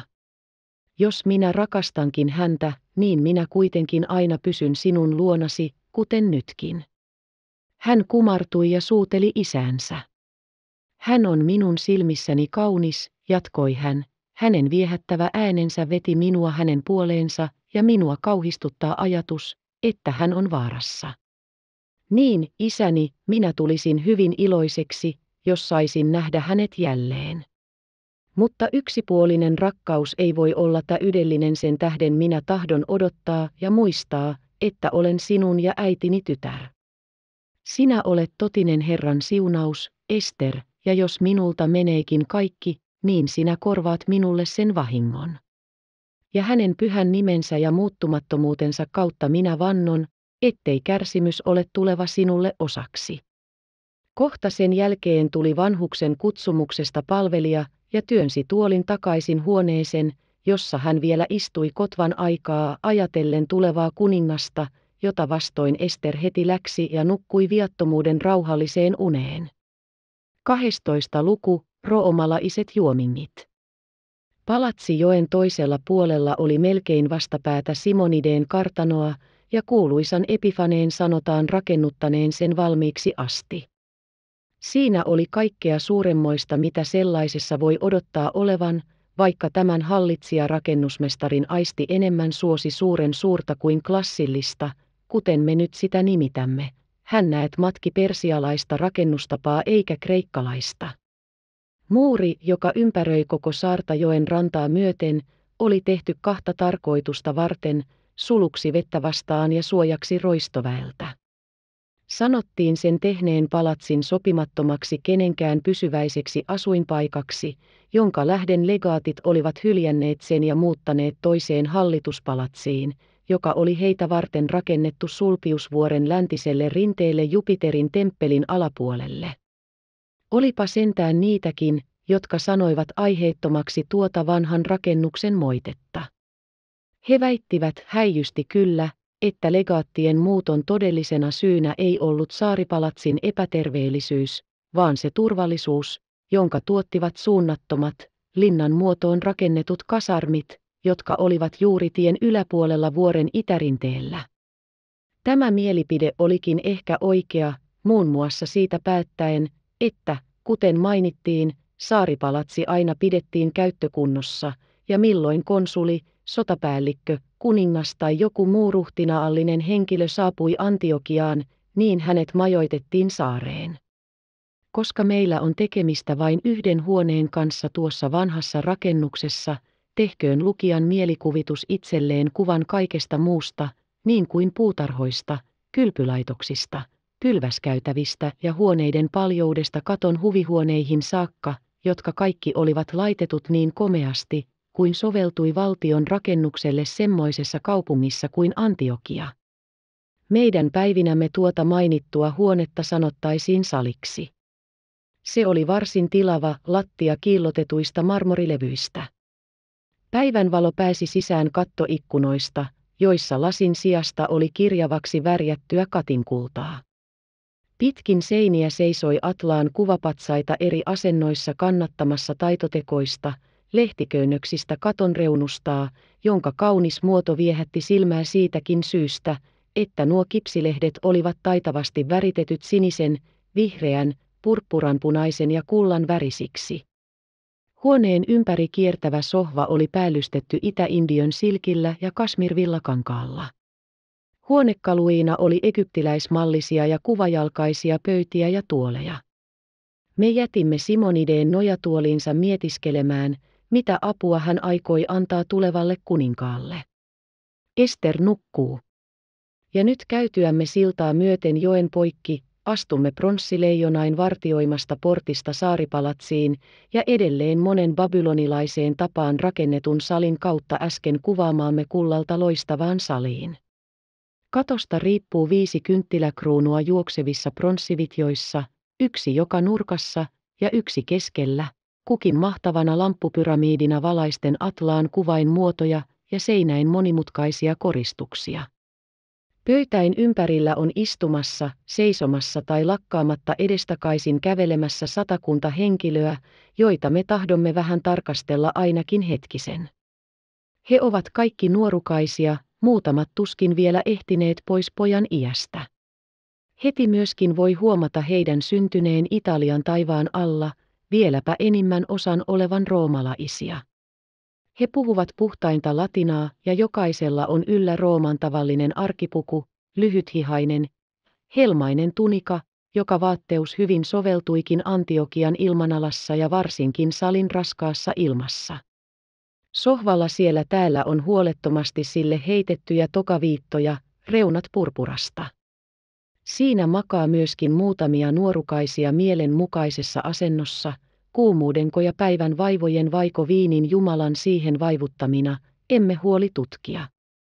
Kova äänten hälinä porisee salissa, välistä kuuluu sen seasta kaikuva nauru sekä epätoivon tai riemun huudahdus, mutta kovemmin kaikkea muuta ratisee korviin koskeva rapina taukoamatta, huumaten siihen tottumatonta.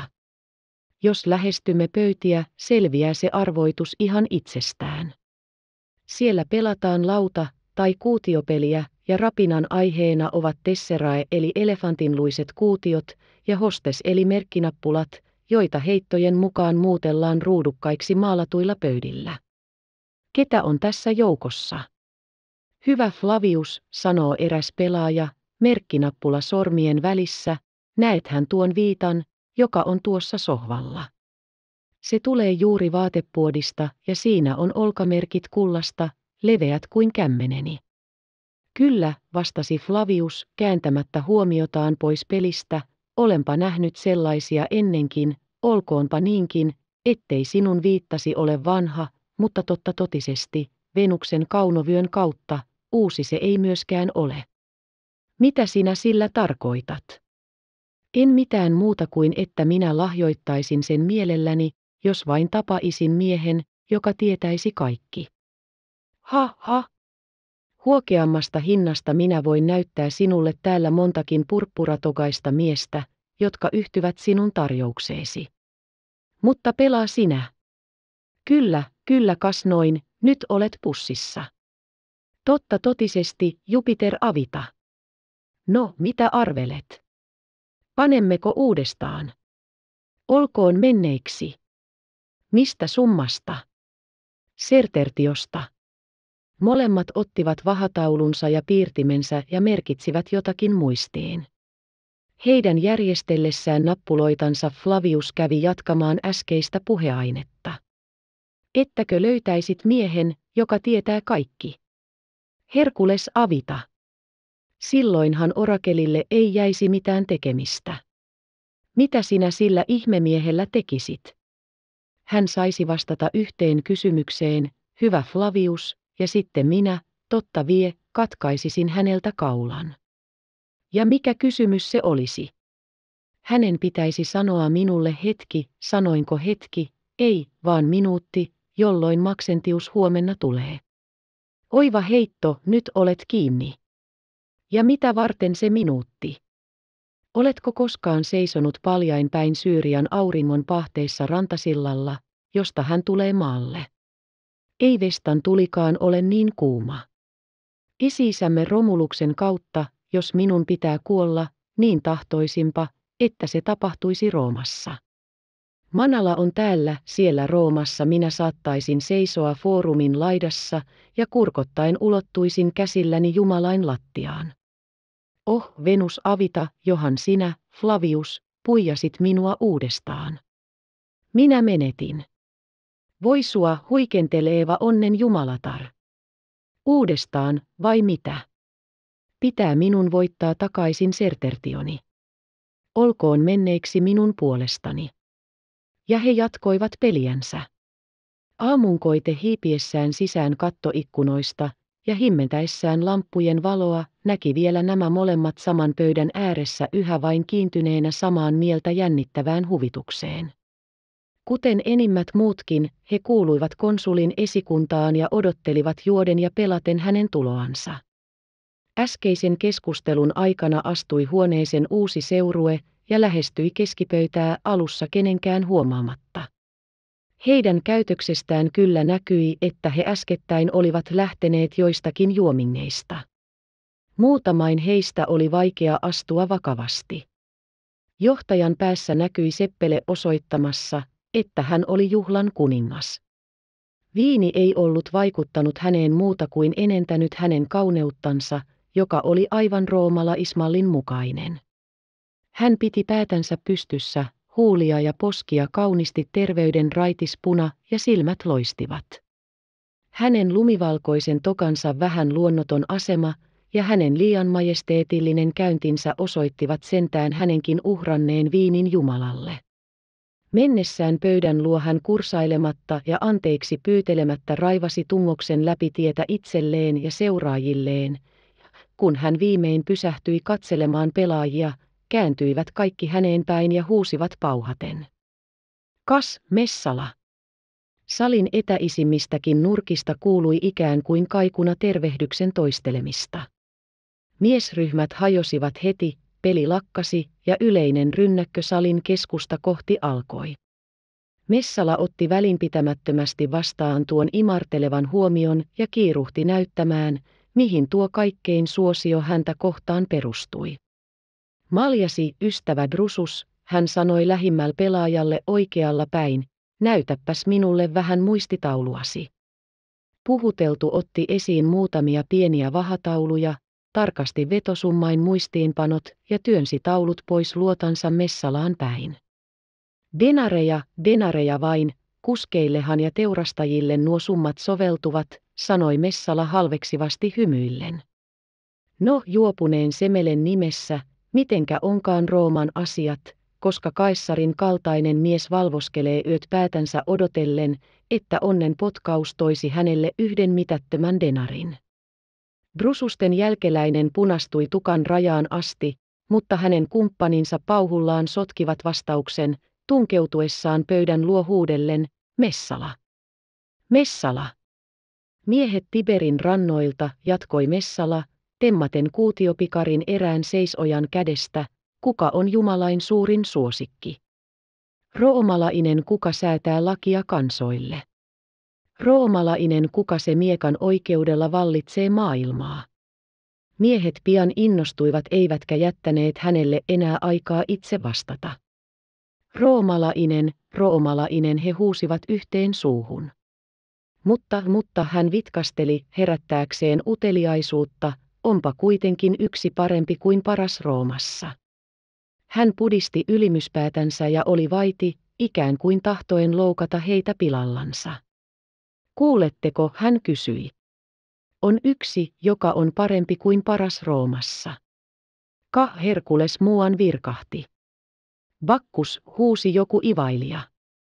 Jupiter, Jupiter, pauhasi koko joukko. Ei, sanoi Messala, ihmisten seassa. Sano hänen nimensä, huudettiin. Kyllä minä sanon, virkkoi Messala, kun jälleen oli tyynnytty. Se on se, joka Rooman täydellisyyteen on yhdistänyt Itämaiden täydellisyyden, se, joka on voitolliselle lännelle opettanut idän taidon osata nauttia valloituksiansa. Totta totisesti.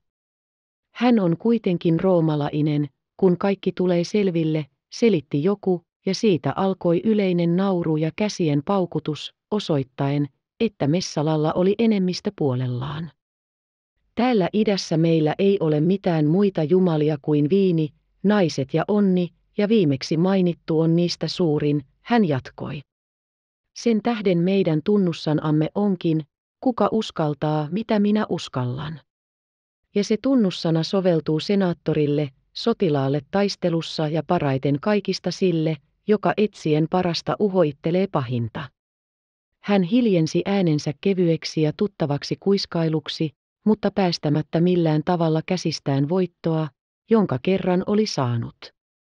Suuressa arkussa tuolla ylhäällä linnassa on minulla viisi talenttia täyspainoisia, käypää rahaa, ja tässä ovat nostoosoitukset niille summille.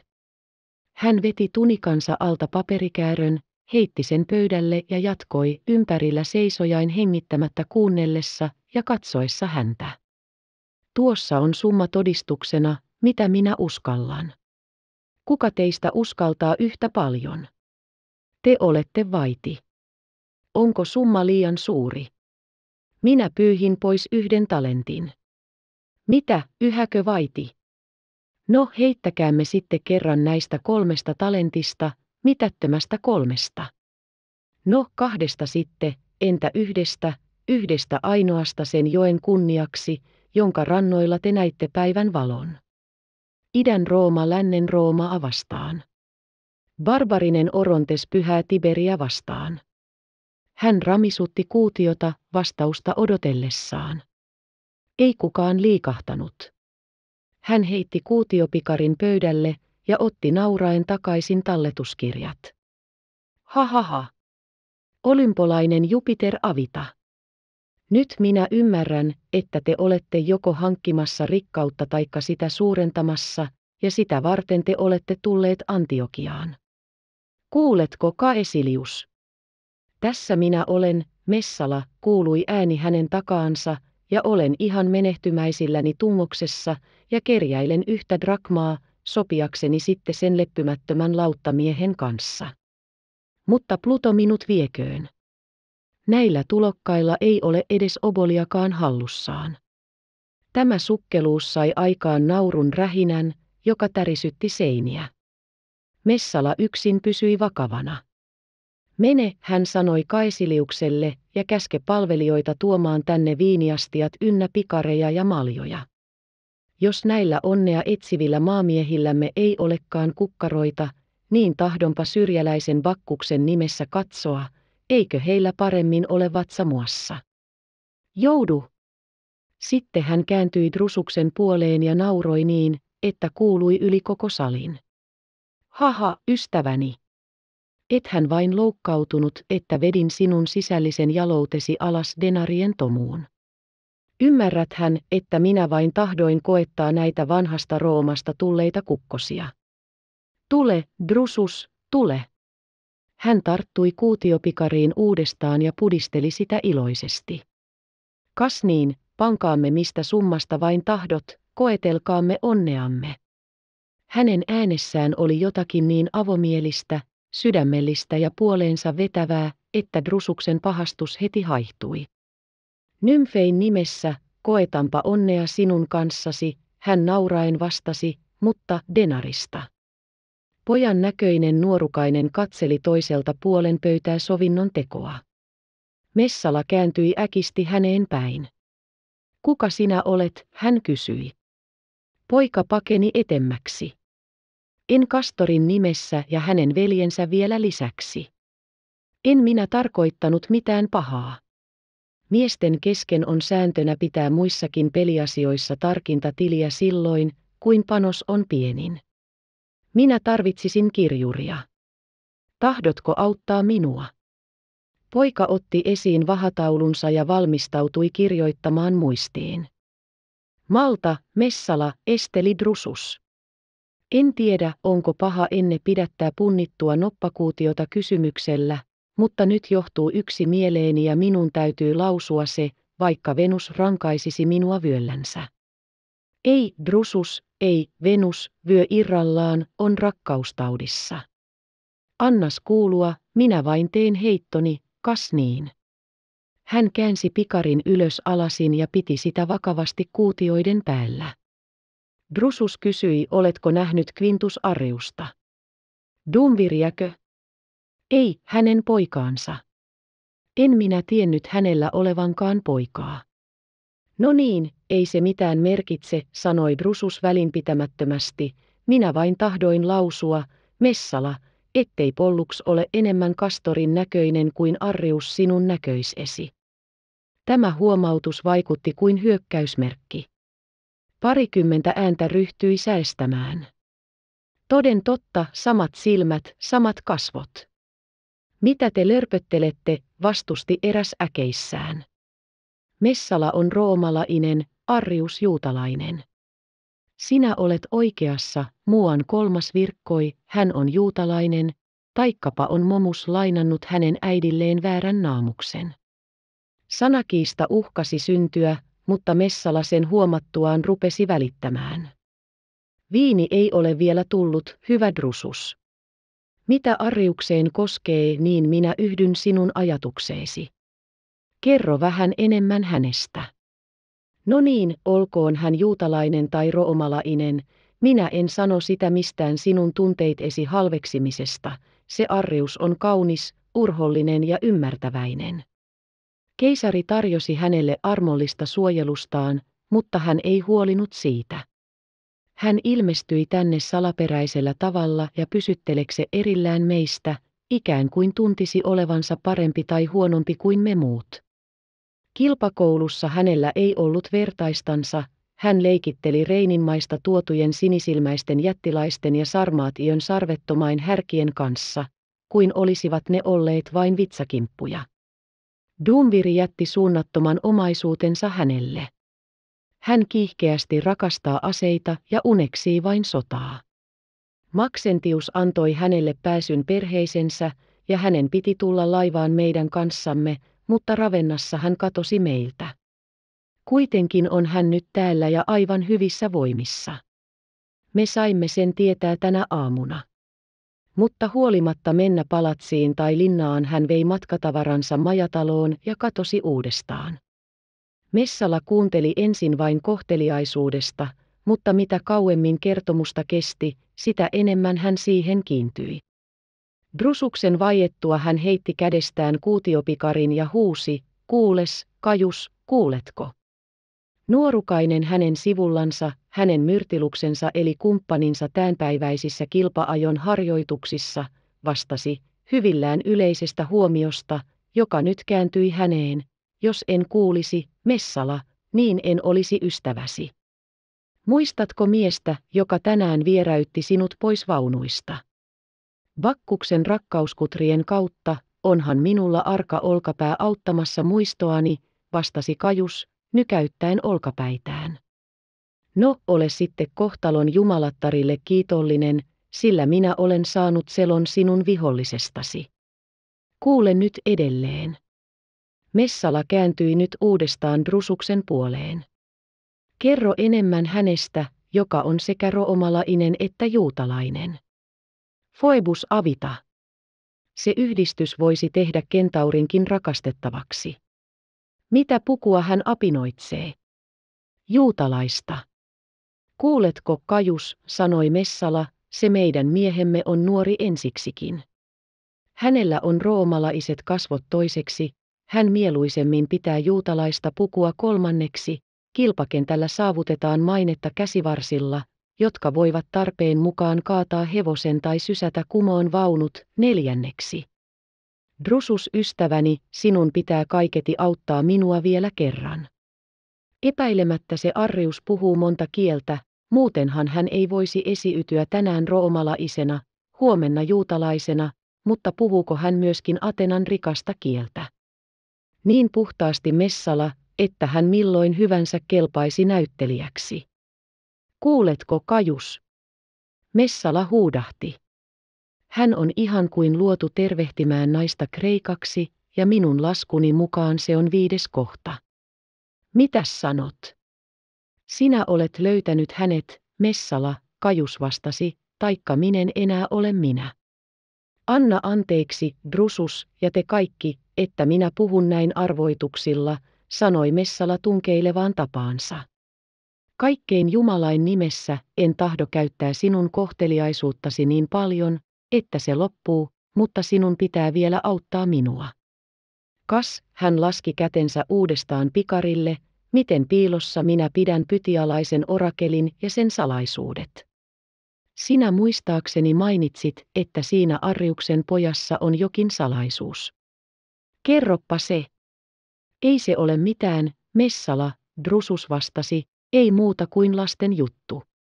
Kun Arrius isä oli ahdistamassa merirosvoja, ei hänellä ollut lapsia eikä perhettä. Palatessaan hän toi pojan, sen, josta puhumme, ja seuraavana päivänä otti hänet ottopojakseen. Ottopojakseenko toisti Messala, Jumalain nimessä sinä saat minut tosiaankin uteliaaksi, Drusus. Mistä Duumvir löysi pojan? Ja kuka hän oli? Kukapa muu kuin hän itse voi siihen vastata.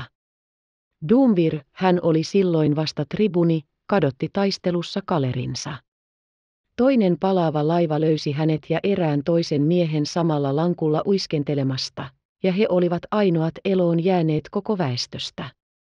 Minä kerron nyt historian sellaisena, kuin minä sen kuulin pelastajilta, ja sillä on ainakin se ansio, ettei sitä ole koskaan vastustettu. He sanoivat, että Dumbirin kumppani lankulla oli juutalainen. Juutalainenko? Messala ihmetteli. Ja Kaleriorja. Mitä Drusus? Kaleriorjako? Kun heidät molemmat nostettiin kannelle, oli Dumvirillä yllä tribunin harniska ja toisella soutajan puku. Messala nousi pöydän vierestä, jota vasten oli nojannut. Kaleri. Hän vaikeni äkisti ja katseli ympärilleen ensi kerran elämässänsä neuvottomana. Juuri silloin astui sisään joukko orjia, tuoden suuria viiniastioita, hedelmä- ja leivoskoreja sekä pikareja ja pulloja, jotka olivat suurimmaksi osaksi hopeasta. Se näkö herätti jotakin hänen mieleensä. Messala hyppäsi ylös tuolille. Miehet Tiberin rannoilta, hän sanoi kovalla äänellä, muuttakaamme päällikön odotusbakkuksen juhlaksi. Kenenkä valitsette juomakuninkaaksi? Drusus nousi ylös. Kenenkä muun kuin juhlan pitäjän, hän sanoi. Vastatkaa, ro-omalaiset. Kaikuva suostumushuuto kajahti vastaukseksi. Messala otti seppeleen päästään, antoi sen Drusukselle, joka nousi ylös pöydälle ja laski juhlallisesti kaikkein nähden seppeleen takaisin Messalan päähän sekä valitsi hänet siten yön huvitusten isännäksi. Minä toin muutamia ystäviä kanssani, sanoi Messala, noustuaan pöydälle. Jotta juhla vanhalla tavalla pyhitettäisiin, tuokaa tänne se, joka on enimmin viinin Jumalan vallassa. Joukko ääniä huusi, tässä hän on, tässä hän on. Lattialta vedettiin nyt esiin nuorukainen, jolla oli niin naisellisen kauniit kasvot, että olisi voitu luulla häntä itse juomajumalaksi, jos hänellä vain olisi ollut seppele päässä ja muut pakkuksen tuntomerkit. Nostakaa hänet ylös pöydälle, käski Messala. Silloin huomattiin, ettei hän voinut pysyä istualtaan. Tue häntä, Drusus. Drusus otti päihtyneen syliinsä. Messala kääntyi sitten viineistä velttoa nuorukaista kohti ja sanoi kaikkein vaitollessa, oi Bakkus, sinä suurin jumalista, ole meille tänä yönä suosiollinen. Omasta ja näiden palvelijaisi puolesta minä lupaan, hän nosti kunnioittavasti seppeleen päästänsä, tämän seppeleen uhriksi alttarille Sidafneen. Hän kumarsi, laski seppeleen takaisin päähänsä, paljasti ohimonsa ja lausui nauraen. Katsos, Drusus, Silenuksen aasin nimessä, enkö voittanut denariasi. Suostumushuuto sai katon vapisemaan ja äkäisen näköiset atlaan kuvat vavahtelemaan alustoillansa. Mässäys alkoi. 13. luku arabialaiskodissa. Seikki Ilderimillä oli siksi ylhäinen asema, ettei hänen sopinut pitää varsin yksinkertaista taloutta. Hänen täytyi pitää yllä arvonsa oman heimonsa keskuudessa, kuten soveltui Syyrian itäpuolisten aavikkojen suurimman heimon ruhtinaalle ja patriarkalle. Kaupunkilaisten silmissä hän oli kuninkaallisten henkilöiden jälkeen kaikkein itämaiden rikkain mies, ja koska hänellä, paitsi rahaa, oli myöskin paljon orjia, hevosia, kameleja ja kaikenlaisia karjalaumoja, oli hän itsekin mieltynyt jonkinlaiseen komeuteen. Sitä paitsi suurellisuus lisäsi hänen arvoansa vierasten silmissä, viehätti hänen omaa ylpeyttänsä ja tuotti hänelle kaikenmoista mukavuutta. Lukija älköön siis erehtykö, kun sanoimme hänen asuvan palmumetsikön keskellä olevassa teltassa. Hänellä olikin siellä todella oikein kunnioitusta herättävä dauar, se on, kolme isoa telttaa, yksi häntä itseään, toinen vieraita ja kolmas hänen lempivaimoansa ja sen naispalvelijoita varten sekä kuusi tai kahdeksan pienempää telttaa hänen omia palvelijoitaan ja niitä heimon jäseniä varten jotka hän oli valinnut henkivartioikseen ja jotka olivat koeteltuja sekä urhollisuudeltaan että voimaltaan ja myöskin taidoltaan käsittelemään keihästä, jousta ja hevosia. Tosin hänen omaisuutensa ei ollut minkäänlaisessa vaarassa tässä paikassa, mutta tottumus on ihmisen toinen luonto, eikä ole viisastakaan höllitellä kerran säännölliseksi tulleen elämänjärjestyksen siteitä, sen tähden oli Dauarin sisus eli telttain keskus lehmäin, kamelien, vuohien ja yleensä kaiken sellaisen omaisuuden kokouspaikkana, joka saattoi houkutella varkaita tai leijonia. Ilderim, puhuaksemme hänestä kaikki totuuden mukaan, noudatti tarkimmasti kaikkia kansansa tapoja. Niinpä hänen elämänsä täällä palmumetsässä oli vain jatkoa hänen elämästänsä aavikoilla, vaan samalla se myöskin oli kaunis kuva vanhasta patriarkalisuudesta, Israelin alkuperäisestä ja oikeasta paimenelämästä. Aamusella karavanin saavuttua metsään, hän oli pysäyttänyt hevosensa ja pistänyt keihään maahan sanoen, pystyttäkää teltta tähän paikkaan, järveen päin ja ovi etelää kohti. Näiden palmujen alla, jotka ovat erämaan lapsia kuten me itsekin, tahdomme istua ja katsella auringon laskua. Niin puhuttuaan hän meni kolmen yhteen ryhmään kasvaneen, mahtavan suuren palmun luo ja silitteli yhtä niistä, niin kuin hän olisi hyväillyt lemmikkihevostaan tai enimmän hemmoiteltua lastaan. Keliäpä muulla kuin seikillä oli oikeutta käskeä karavania pysähtymään tai määrätä, mihin teltta oli pystytettävä. Keihäs temmattiin pois ja sen reikään lyötiin ensimmäinen teltan tanko. Sitten pystytettiin vielä kahdeksan seivästä, niin että tuli kolme seiväsriviä ja kolme seivästä kuhunkin riviin. Sen jälkeen annettiin vaimoille ja lapsille merkki, että päästäisivät telttakankaat irti kamelien selästä. Kenenpä muiden kuin naisten tehtävä se olisi ollut? Eivätkö juuri he olleet kerinneet ruskeaa villaa vuohista ja kehränneet sitä langaksi, kutoneet lankaa kankaaksi ja ommelleet yhteen, niin että siitä tuli tiheä suojus, oikeastaan tummanruskea, vaikka se etäältä näytti mustalta kuin kedarin telttamajat. Ja viimein miten iloisesti leikkiä laskien olivatkaan seikin seuralaiset yksin voimin pingoittaneet vaatteen seipäästä toiseen, iskeneet kepit maahan ja niihin kiinnittäneet nuorat. Ja kun viho viimein vielä punaisesta niinestä palmikoidut ulkoseinät saatiin paikoilleen, viimeinen työ teltan teossa aavikon tapaan, miten maltittomasti he sitten ääneti odottivat Seikin arvostelua. Ja he olivat onnelliset, kun Seikki asteli siinä sisään ja ulos, katsellen asuntoa ynnä auringon paistetta, puita ja järveä, sekä tyytyväisenä käsiään hieroskellen sanoi, hyvä. Laittakaa nyt Dauar kuntoon sillä tavalla, kuin tiedätte, ja tänä iltana me höystämme leipäämme maksalla ja maitoamme hunajalla. Joka tulella paistetaan kili. Herra olkoon teidän kanssamme. Veden puutetta meidän ei tarvitse pelätä, sillä meillä on kaivona järvi. Kuormajuhtamme ja karjalaumamme saavat olla huoletta nälästä, sillä vihreää ruohoa on täällä liiaksikin. Jumala olkoon kanssamme, lapseni. Riemuiten joukko hajautui pystyttämään omia telttojansa. Joitakuita vain jäi laittelemaan kuntoon ruhtinaan teltan sisustaa. Miespalvelijat kiinnittivät keskitankoon vaatteen ja jakoivat sillä teltan kahtia, toinen oli Ilderimiä itseään, toinen hänen hevosiansa varten, jotka talutettiin sisään sekä suudellen ja hyväillen päästettiin irti. Keskitankoa vasten laitettiin myöskin lava, joka aseteltiin täyteen keihäitä ja heittokeihäitä, jousia, nuolia ja kilpiä. Äärimpänä riippui seikin puolikuun muotoinen, käyrä sapeli, jonka terän välke melkein veti vertoja varteen sovitettujen kallisten kivien loistolle. Aselavan toiseen päähän ripustettiin hevosten satulavaipat, toinen toistaan komeampia väriloistolta, ja toiseen mahtavan miehen liina, ja pitovaatteet, tunikat ja höllähousut sekä koko joukko kirjavia turbaniliinoja. Vasta sitten, kun Seikki ilmaisi tyytymyksensä, he lakkasivat järjestelemästä. Naiset tällä aikaa laittoivat kuntoon sohvan, joka oli Ilderimille välttämättömämpi kuin hänen ryntäilleen asti riippuva partansa. He sovittivat kokoon kehyksen ikään kuin kolme sivua nelikulmasta, siten että aukko jäi ovea kohti, ja peittivät sen tyynyillä ja pienillä vaatteilla.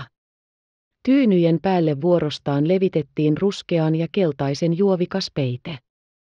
Nurkkiin naiset asettivat tyynyjä ja patjoja, joissa oli punaiset ja siniset verkapällykset. Sohvan ympärille levitettiin koko joukko mattoja. Sen näköinen se teltta oli, jonka ovelle jätimme Benhurin. Palvelijat jo olivat odottelemassa isäntänsä käskyjä. Eräs heistä päästi Seikiltä jalasta sandalit, toinen veti Benhurilta pois roomalla iset kengät. Sitten he vaihtoivat tomuiset päällysvaatteensa puhtaihin liinaisiin. Astu sisään Jumalan nimessä, astu sisään lepäämään, kehoitti isäntä sydämellisesti Jerusalemin markkinapaikan tavallisella murteella ja talutti hänet sohvan luo. Tässä on minun paikkani, hän sitten sanoi viitaten, ja tuossa on vieraan. Nainen tuli Seikin kutsumuksesta ja asetteli taitavasti tyynyt ja patjat tueksi selkäintaa heidän istuessaan yhdellä sohvan sivulla sillaikaa, kun heidän jalkojaan pestiin raikkaalla järvivedellä ja kuivattiin liinoilla. Meillä on siellä aavikolla sananparsi, alkoi Ilderim, kooten partansa ja kammaten sitä sormillaan, hyvä ruokahalu lupaa pitkää ikää. Onko sinulla se? Sen lain mukaan, hyvä seikki, minä tulen satavuotiaaksi. Minulla on nälkä kuin sudella, vastasi Benhur. Hyvä, ei sinun tarvitse täältä lähteä yhtä nälkäisenä. Saat maistella parasta minun laumoistani, sanoi Ilderim, käsiänsä paukuttaen. Heti ilmestyi palvelija, jolle hän sanoi. Mene vieraan luo vierasteltaan ja sano hänelle, että minä, Ilderim, toivotan hänelle rauhaa, yhtä lakkaamatonta kuin veden juoksu virrassa. Palvelija kumarsi. Sano hänelle myöskin, että minä olen palannut uuden vieraan kanssa, joka on minun kanssani taittava leipää. Jos viisas Baltasar tahtoo olla osallisena, niin tulee meitä kolme, eikä lintujen osa siltä jää vähemmäksi. Palvelija läksi. Levätkäämme nyt. Ilderim kehoitti ja kävi sohvalle istumaan samalla tavalla, kuin nykyiset kauppiaat Damaskon basaareissa istuvat matoillansa. Päästyään oikein mukavaan asentoon hän lakkasi kampailemasta partaansa ja lausui vakavasti, että olet vieraani, olet juonut minun juomaani ja valmistaudut maistamaan minun suolaani, se ei kiellä minua kysymästä, kuka sinä olet. Seikki Ilderim, sanoi Benhur, levollisesti sietäen hänen katsettansa, minä pyydän, älä luule minun halveksivan oikeutettua pyyntöäsi, mutta eikö koskaan sinun elämässäsi ole ollut hetkeä, jolloin vastaaminen sellaiseen kysymykseen olisi ollut rikos omaa itseäsi vastaan. Salomon kaiken komeuden kautta onpa ollutkin. Ilderim vastasi. Kavaltaa itsensä on välistä yhtä halpamaisia kuin koko heimon kavaltaminen. Kiitos, kiitos, hyvä seikki, virkahti Ben-Hur, huulesi eivät koskaan ole lausuneet totisempaa vastausta kuin nyt. Nyt minä tiedän, että sinä ainoastaan tahdot saada varman selon, etten minä kavalla sinun luottamustasi, ja että sellainen vakuutus on sinulle arvokkaampi kuin minun elämäni kurja historia. Seikki kumarsi ja Benhur kiiruhti käyttämään hyväkseen saavuttamaansa etua. Jos sinua huvittaa kuulla, hän sanoi, niin tiedä ensiksikin, etten minä ole roomalainen, kuten nimestäni päättäen voitaisiin luulla. Ilderim tarttui partaansa ja katseli Benhuria silmillä, jotka heikosti loistivat alas vetäytyneiden kulmakarvain alta. Toiseksi Benhur jatkoi, minä olen israelilainen Juudan suvusta. Seikki hiukan nosti kulmakarvojaan. Vielä enempikin, Seikki, minä olen juutalainen, jolla on roomalaisia vastaan asiaa, jonka rinnalla sinun asiasi on vain lasten leikkiä. Vanhus kampasi partaansa kiivaasti ja painoi kulmakarvansa niin alas, että silmät kokonaan peittyivät. Ja vielä, minä vannon, Seikki Ilderim, minä vannon sen liiton kautta, jonka Herra teki minun isäini kanssa, että, jos sinä toimitat minulle koston, jota etsin, niin kilpaajon kunnia ja voitto tulee sinulle. Ilderimin kulmat silenivät, pää nousi pystyyn ja kasvot kirkastuivat, niin että melkein näkyi, että hän jo oli tyytyväinen. Jo riittää, hän sanoi. Jos sinun kielesi juuressa piilee valhe, ei edes Salomokaan olisi sinulta turvassa. Minä uskon, ettet sinä ole roomalainen, vaan juutalainen, ja että sinulla on asiaa roomalaisia vastaan ja että kosto on ohjeenasi. Mutta mitä taitoosi koskee, anna minun kysyä, mitä sinä tiedät kilpaajosta. Ja hevoset, voitko sinä taivuttaa ne tahtosi alaisiksi, saatko ne tuntemaan itsesi, kuulemaan huutoasi, niin että jos käsket, ne juoksevat niin, että ovat kaatua väsymyksestä ja hengästyksestä, ja voitko juuri viime silmänräpäyksenä kiihottaa ne viimeiseen, kaikkein ankarimpaan voimain ponnistukseen. Sitä lahjaa, poikani, ei olekaan suotu kaikille. Ah, Jumalan kunnian kautta, minä tunsin kuninkaan, joka oli miljoonain hallitsija, täysvaltaisen herran, mutta ei saanut hevosta tottelemaan. Huomaa tarkkaan, en puhu noista tylsämielisistä elukoista, joiden koko tehtävä on olla orjain orjina, noista vereltään ja olemukseltaan vaistottomista hevosen kuvista, vaan sellaisista kuin minun hevoseni, jotka ovat kuin kalliit kivet väärennettyjen rinnalla. Niiden sukutaulu alkaa faraon siitoshevosista, ne ovat minun kumppanini ja ystäväni, asuvat saman katon alla kuin minä ja ovat pitkästä yhdessä elämisestä kohonneet minun tasalleni, niillä on vaisto, johon on kehittynyt oikeaa ihmisjärkeä, ja aistimet, joissa on oikeaa ihmissielua, niin että ne tuntevat kunnianhimoa, rakkautta, vihaa ja inhoa. Ne ovat taistelussa oikeita sankareita ja rauhassa uskollisia kuin naiset. Hoi, tänne! Palvelija astui sisään. Taluta tänne minun arabialaiseni. Mies veti syrjään osan esiripusta, jolla teltta oli kahtia jaettu. Silloin näkyi takaa ryhmä hevosia, jotka seisoivat hiljaa vähän aikaa, ikään kuin arvostellen, tarkoitettiinko kutsulla totta. Tulkaa, sanoi Ilderim, mitä vitkastelette? Mitäpä minulla on, joka ei samalla olisi teidän? Tulkaa, sanon minä. Hevoset astuivat sisään tasaisessa tahdissa. Sinä Israelin poika, ruhtinas puheli edelleen, esi-isäsi Mooses oli mahtava mies, mutta ha ha ha. Minua naurattaa, kun ajattelen, että hän salli sinun esi-isiesi käyttää laiskaa härkää ja tyhmää aasia, mutta kielsi pitämästä hevosia. Ha ha ha. Luuletko, että hän olisi kieltänyt, jos olisi nähnyt jonkun näistä? Ja vanhus otti lähintä hevosta kiinni päästä ja hyväili sitä sanomattoman ylpeästi ja hellästi. Se on väärinkäsitystä, Seikki, sanoi Benhur innokkaasti. Mooses oli sotilas yhtä hyvin kuin lainsäätäjäkin, ja voisiko sotilas koskaan olla rakastamatta tämän kaltaisia? Kaunismuotoinen pää, jossa oli suuret silmät, lempeät kuin kauriin ja puoleksi tuuhean tukan peitossa, sekä pienet, terävät ja eteenpäin kaarevat korvat, tunkeutui Benhurin syliin, sieramet suurina ja ylähuuli liikkeissä.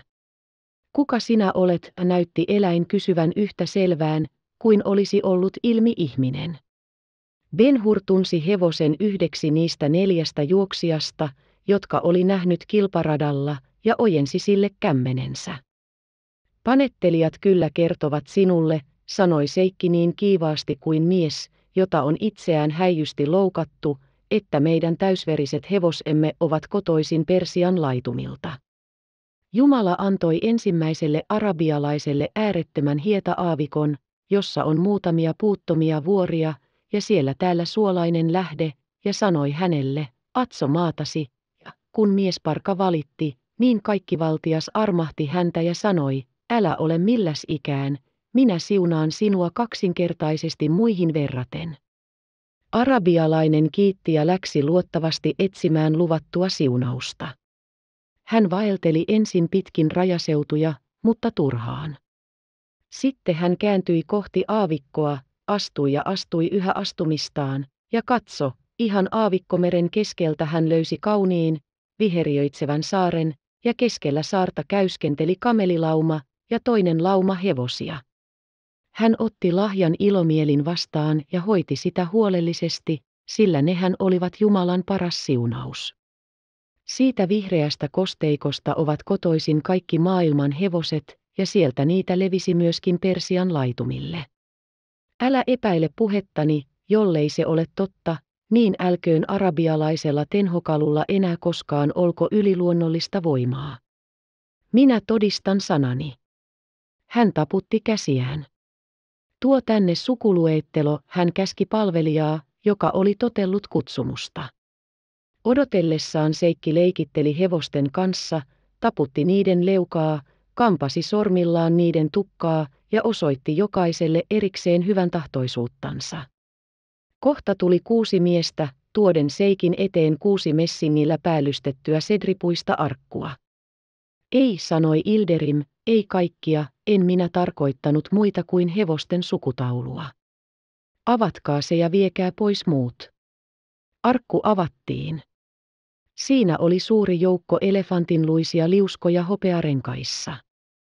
Taulut olivat ohuita, melkein kuin lehdet, ja joka renkaassa oli niitä sadoittain. Minä tiedän, sanoi Ilderim, ottaen muutamia renkaita käteensä, miten huolellisesti kirjanoppineet pyhän kaupungin temppelissä kirjoittivat muistiin syntyneiden nimet, niin että joka ainoa Israelin poika voi selvittää sukujohtonsa ihan alusta asti. Minun esi-isäni, eläköön heidän muistonsa yhä ja iankaikkisesti. Eivät katsoneet synniksi lainata sitä aatetta ja käyttää sitä merkitessään muistiin mykkäin palvelijainsa sukujohtoa. Luen nämä taulut. Benhur otti renkaat ja työnteli niissä edes takaisin tauluja, jotka olivat täynnä kömpelömuotoisia arabialaisia kirjainkuvia, poltettuja siloiseen luupintaan terävällä, kuumalla metallipuikolla. Osaatko lukea niitä? Ilderim kysyi. En, sinun pitää selittää niiden merkitys. Niinpä tiedä, että joka taulussa on yhden niiden täysiveristen hevosten nimi, joita minun esi-isilleni on syntynyt menneiden vuosisatojen kuluessa. Niissä on myöskin sekä isän että äidin nimi. Ota ne ja katso niiden vanhuutta, että sitä paremmin uskot minun sanani. Muutamat levyt olivat melkein rikki kuluneet, ja kaikki jo vanhuudesta kellastuneet. Tässä arkussa minulla on niiden täydellinen historia, täydellinen, voin sanoa, sillä se on vahvistettu, kuten ihmisten historia ani harvoin on. Ne näyttävät, mistä kukin on syntyisin, tuokin, joka nyt anoo sinun huomiotasi ja pientä hyväilyä, ja niin, kuin nämä nyt tulivat meidän luoksemme tähän saman telttakaton alle, samoin ammoisimmista ajoista asti niiden esiisät tulivat minun esi-isäini luo syömään jyväosaansa kädestä, kuulemaan lapseksi puhuttelua ja lasten tavalla osoittamaan hyväilyllä mielihyvänsä koskei heillä ole puheen lahjaa. Ja nyt, sinä Israelin poika, kaiketi uskot sanani, jos minä olen aavikoiden Herra, no katso, tuossa ovat minun palvelijani. Ota ne pois minulta, niin minä olen sellaisen sairaan miehen kaltainen, jonka karavaani on jättänyt jälkeensä kuolemaan.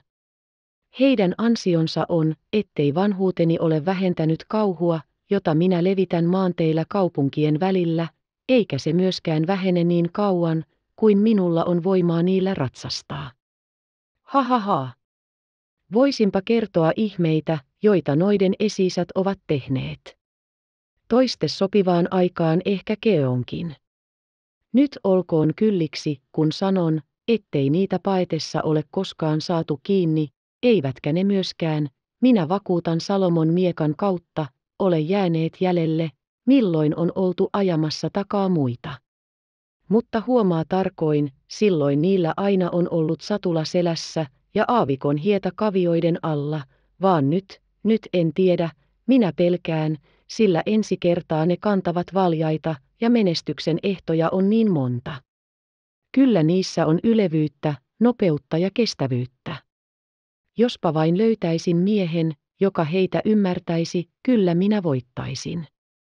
Jos sinä olet se mies, sinä Israelin poika, niin minä vannon, että olet kiittelevä onnelliseksi sitä päivää, joka toi sinut tänne. Puhu nyt sinä itsestäsi. Nyt minä kyllä ymmärrän, vastasi Benhur, miten arabialainen voi rakastaa hevostansa melkein kuin lapsiaan. Käsitän myöskin, miksi aavikkohevoset ovat maailman pareimmat.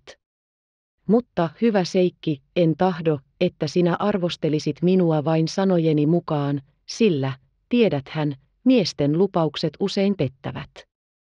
Anna minun ensin koetella niitä täällä kedolla, ja vasta huomenna ottaa ne haltuuni. Ilderimin kasvot kirkastuivat, ja hän aikoi vastata. Maltahan hiukan, hyvä seikki, sanoi Benhur, anna minun vielä puhua pari sanaa. Minä sain monta opetusta Rooman mestareilta, mutta en juuri luullut voivani koskaan käyttää niitä hyväkseni.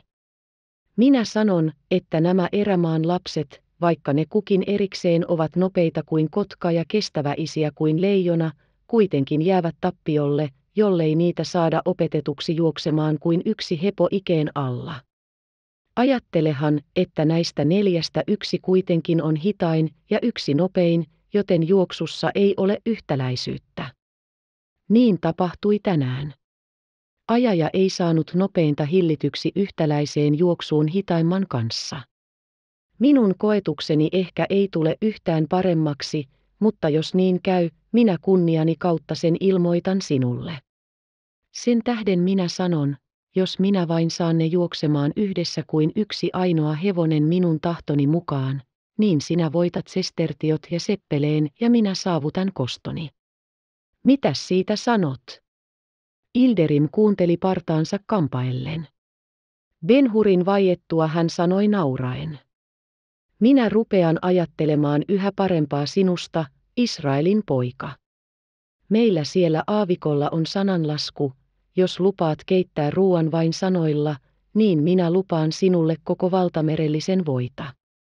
Huomenna saat hevoset koetelaksesi. Juuri silloin alkoi kuulua vilkasta liikettä teltan takaa. Ruoka on valmis, se on jo tässä. Ja tuossapa on myöskin ystävä Baltasar, jolle minä sinut teen tutuksi.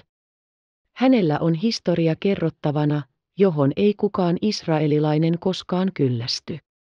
Hän kääntyi palvelijain puoleen, viekää pois sukuluettelot ja taluttakaa nämä silmäteräni takaisin huoneisensa. 14. luku Ilderimin luona Atrialla.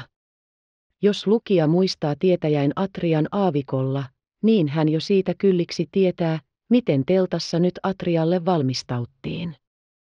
Erotuksena oli parastaan se, että tässä oli runsaammin ruokavaroja ja parempi tarjoilu. Matolle sohvan eteen levitettiin kolme villapeitettä.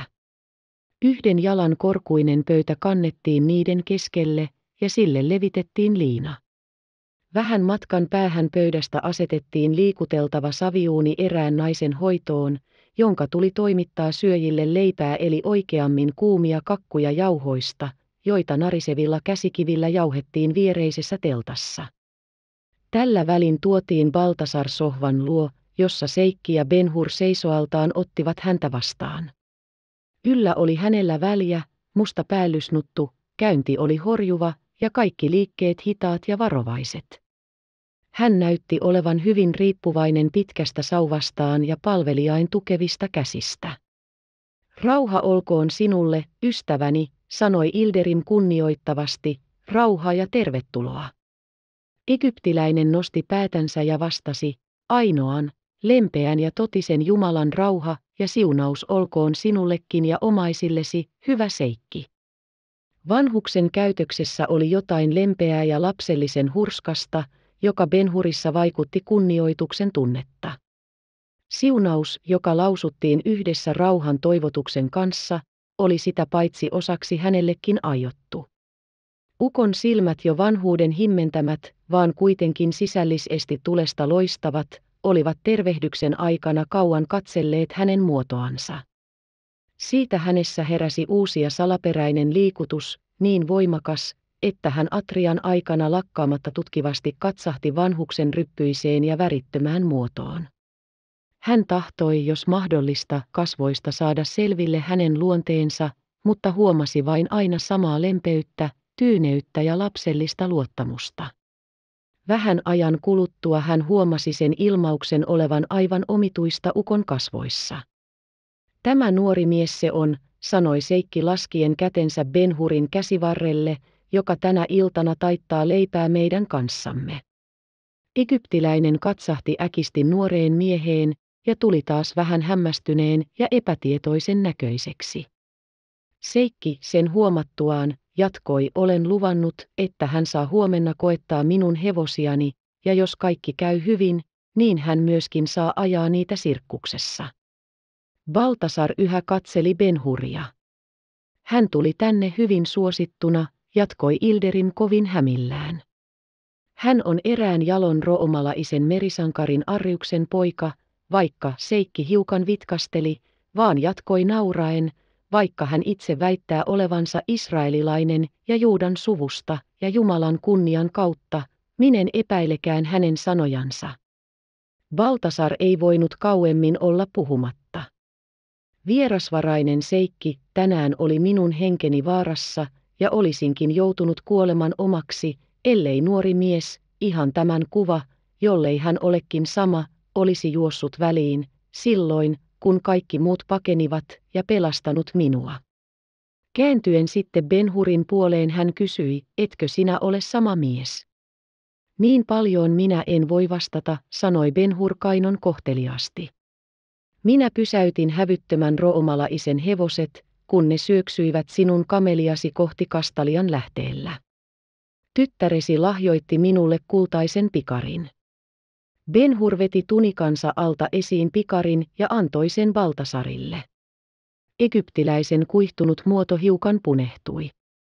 Herra lähetti sinut tänään minulle avuksi lähteen luona, hän sanoi vapisevalla äänellä ja ojensi kätensä Benhuriin päin, ja nyt hän lähettää minut sinun luoksesi. Minä kiitän häntä siitä. Ylistä sinäkin häntä, sillä hänen armonsa kautta minä voin antaa sinulle suuren palkinnon. Pikari on sinun. Pidä se. Benhur otti takaisin lahjan, ja Baltasar, nähden Ilderimin muodossa kysyvää uteliaisuutta, kertoi, mitä lähteellä oli tapahtunut. Kuinka Seikki huudahti kääntyen Benhurin puoleen, minulle sinä et sanonut siitä mitään, vaikka parempaa puolustuslausetta et olisi koskaan voinut antaa. Enkö minä ole arabialainen, kymmentuhantisen heimon seikki? Ja eikö hän ole minun vieraani? Ja eikö ole vierasystävyyden laki, että hyvä tai paha, jota teet hänelle, on hyvää tai pahaa minulle? Mihinkä sinun pitäisi mennä etsimään palkintoa, ellei tänne? Ja kenenkä kädestä sinun tulisi se saada, ellei minun? Ääni oli puheen lopussa muuttunut terävän nuhtelevaksi. Hyvä seikki, säästä minua. Minä en tullut saamaan palkintoa, en suurta enkä pientä, ja jotta pääsisin ihan vapaaksi sellaisesta epäilyksestä, sanon sinulle, että apua, jota annoin tälle kunnon vanhukselle, olisin yhtä mielelläni antanut sinun halvimmalle palvelijallesikin. Mutta hän on minun ystäväni, minun vieraani, eikä minun palvelijani. Etkö näe siinä erotuksessa onnen jumalattaren suosiota? Sille hän kääntyi Baltasarin puoleen lisäten, Ah, Jumalan kunnian kautta, minä sanon sinulle uudestaan, hän ei ole mikään roomalainen. Sitten Seikki kääntyi katsomaan palvelijoita, joiden Atrian valmistukset olivat melkein lopussa. Lukija vielä muistanee Baltasarin historian, jonka hän itse kertoi aavikolla, ja voi siis varsin hyvin käsittää, minkä vaikutuksen Benhurin uhraavaisuusvakuutus teki kunnianarvoiseen mieheen. Se kajahti hänen korvissaan kuin kaiku hänen omasta sydämestään. Hän astui askelta lähemmäksi Benhuria ja sanoi lapsellisen hurskaalla tavallaan. Miksi Seikki sanoikaan minun pitävän kutsua sinua? Luullakseni se oli roomalainen nimi. Arrius eli Arriuksen poika. Sinä et kuitenkaan ole roomalainen. Kaikki sukulaiseni olivat juutalaisia. Olivat, sanoitko niin? Eivätkö he siis enää ole elossa? Kysymys oli taitavasti viritetty, vaikka se samalla olikin luonnollinen, mutta Ilderin pelasti Benhurin vastauksen pulasta. Tulkaa, hän sanoi heille, ruoka on valmis. Benhur tarjosi Baltasarille käsivartensa ja talutti hänet pöytään, jonka ääreen he kävivät itämaiseen tapaan istumaan matoille. Tuotiin vettä ja he pesivät ja kuivasivat kätensä. Sitten Seikki antoi palvelijoille merkin olla hiljaa, ja egyptiläinen rukoili hartaasta liikutuksesta vapisevalla äänellä. Jumala, kaikkien meidän isämme. Mitä meillä on, on sinun antamasi.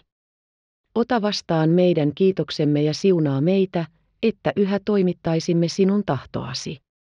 Se oli sama siunaus, jonka tämä kunnianarvoinen oli lausunut vuosia sitten yhdessä kreikkalaisen Kasparin ja hindulaisen Melchiorin kanssa, ja joka, lausuttuna eri kielillä ja kuitenkin ymmärrettynä, oli ihme, joka todisti Jumalan olevan läsnä Atrialla. Pöytä, johon Seikki vierainensa sitten heti kiinnitti huomionsa, oli, kuten saatamme ymmärtää, runsaasti varustettu itämaisilla ruuilla sekä vahvemmilla että makeammilla. Siinä oli leivinlämpöisiä kakkuja, kasviksia ja liharuokia sekä yksikseen että kasviksien, maidon, voin ja hunajan kanssa, kaikki aiotut syötäväksi ilman nykyisiä aseita, niin kuin veitsiä, kahveleja, lusikoita, laseja tai lautasia. Näitä syödessä puhuttiin hyvin vähän, sillä syöjillä oli nälkä. Mutta jälkiruokain saapuessa tapahtui muutos. He pesivät uudestaan kätensä, pudistelivat puhtaiksi liinat, jotka heillä oli polvillaan, ja tunsivat uudestaan täytetyn pöydän ääressä, suurimman nälän sammuttua, halua puhelemaan ja kuuntelemaan toisten puhetta. Tähän aikaan saattoi olla ainoastaan yksi puheenaine silloin, kun seurassa oli arabialainen, juutalainen ja egyptiläinen, jotka kaikki uskoivat yhteen Jumalaan. Ja kukapa näistä kolmesta olisi pitänyt puhetta ellei hän, joka oli nähnyt jumaluuden niin läheltä, nähnyt sen tähdessä, kuullut sen kehoittavan äänen, ja jota pyhä henki oli ohjannut niin pitkät matkat ja niin ihmeellisesti. Ja mistäpä hän olisi puhunut muusta kuin siitä, jota hänet oli valittu todistamaan. 15. luku, Benhurin ihmettely. Varjot, joita vuoret heittivät palmumetsikköön auringon laskun aikaan, eivät jättäneet aikaa taivaan ruskottamisen ja maan hämärtymisen välinäytelmälle. Yö tuli aikaisin ja nopeasti. Hämärää haihduttaakseen teltasta toivat palvelijat sisään neljä messinkistä jalkaa ja asettivat ne pöydän nurkille.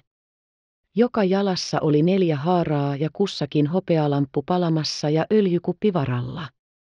Siinä runsaassa, jopa loistavassakin valossa miehet jälkiruokia maistellen jatkoivat keskusteluansa, syyrian kieltä käyttäen, jota kaikki tämän maailman puolen kansat osasivat. Egyptiläinen kertoi, miten hän oli aavikolla tavannut kaksi kumppaniansa. Yhdessä Seikin kanssa hän laski, että joulukuussa oli seitsemän kolmatta vuotta kulunut siitä, kun hän kumppaneineen paetessansa Herodesta oli tullut Seikin teltalle anomaan suojelusta. Kertomusta kuunneltiin hartaalla mieltymyksellä, ja palvelijatkin viivähtivät, milloin vain sattui sopivaa tilaisuutta, saamaan tarkempaa selkoa yksityiskohdista. Benhur kuunteli sitä kuin ilmestystä, joka syvästi koski koko ihmiskuntaa ja varsinkin koko Israelin kansaa. Kuten tuonnempana saamme nähdä, kehittyi hänen sielussansa ajatus, joka oli antava uuden suunnan hänen elämällensä, ehkäpä vaativa sen kokonaankin palvelukseensa. Mikäli kertomus edistyi, kasvoi yhä Baltasarin sanain vaikutus nuoreen juutalaiseen. Sen päättyessä Benhurin tunne oli niin voimakas, ettei se sallinut mitään epäilystä.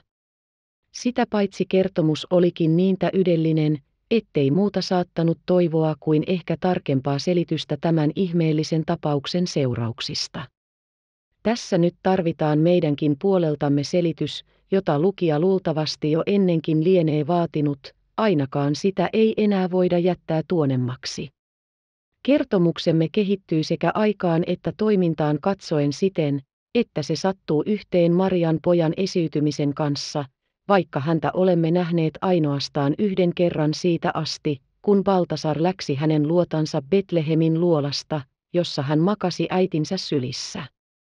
Tästä lähin kertomuksemme loppuun asti tämä salaperäinen lapsi tulee henkilöksi, johon meidän täytyy kiintyä, ja tapausten virta, joka juoksee hiljaa, vaan varmaan, vie meidät lähemmäksi häntä, kunnes viimein huomaamme hänet mieheksi, jota ilman maailma ei voi olla. Seikki Ilderimille ei Baltasarin kertomuksessa ollut mitään uutta. Hän oli kuullut sen kolmelta tietäjältä sellaisissa oloissa, jotka eivät antaneet mitään tilaa epäilykselle. Hän oli itse ottanut vakavasti osaa asiaan, sillä eipä suinkaan ollut vaaratonta helpottaa henkilöiden pakoa, jotka olivat vetäneet päällensä Herodes ensimmäisen vihan. Nyt istui yksi niistä kolmesta uudestaan hänen pöydässänsä tervetulleena vieraana ja kunnioitettuna ystävänä.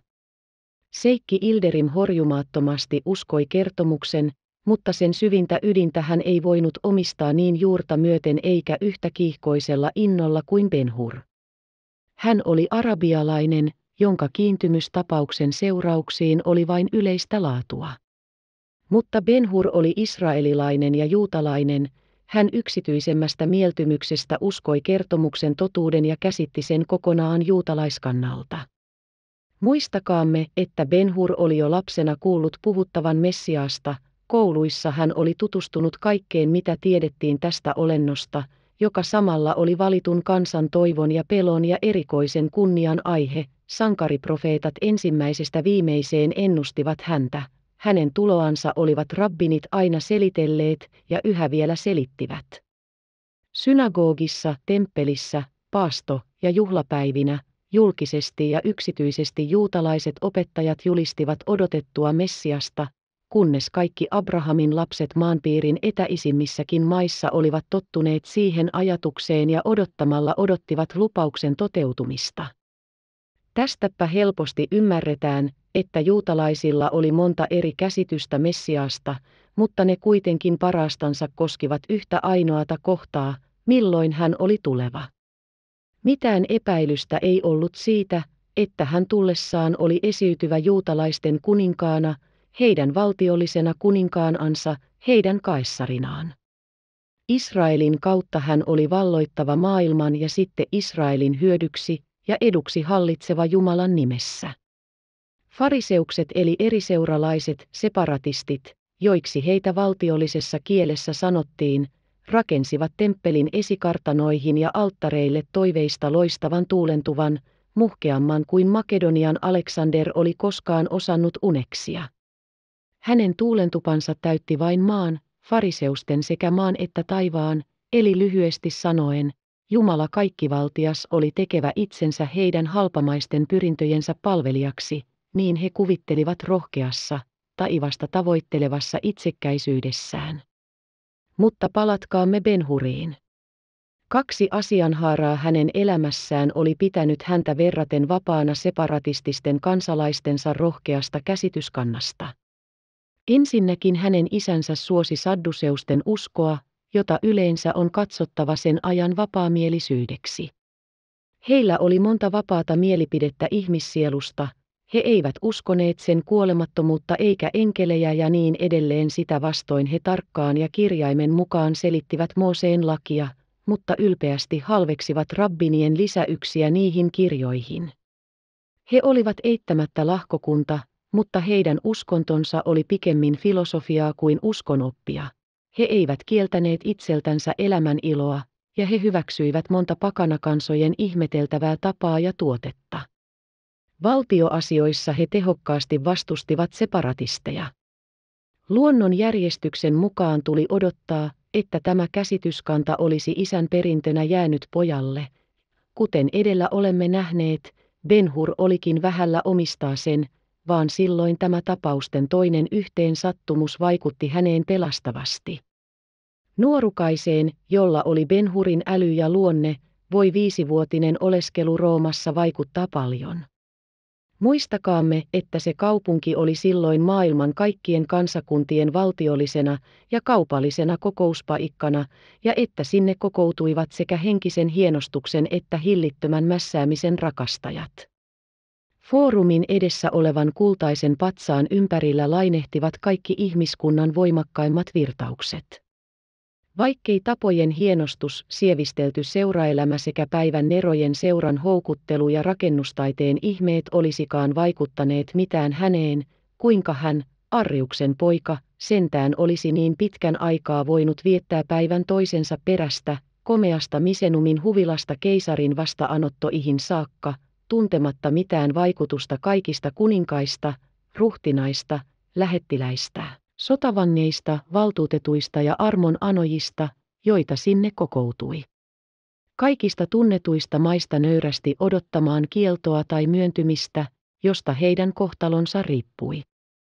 Kansankokouksina näitä tosin ei voitu verrata niihin, jotka Jerusalemissa olivat pääsiäisjuhlilla, mutta kun hän istui purppurateltan alla suuressa sirkuksessa 350 000 katsojan luvussa, niin tottappa hänen mieleensä lienee juohtunut sekin ajatus, että ehkä tuossa sentään oli muutamia ihmisperheen jäseniä, jotka ansaitsivat ellei Jumalan armoa, niin ainakin hänen huomiotansa, vaikkeivat olleetkaan ympärileikattuja. Muutamat ehkä olivat surujensa tähden ja vielä enemmän niiden surujensa toivottomuuden tähden arvokkaat saamaan velinä osan lupauksista, jotka oli suotu hänen maamiehillensä.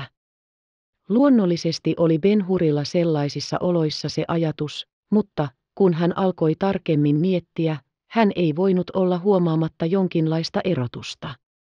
Ihmisjoukkojen kurjuus ja heidän toivottomuutensa ei ollut minkäänlaisessa yhteydessä uskonnon kanssa, heidän tuskanhuutonsa ja napinansa ei noussut jumalia vastaan eikä jumalien puutteesta. Britannian tammistoissa druidit kokoilivat kansaa alttariensa ympärille – Germaaniassa ja Pohjoismaissa palveltiin Odinia ja Frejaa, Egyptille riittivät krokotiilit ja Anubis, persialaiset palvelivat Ormutsdia ja Ahrimania, pitäen kumpaakin yhtä suuressa kunniassa. Hindulaiset tulevan nirvanan toivossa orjailivat yhtä kärsivällisesti kuin ennenkin Brahman pimeillä poluilla. Kreikkalaisen kaikkea kaunista tajuava mieli ylisteli filosofillisista tutkimuksista levähtäessään Homeron puolijumalia mutta Roomassa jumalat olivat ikään kuin yleisin ja tavallisin kauppatavara. Maailman hallitsijat siirtelehtivät, juuri sen tähden, että he olivat maailman herrat, ainoastaan oikkujensa mukaan Jumalan palveluksineen ja uhreineen alttarilta alttarille ihan valitsematta ja iloitsivat tuosta omatekoisesta monijumalaisuudestaan. Heidän tyytymättömyytensä, jos sitä voi siksi sanoa, johtui Jumalain paljoudesta, sillä, lainattuaan kaikki maailman jumalat itselleen, he niiden lisäksi rupesivat jumaloimaan vielä keisarejansakin, rakensivat heille alttareja ja uhrasivat niillä. Ei onneton tila ei johtunut uskonnosta, vaan huonosta hallituksesta, väkivaltaisista anastuksista ja lukemattomista pikkutyranneista. Samoin kuin kaikki muut tyytymättömät Benhur ei myöskään ajatellut vapahdusta hengelliseksi, vaan valtiolliseksi.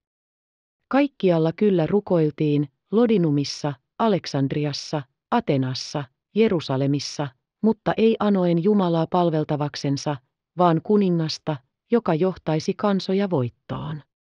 Jos me omalta kannaltamme tutkimme kansain silloista asemaa, huomaamme helposti, että pelastusta tuosta yleisestä sekasorrosta ei ollut toivottavakaan, jollei joku Jumala voinut todistaa olevansa totinen, kaikkivaltias Jumala ja jollei hän tullut ihmiskunnalle avuksi, mutta silloinen ihmiskunta, sen selväjärkisimmät ja ajattelevimmatkaan jäsenet eivät huomanneet mitään muuta valon sädettä kuin Rooman toivotun kukistuksen. Jos maailman valtias kukistuisi, tulisi apuparannusten ja uusien olojen muodossa. Sen tähden rasitetut rukoilivat jumaliansa, yhtyivät salaliitoiksi, nousivat kapinaan, taistelivat ja kuolivat, kostuttaen maata tänään verellänsä, huomenna kyynelillään, aina vain yhtä turhaan.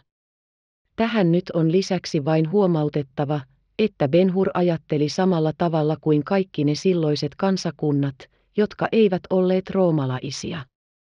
Viisivuotisena oloaikanaan Roomassa oli hän kylliksi saanut nähdä ja oppia tuntemaan kukistetun maailman kurjuutta.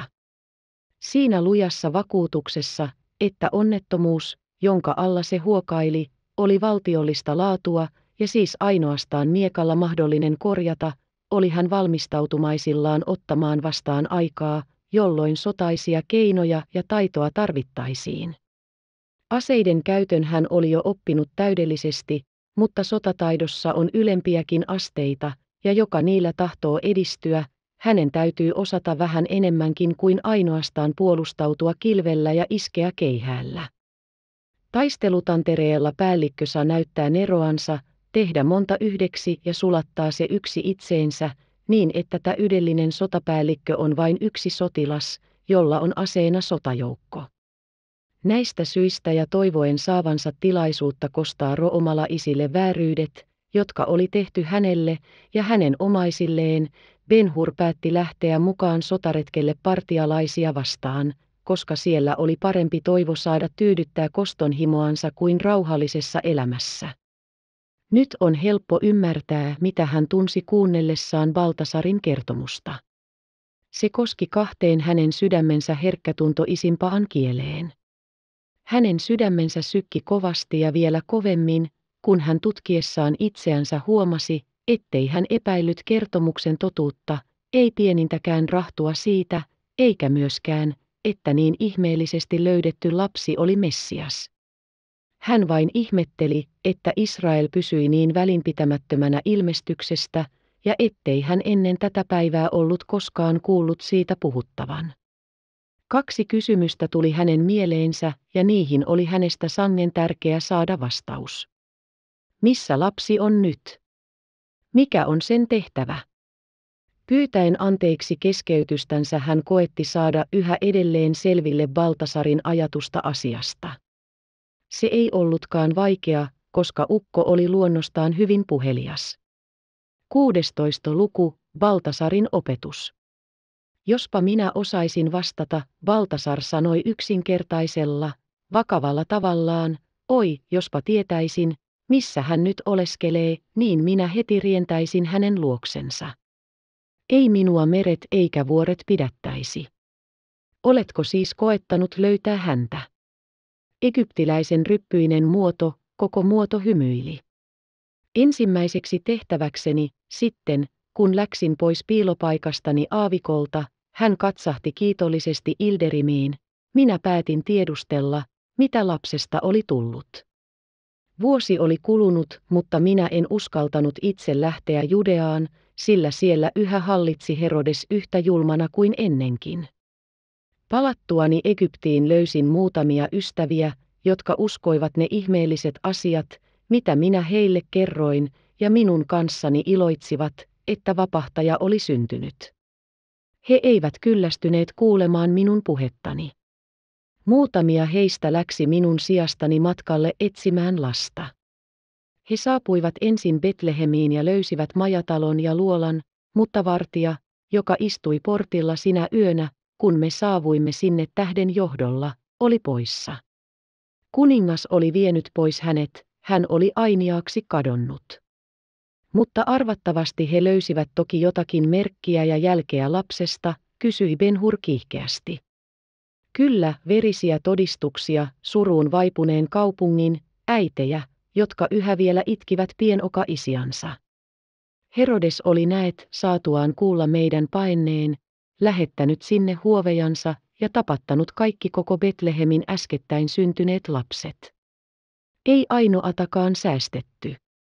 Minun ystävieni usko vahvistui, mutta he palasivat kertomaan minulle, että lapsi oli kuollut, että se oli surmattu yhdessä muiden viattomain kanssa. Kuollutko huudahti Benhur kauhusta kalman kalpeana. Surmattu, niinkö sanoit? En, poikani, en minä niin sanonut. Minä sanoin, että he, minun asiamieheni, kertoivat lapsen kuolleen. Minä en uskonut heidän luuloansa enkä usko sitä vielä nytkään. Kyllä ymmärrän, sinä olet saanut jonkun erinomaisen ilmoituksen. En, en, poikani, sanoi Baltasar maahan katsoen, hengen tehtävänä oli ainoastaan johtaa meitä lapsen luo. Kun astuimme ulos luolasta annettuamme lahjoja lapselle, etsimme kaikki ensin tähteä taivaalta, mutta se oli kadonnut ja me olimme jätetyt omiin hoteihimme. Viimeinen ilmoitus korkeudesta, jonka saatan muistaa, oli se, joka johti meidät Ilderimin luo. Niin, sanoi Seikki partaansa oikoen, te kerroitte, että henki oli lähettänyt teidät minun luokseni, kyllä minä sen muistan. En ole saanut mitään yliluonnollista tietoa siitä, jatkoi Baltasar, huomattuaan Benhurin alakuloisuuden, mutta minä olen miettinyt asiaa hyvin tarkkaan ja vuosikausia sitä tutkistellut, ohjaajan Ani usko, joka, minä otan Jumalan todistajaksi, on tänä hetkenä minussa yhtä luja kuin silloin järven rannalla kuullessani hengen äänen kutsuvan minua. Jos kuuntelette, niin kerron, mistä syistä minä uskon lapsen elävän. Molemmat Ilderim ja Benhur ilmaisivat katseillaan suostumuksensa ja näyttivät koko ovan kaiken huomionsa, jotta myöskin ymmärtäisivät eivätkä ainoastaan kuulisi. Mielenkiinto ulottui palvelijoihinkin, jotka lähestyivät sohvaa kuuntelemaan. Kaikki olivat teltassa ihan vaiti. Me uskomme Jumalaan, sanoi Baltasar kumartaen.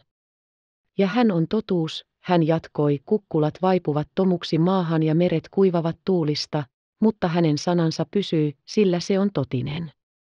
Vanhus puhui sanomattoman juhlallisesti. Hänen äänensä, joka puhui minulle järven rannalla, sanoi, siunattu ole sinä, Mitsraimin poika. Vapahdus on tulossa. Kahden muun kanssa, jotka tulevat maan etäisimmistä seuduista, saat sinä nähdä vapahtajan. Minä olen nähnyt hänet, ylistetty olkoon hänen nimensä. Mutta vapahdus, joka oli lupauksen toisena osana, ei ole vielä tullut. Ymmärrätkö nyt? Jos lapsi on kuollut, niin ei enää ole välikappaletta toteuttamaan vapahdusta, lupaus on tyhjä sana, ja Jumala, ei, minä en uskalla lausua sitä. Hän kauhistuen nosti kätensä torjuvaan liikkeeseen. Vapahdus oli se tehtävä, jota varten lapsi oli syntynyt, ja niin kauan, kuin lupaus pysyy, ei voi edes kuolemakaan erottaa häntä työstänsä, kunnes se on täytetty tai ainakin tulemaisillaan täytetyksi. Se on minun uskoni perustus ja kuulkaa nyt edelleen. Hän oli taas vähän aikaa vaiti. Etkö maista viiniä? Sitä on tuossa vieressäsi, sanoi Ilderim kunnioittavasti. Valtasarjoja jatkoi sitten, nähtävästi virkistyneenä. Vapahtaja, jonka näin, syntyi vaimosta luonnoltaan meidän kaltaiseksemme ja samain vaivojen jopa kuolemankin alaiseksi. Olkoon se ensimmäinen väitöksemme. Katselkaamme sitten työtä, jonka hän sai tehdäksensä. Eikö se ollut sellainen, johon ainoastaan mies kykenee, viisas, vahva ja toimellinen mies, eikä lapsi. Tullakseen sellaiseksi mieheksi täytyy lapsen kasvaa kuten me. Ajatelkaa nyt vaaroja, joiden alainen hänen elämänsä on ollut pitkänä väliaikana ennen kuin lapsi ehtii miehuuden ikään. Hallitsijat olivat hänen vihollisiansa, kuten Herodes, ja mitäpä muuta voi koko Roomakaan olla. Ja mitä Israeliin koskee, niin hänet tahdottiin toimittaa pois tieltä sitä varten, ettei Israel tunnustaisi häntä omakseen. Ymmärrättekö nyt? Olisiko ollut parempaa keinoa suojella hänen henkeään hänen lapsuutensa aikana kuin pitää hänet piilossa? Sen tähden minä sanon itsekseni ja vahvistan uskoani, hän ei ole kuollut, vaan pysyy salassa, kunnes sopivaan aikaan uudestaan ilmestyy täyttämään kutsumastansa. Siinä ovat uskoni perusteet. Eivätkö ne ole hyvät? Ilderimin pienet arabialaissilmät loistivat, osoittaen, että hän oli täydellisesti käsittänyt tarkoituksen, ja Benhur, päästyään alakuloisuudestansa, sanoi sydämellisesti, minä ainakaan en tahdo niitä vastustaa. Ole hyvä ja jatka. Eikö se vielä riitä sinulle, poikani? No hyvä, hän alkoi jälleen levollisemmalla äänellä, kun näin, että perusteeni olivat hyvät, tai pikemmin, kun huomasin Jumalan tahdon olevan, ettei lasta pitänyt tavattaman, säilytin uskoni kärsivällisesti ja odotin. Hän nosti silmänsä, joista loisti pyhää luottamusta, ja sanoi itsekseen, minä odotan vieläkin. Hän elää ja säilyttää hyvin salaisuutensa. Mitäpä siitä, etten minä voi mennä hänen luoksensa enkä mainita paikkaa, jossa hän oleskelee. Hän elää, siinä on kylliksi, olkoon hän sitten vasta kukkana taikka jo kypsyneenä hedelmänä. Niin varmasti, kuin Jumalan lupaus on varma, minä tiedän, että lapsi elää. Benhur tunsi sielussaan vanhusta kohtaan sanomatonta kunnioitusta, joka kokonaan haihdutti hänen jo ennestäänkin puoleksi sammuneet epäilyksensä. Missä sinä luulet hänen oleskelevan, hän kysyi hiljaisella äänellä ja vitkastellen, niin kuin hänen huulensa olisivat tunteneet pyhän hiljaisuuden välttämättömäksi. Baltasar katsoi häneen ystävällisesti ja vastasi tavalla, joka osoitti ettei hänen sielunsa vielä ollut kokonaan palannut ajatusten kanssa liitelemästä. Talossani Niilin varrella, joka on niin lähellä jokea, että ohi purjehtijat näkevät yhtä aikaa sen ja vedestä sen kuvan, istuin muutama viikko sitten syviin ajatuksiin vaipuneena. Kolmekymmenvuotisella miehellä, sanoin minä itsekseni, pitäisi olla elämänsä vainio, jo hyvästi muokattuna ja kylvettynä, sillä sitten tulee kesän aika, jota ei riitä muuksi kuin laihon tulentumiseksi. Lapsi, minä itsekseni sanoin, on nyt seitsemän kolmatta vuoden iässä, kylvön ajan täytyy nyt olla käsissä.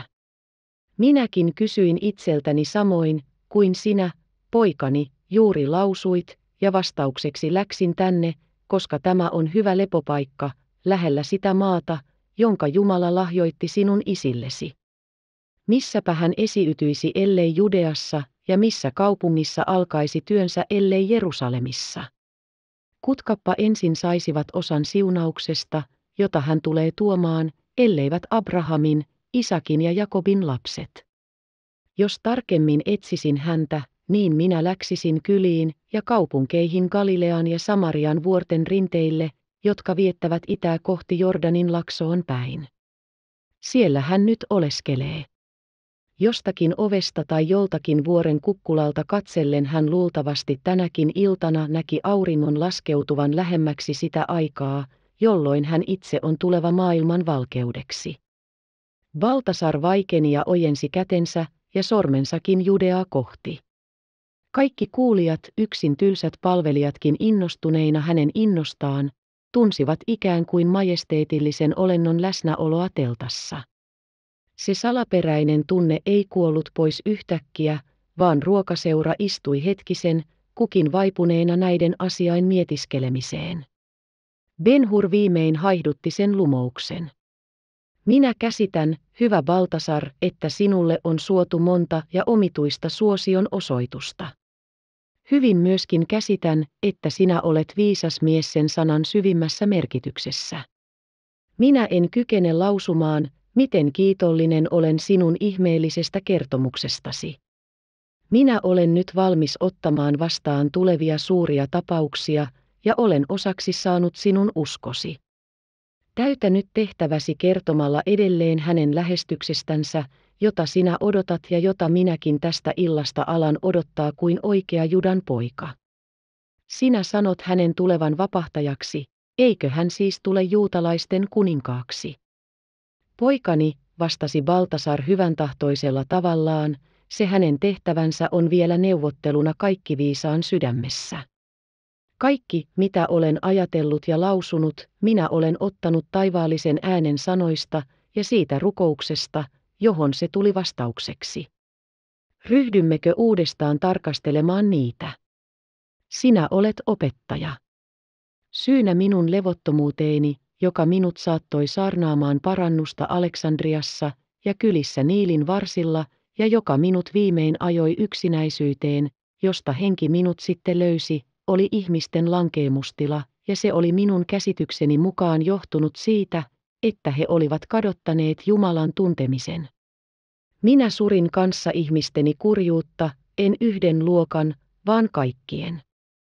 He näyttivät minusta niin syvälle langenneilta, ettei heillä ollut mitään pelastusta, ellei Jumala itse tahtonut ryhtyä siihen armotyöhön.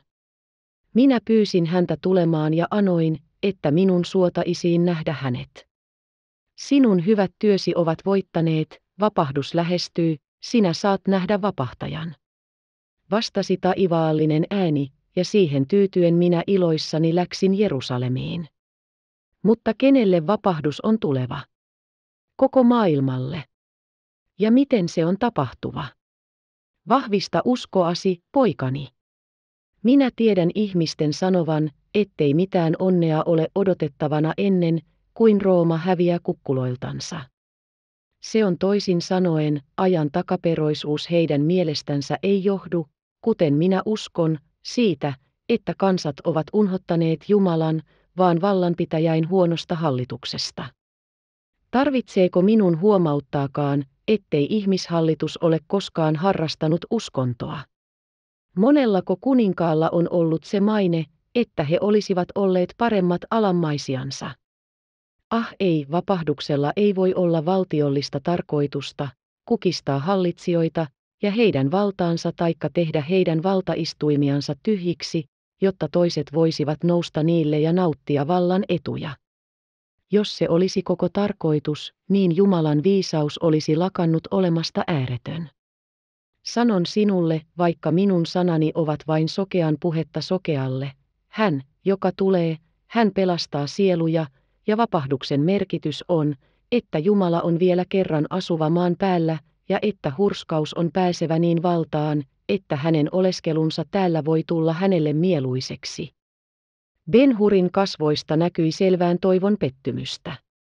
Hänen päänsä painui alas, ja vaikkei hän tuntenutkaan olevansa vakuutettu, ei hän ainakaan sinä hetkenä kyennyt vastustamaan egyptiläistä. Toisin oli Ilderim. Jumalan kunnian kautta hän huudahti kiihkoisesti, sellainen tuomio kumoaa kaikki, mitä kokemus on tähän asti vahvistanut. Maailman juoksu on edeltäpäin määrätty, eikä se muutu. Joka yhteiskunnassa täytyy olla johtaja, joka pitää valtaa, muutenhan ei koskaan voi mitään edistystä tapahtua. Baltasar kuunteli vakavana Seikin sanoja.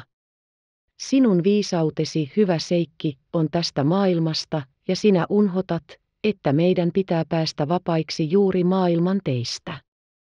Kuninkaan kunnia on, että hänellä on alammaisia, mutta Jumala tahtoo omistaa ihmissielut heidän omaksi pelastuksekseen.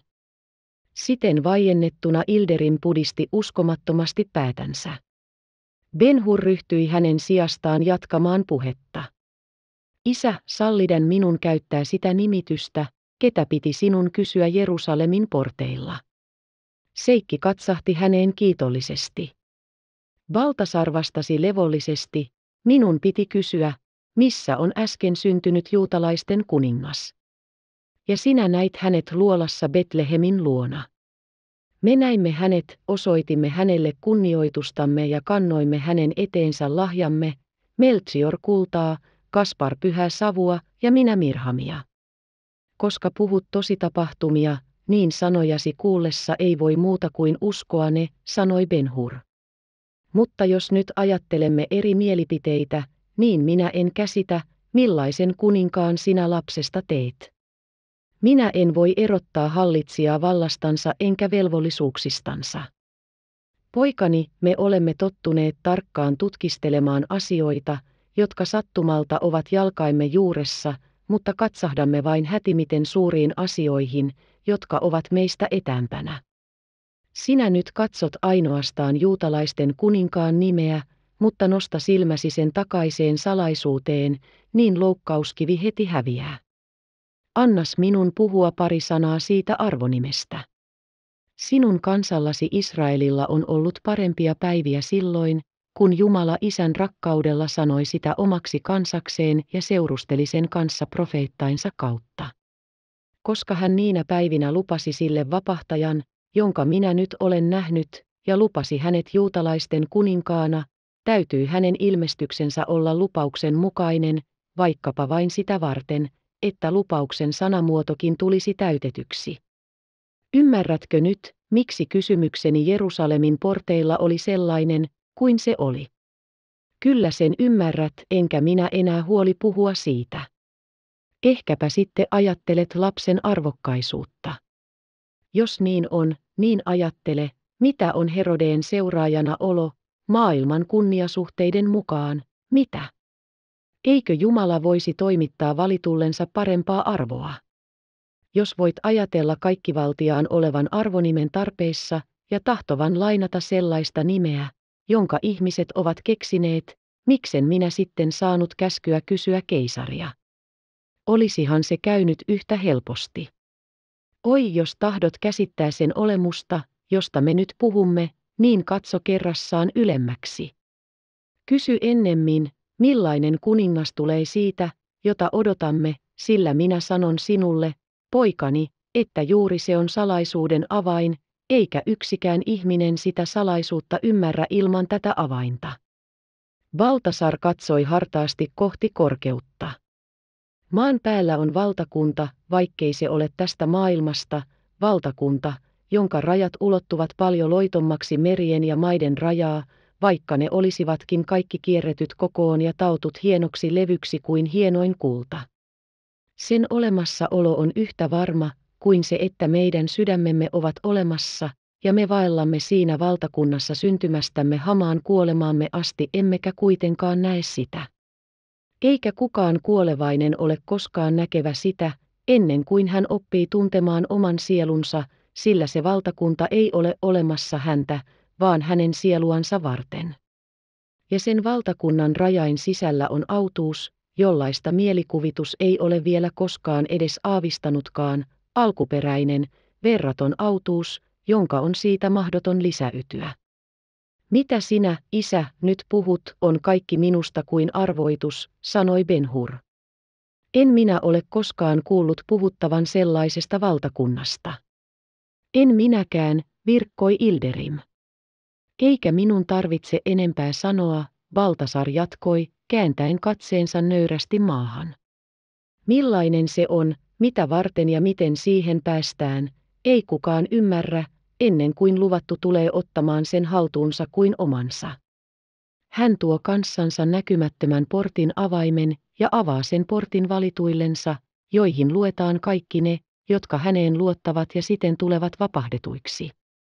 Kaikki jäivät vaiti pitkäksi ajaksi, ja sen Baltasar käsitti keskustelun lopuksi.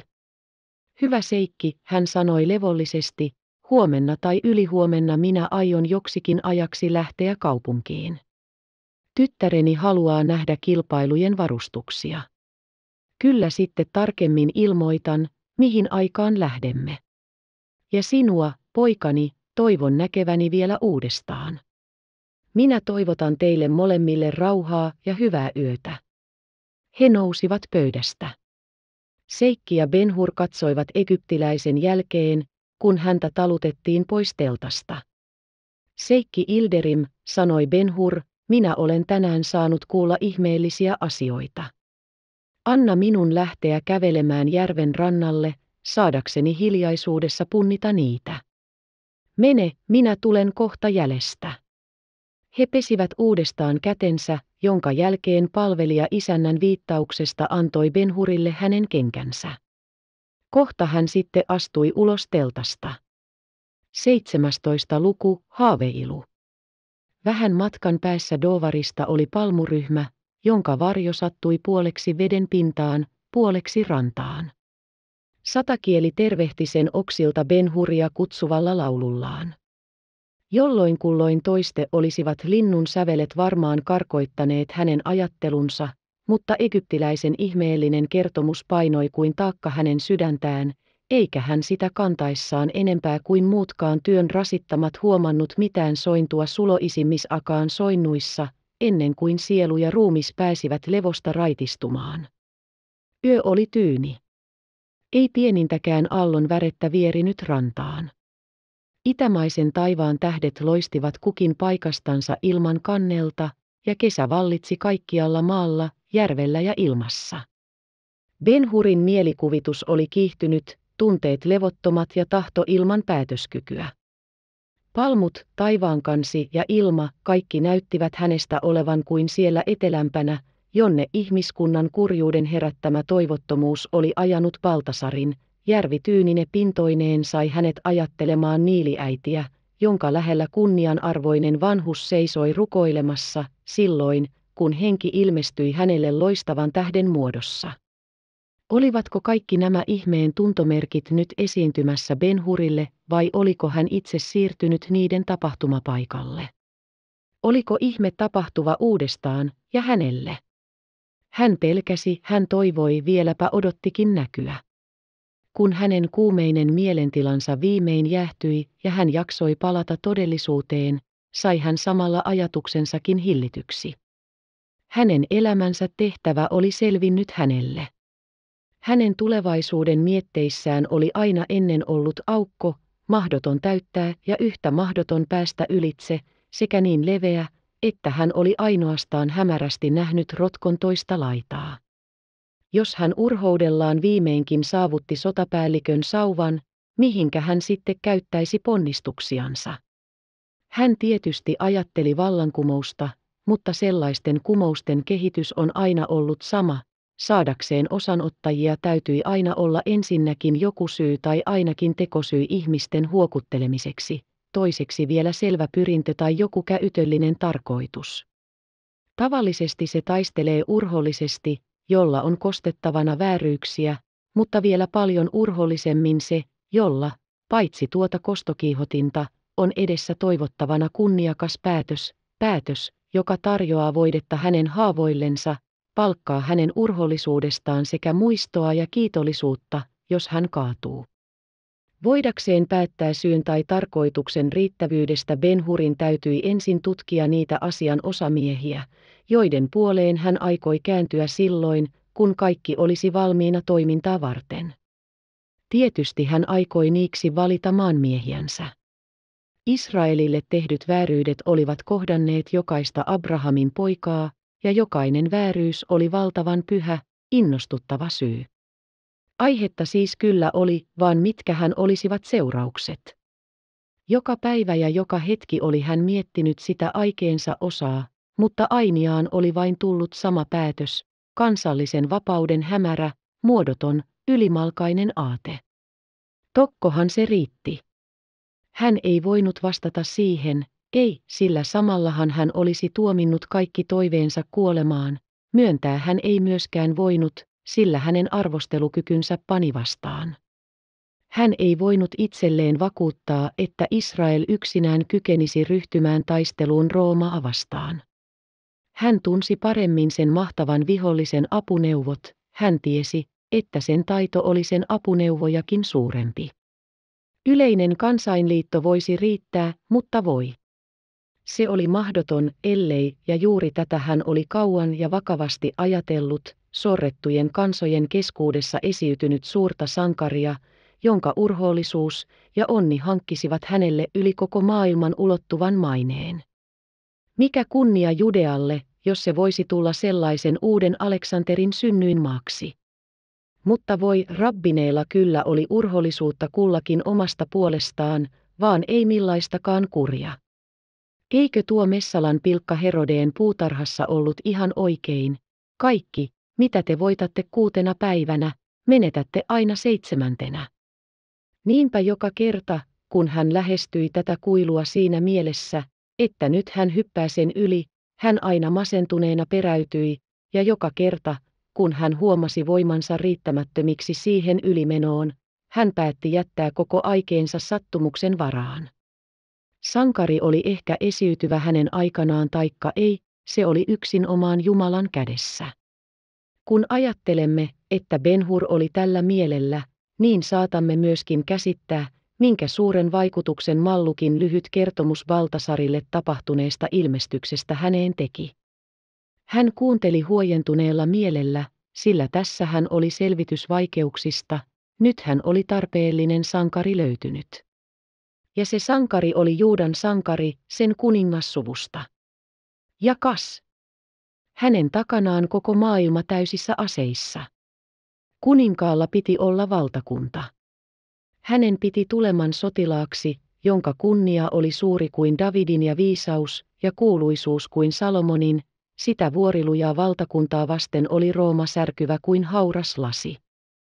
Tuhoava sota oli alkava ynnä sitä seuraava kuoleman kamppaus, ja sitten uusi syntyminen, ja sitten alkaisi rauhan aikakausi ja samalla Judean ainainen herruus.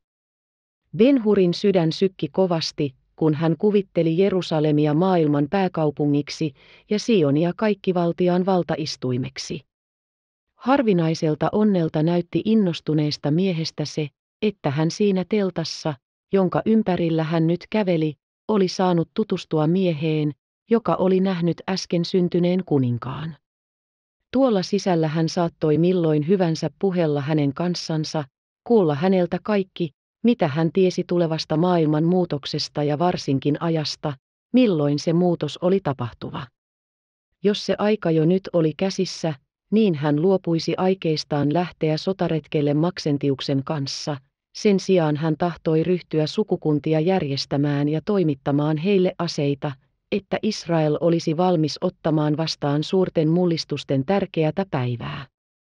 Nyt Benhur oli kuullut ihmeellisen kertomuksen Baltasarilta itseltään.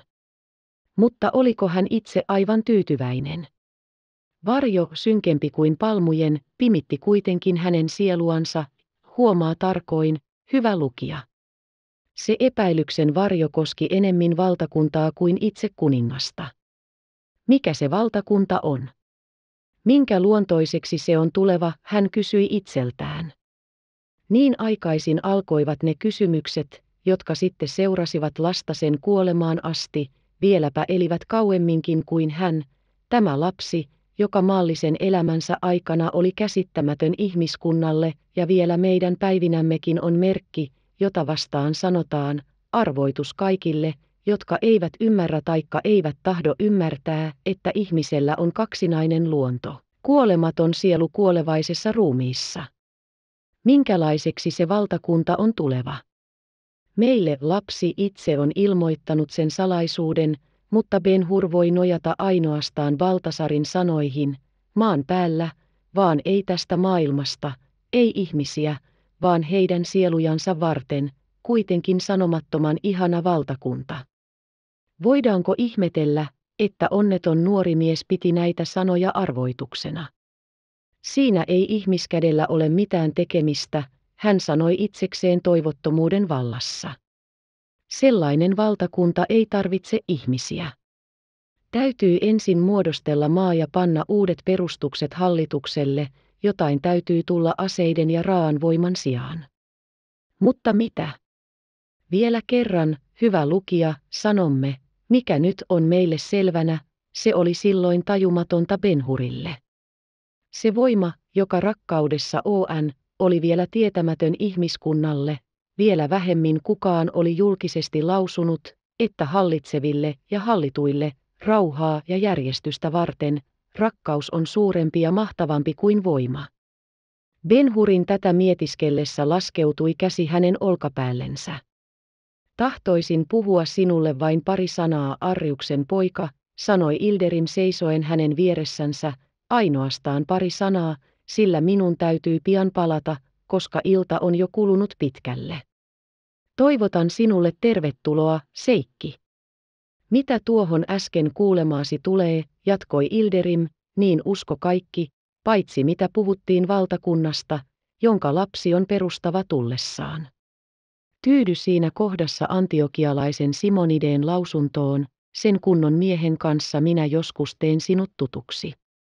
Egyptiläinen kertoo sinulle uniansa, jotka ovat liian korkeat ja ylevät tänne maan päälle. Simonides on viisaampi. Hän sinulle osoittaa ennustukset ja näyttää, missä kirjassa ja millä sivulla ne ovat, niin että sinun täytyy tunnustaa, että lapsi totisesti on tuleva juutalaisten kuninkaaksi, niin, Jumalan kunnian kautta, kuninkaaksi kuin Herodes, paremmaksi vain ja paljon etevämmäksi. Ja silloin, usko minua, saamme maistaa koston suloisuutta. Nyt olen sanonut ajatukseni. Rauha olkoon kanssasi. Vielä yksi sana, seikki. Lieneekö Ilderim kuullut hänen huudahduksensa vai ei, hän ei ainakaan pysähtynyt. Taaskin Simonides sanoi Benhur katkerasti. Simonides, aina vain Simonides, milloin kenenkin suusta. Näyttääpä kuin minä olisin aiottu leikkikaluksi isäni palvelijan käsiin, joka ainakin ymmärtää pitää hallussaan, mikä oikeastaan on minun, ja sen tähden hän on rikkaampi, vaikkei viisaampi kuin egyptiläinen. Totta totisesti liiton arkin kautta. Se petturi ei ainakaan ole mies, jonka luo minä lähtisin kuulemaan totuutta. Sitä minä en tee. Mutta mitä kuulen? Laulua, naisen ääntä tai pikemmin enkelin. Se tulee tänne päin. Järven pintaa myöten lähestyi vene, jossa laulaja istui. Hänen äänensä liiteli kuin huilun soitto pitkin tyyntä järven pintaa, joka hetki yhä selvemmin kuuluen. Kohta Ben Hurjo voi erottaa harvat aironvedot ja käsittää sanat, puhtainta kreikan kieltä, joka paraiten kaikista silloisista kielistä soveltui tulkitsemaan kiihkoisia tunteita. Egyptiläisen valituslaulu. Oi jospa Syyrian mertentaa kotikaihoni virsi sois. Aron lemuisat tuulet puhaltakaa. Teist eloa henkeni jois. Vaan ah! Mitä kuiskitte Memfiksen palmuille, en kuulla saa. En niilillä kuutamon hiljaisen näe välkkyvän milloinkaan. Oi nilus Jumalani!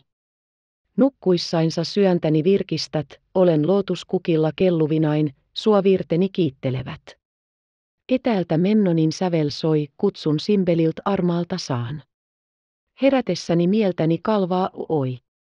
Miksi jätin ma isien maan? Laulun lopussa laulaja katosi palmuryhmien taakse. Viimeisistä sanoista kaikui kaikkea eron suloista suruisuutta. Vene häipyi kuin pimeä varjo mustaan yöhön. Benhur veti syvään henkeä, niin että se melkein kuului huokaukselta. Minä tunnen hänet laulustaan, se oli Baltasarin tytär. Miten kaunis se laulu oli. Ja miten kaunis on laulaja. Hän muistissaan tarkasteli hänen suuria silmiään, joita alas lasketut ripset vähän varjostivat, pyöreitä ruusuposkia, täyteläisiä huulia ja hoikan vartalon suloutta. Miten kaunis hän on, hän vielä kerran lausui. Hänen sydämensä kiireisempi sykintä osoitti, miten suuresti egyptiläistytön näkö oli häneen vaikuttanut, mutta samalla kuitenkin nousivat hänen silmäinsä eteen toiset kasvot, nuoremmat ja yhtä kauniit, mutta lapsellisemmat ja hellemmät eivätkä niin kiihkoiset. Ester, hän kuiskasi hymyillen. Tähti, jota toivoin, on minulle lähetetty. Hän palasi hitaasti telttaan. Hänen elämänsä oli ollut täynnä huolia ja koston ajatuksia, jotka eivät olleet jättäneet mitään tilaa rakkaudelle. Olikohan tämä nyt onnellisen muutoksen alkua? Mutta mistä päin tämä lumoava vaikutus tuli? Ester oli antanut hänelle pikarin. Samoin oli egyptiläinenkin tehnyt. Ja molemmat olivat palmujen varjossa yhtä aikaa johtuneet hänelle mieleen. Kumpi oli oikea?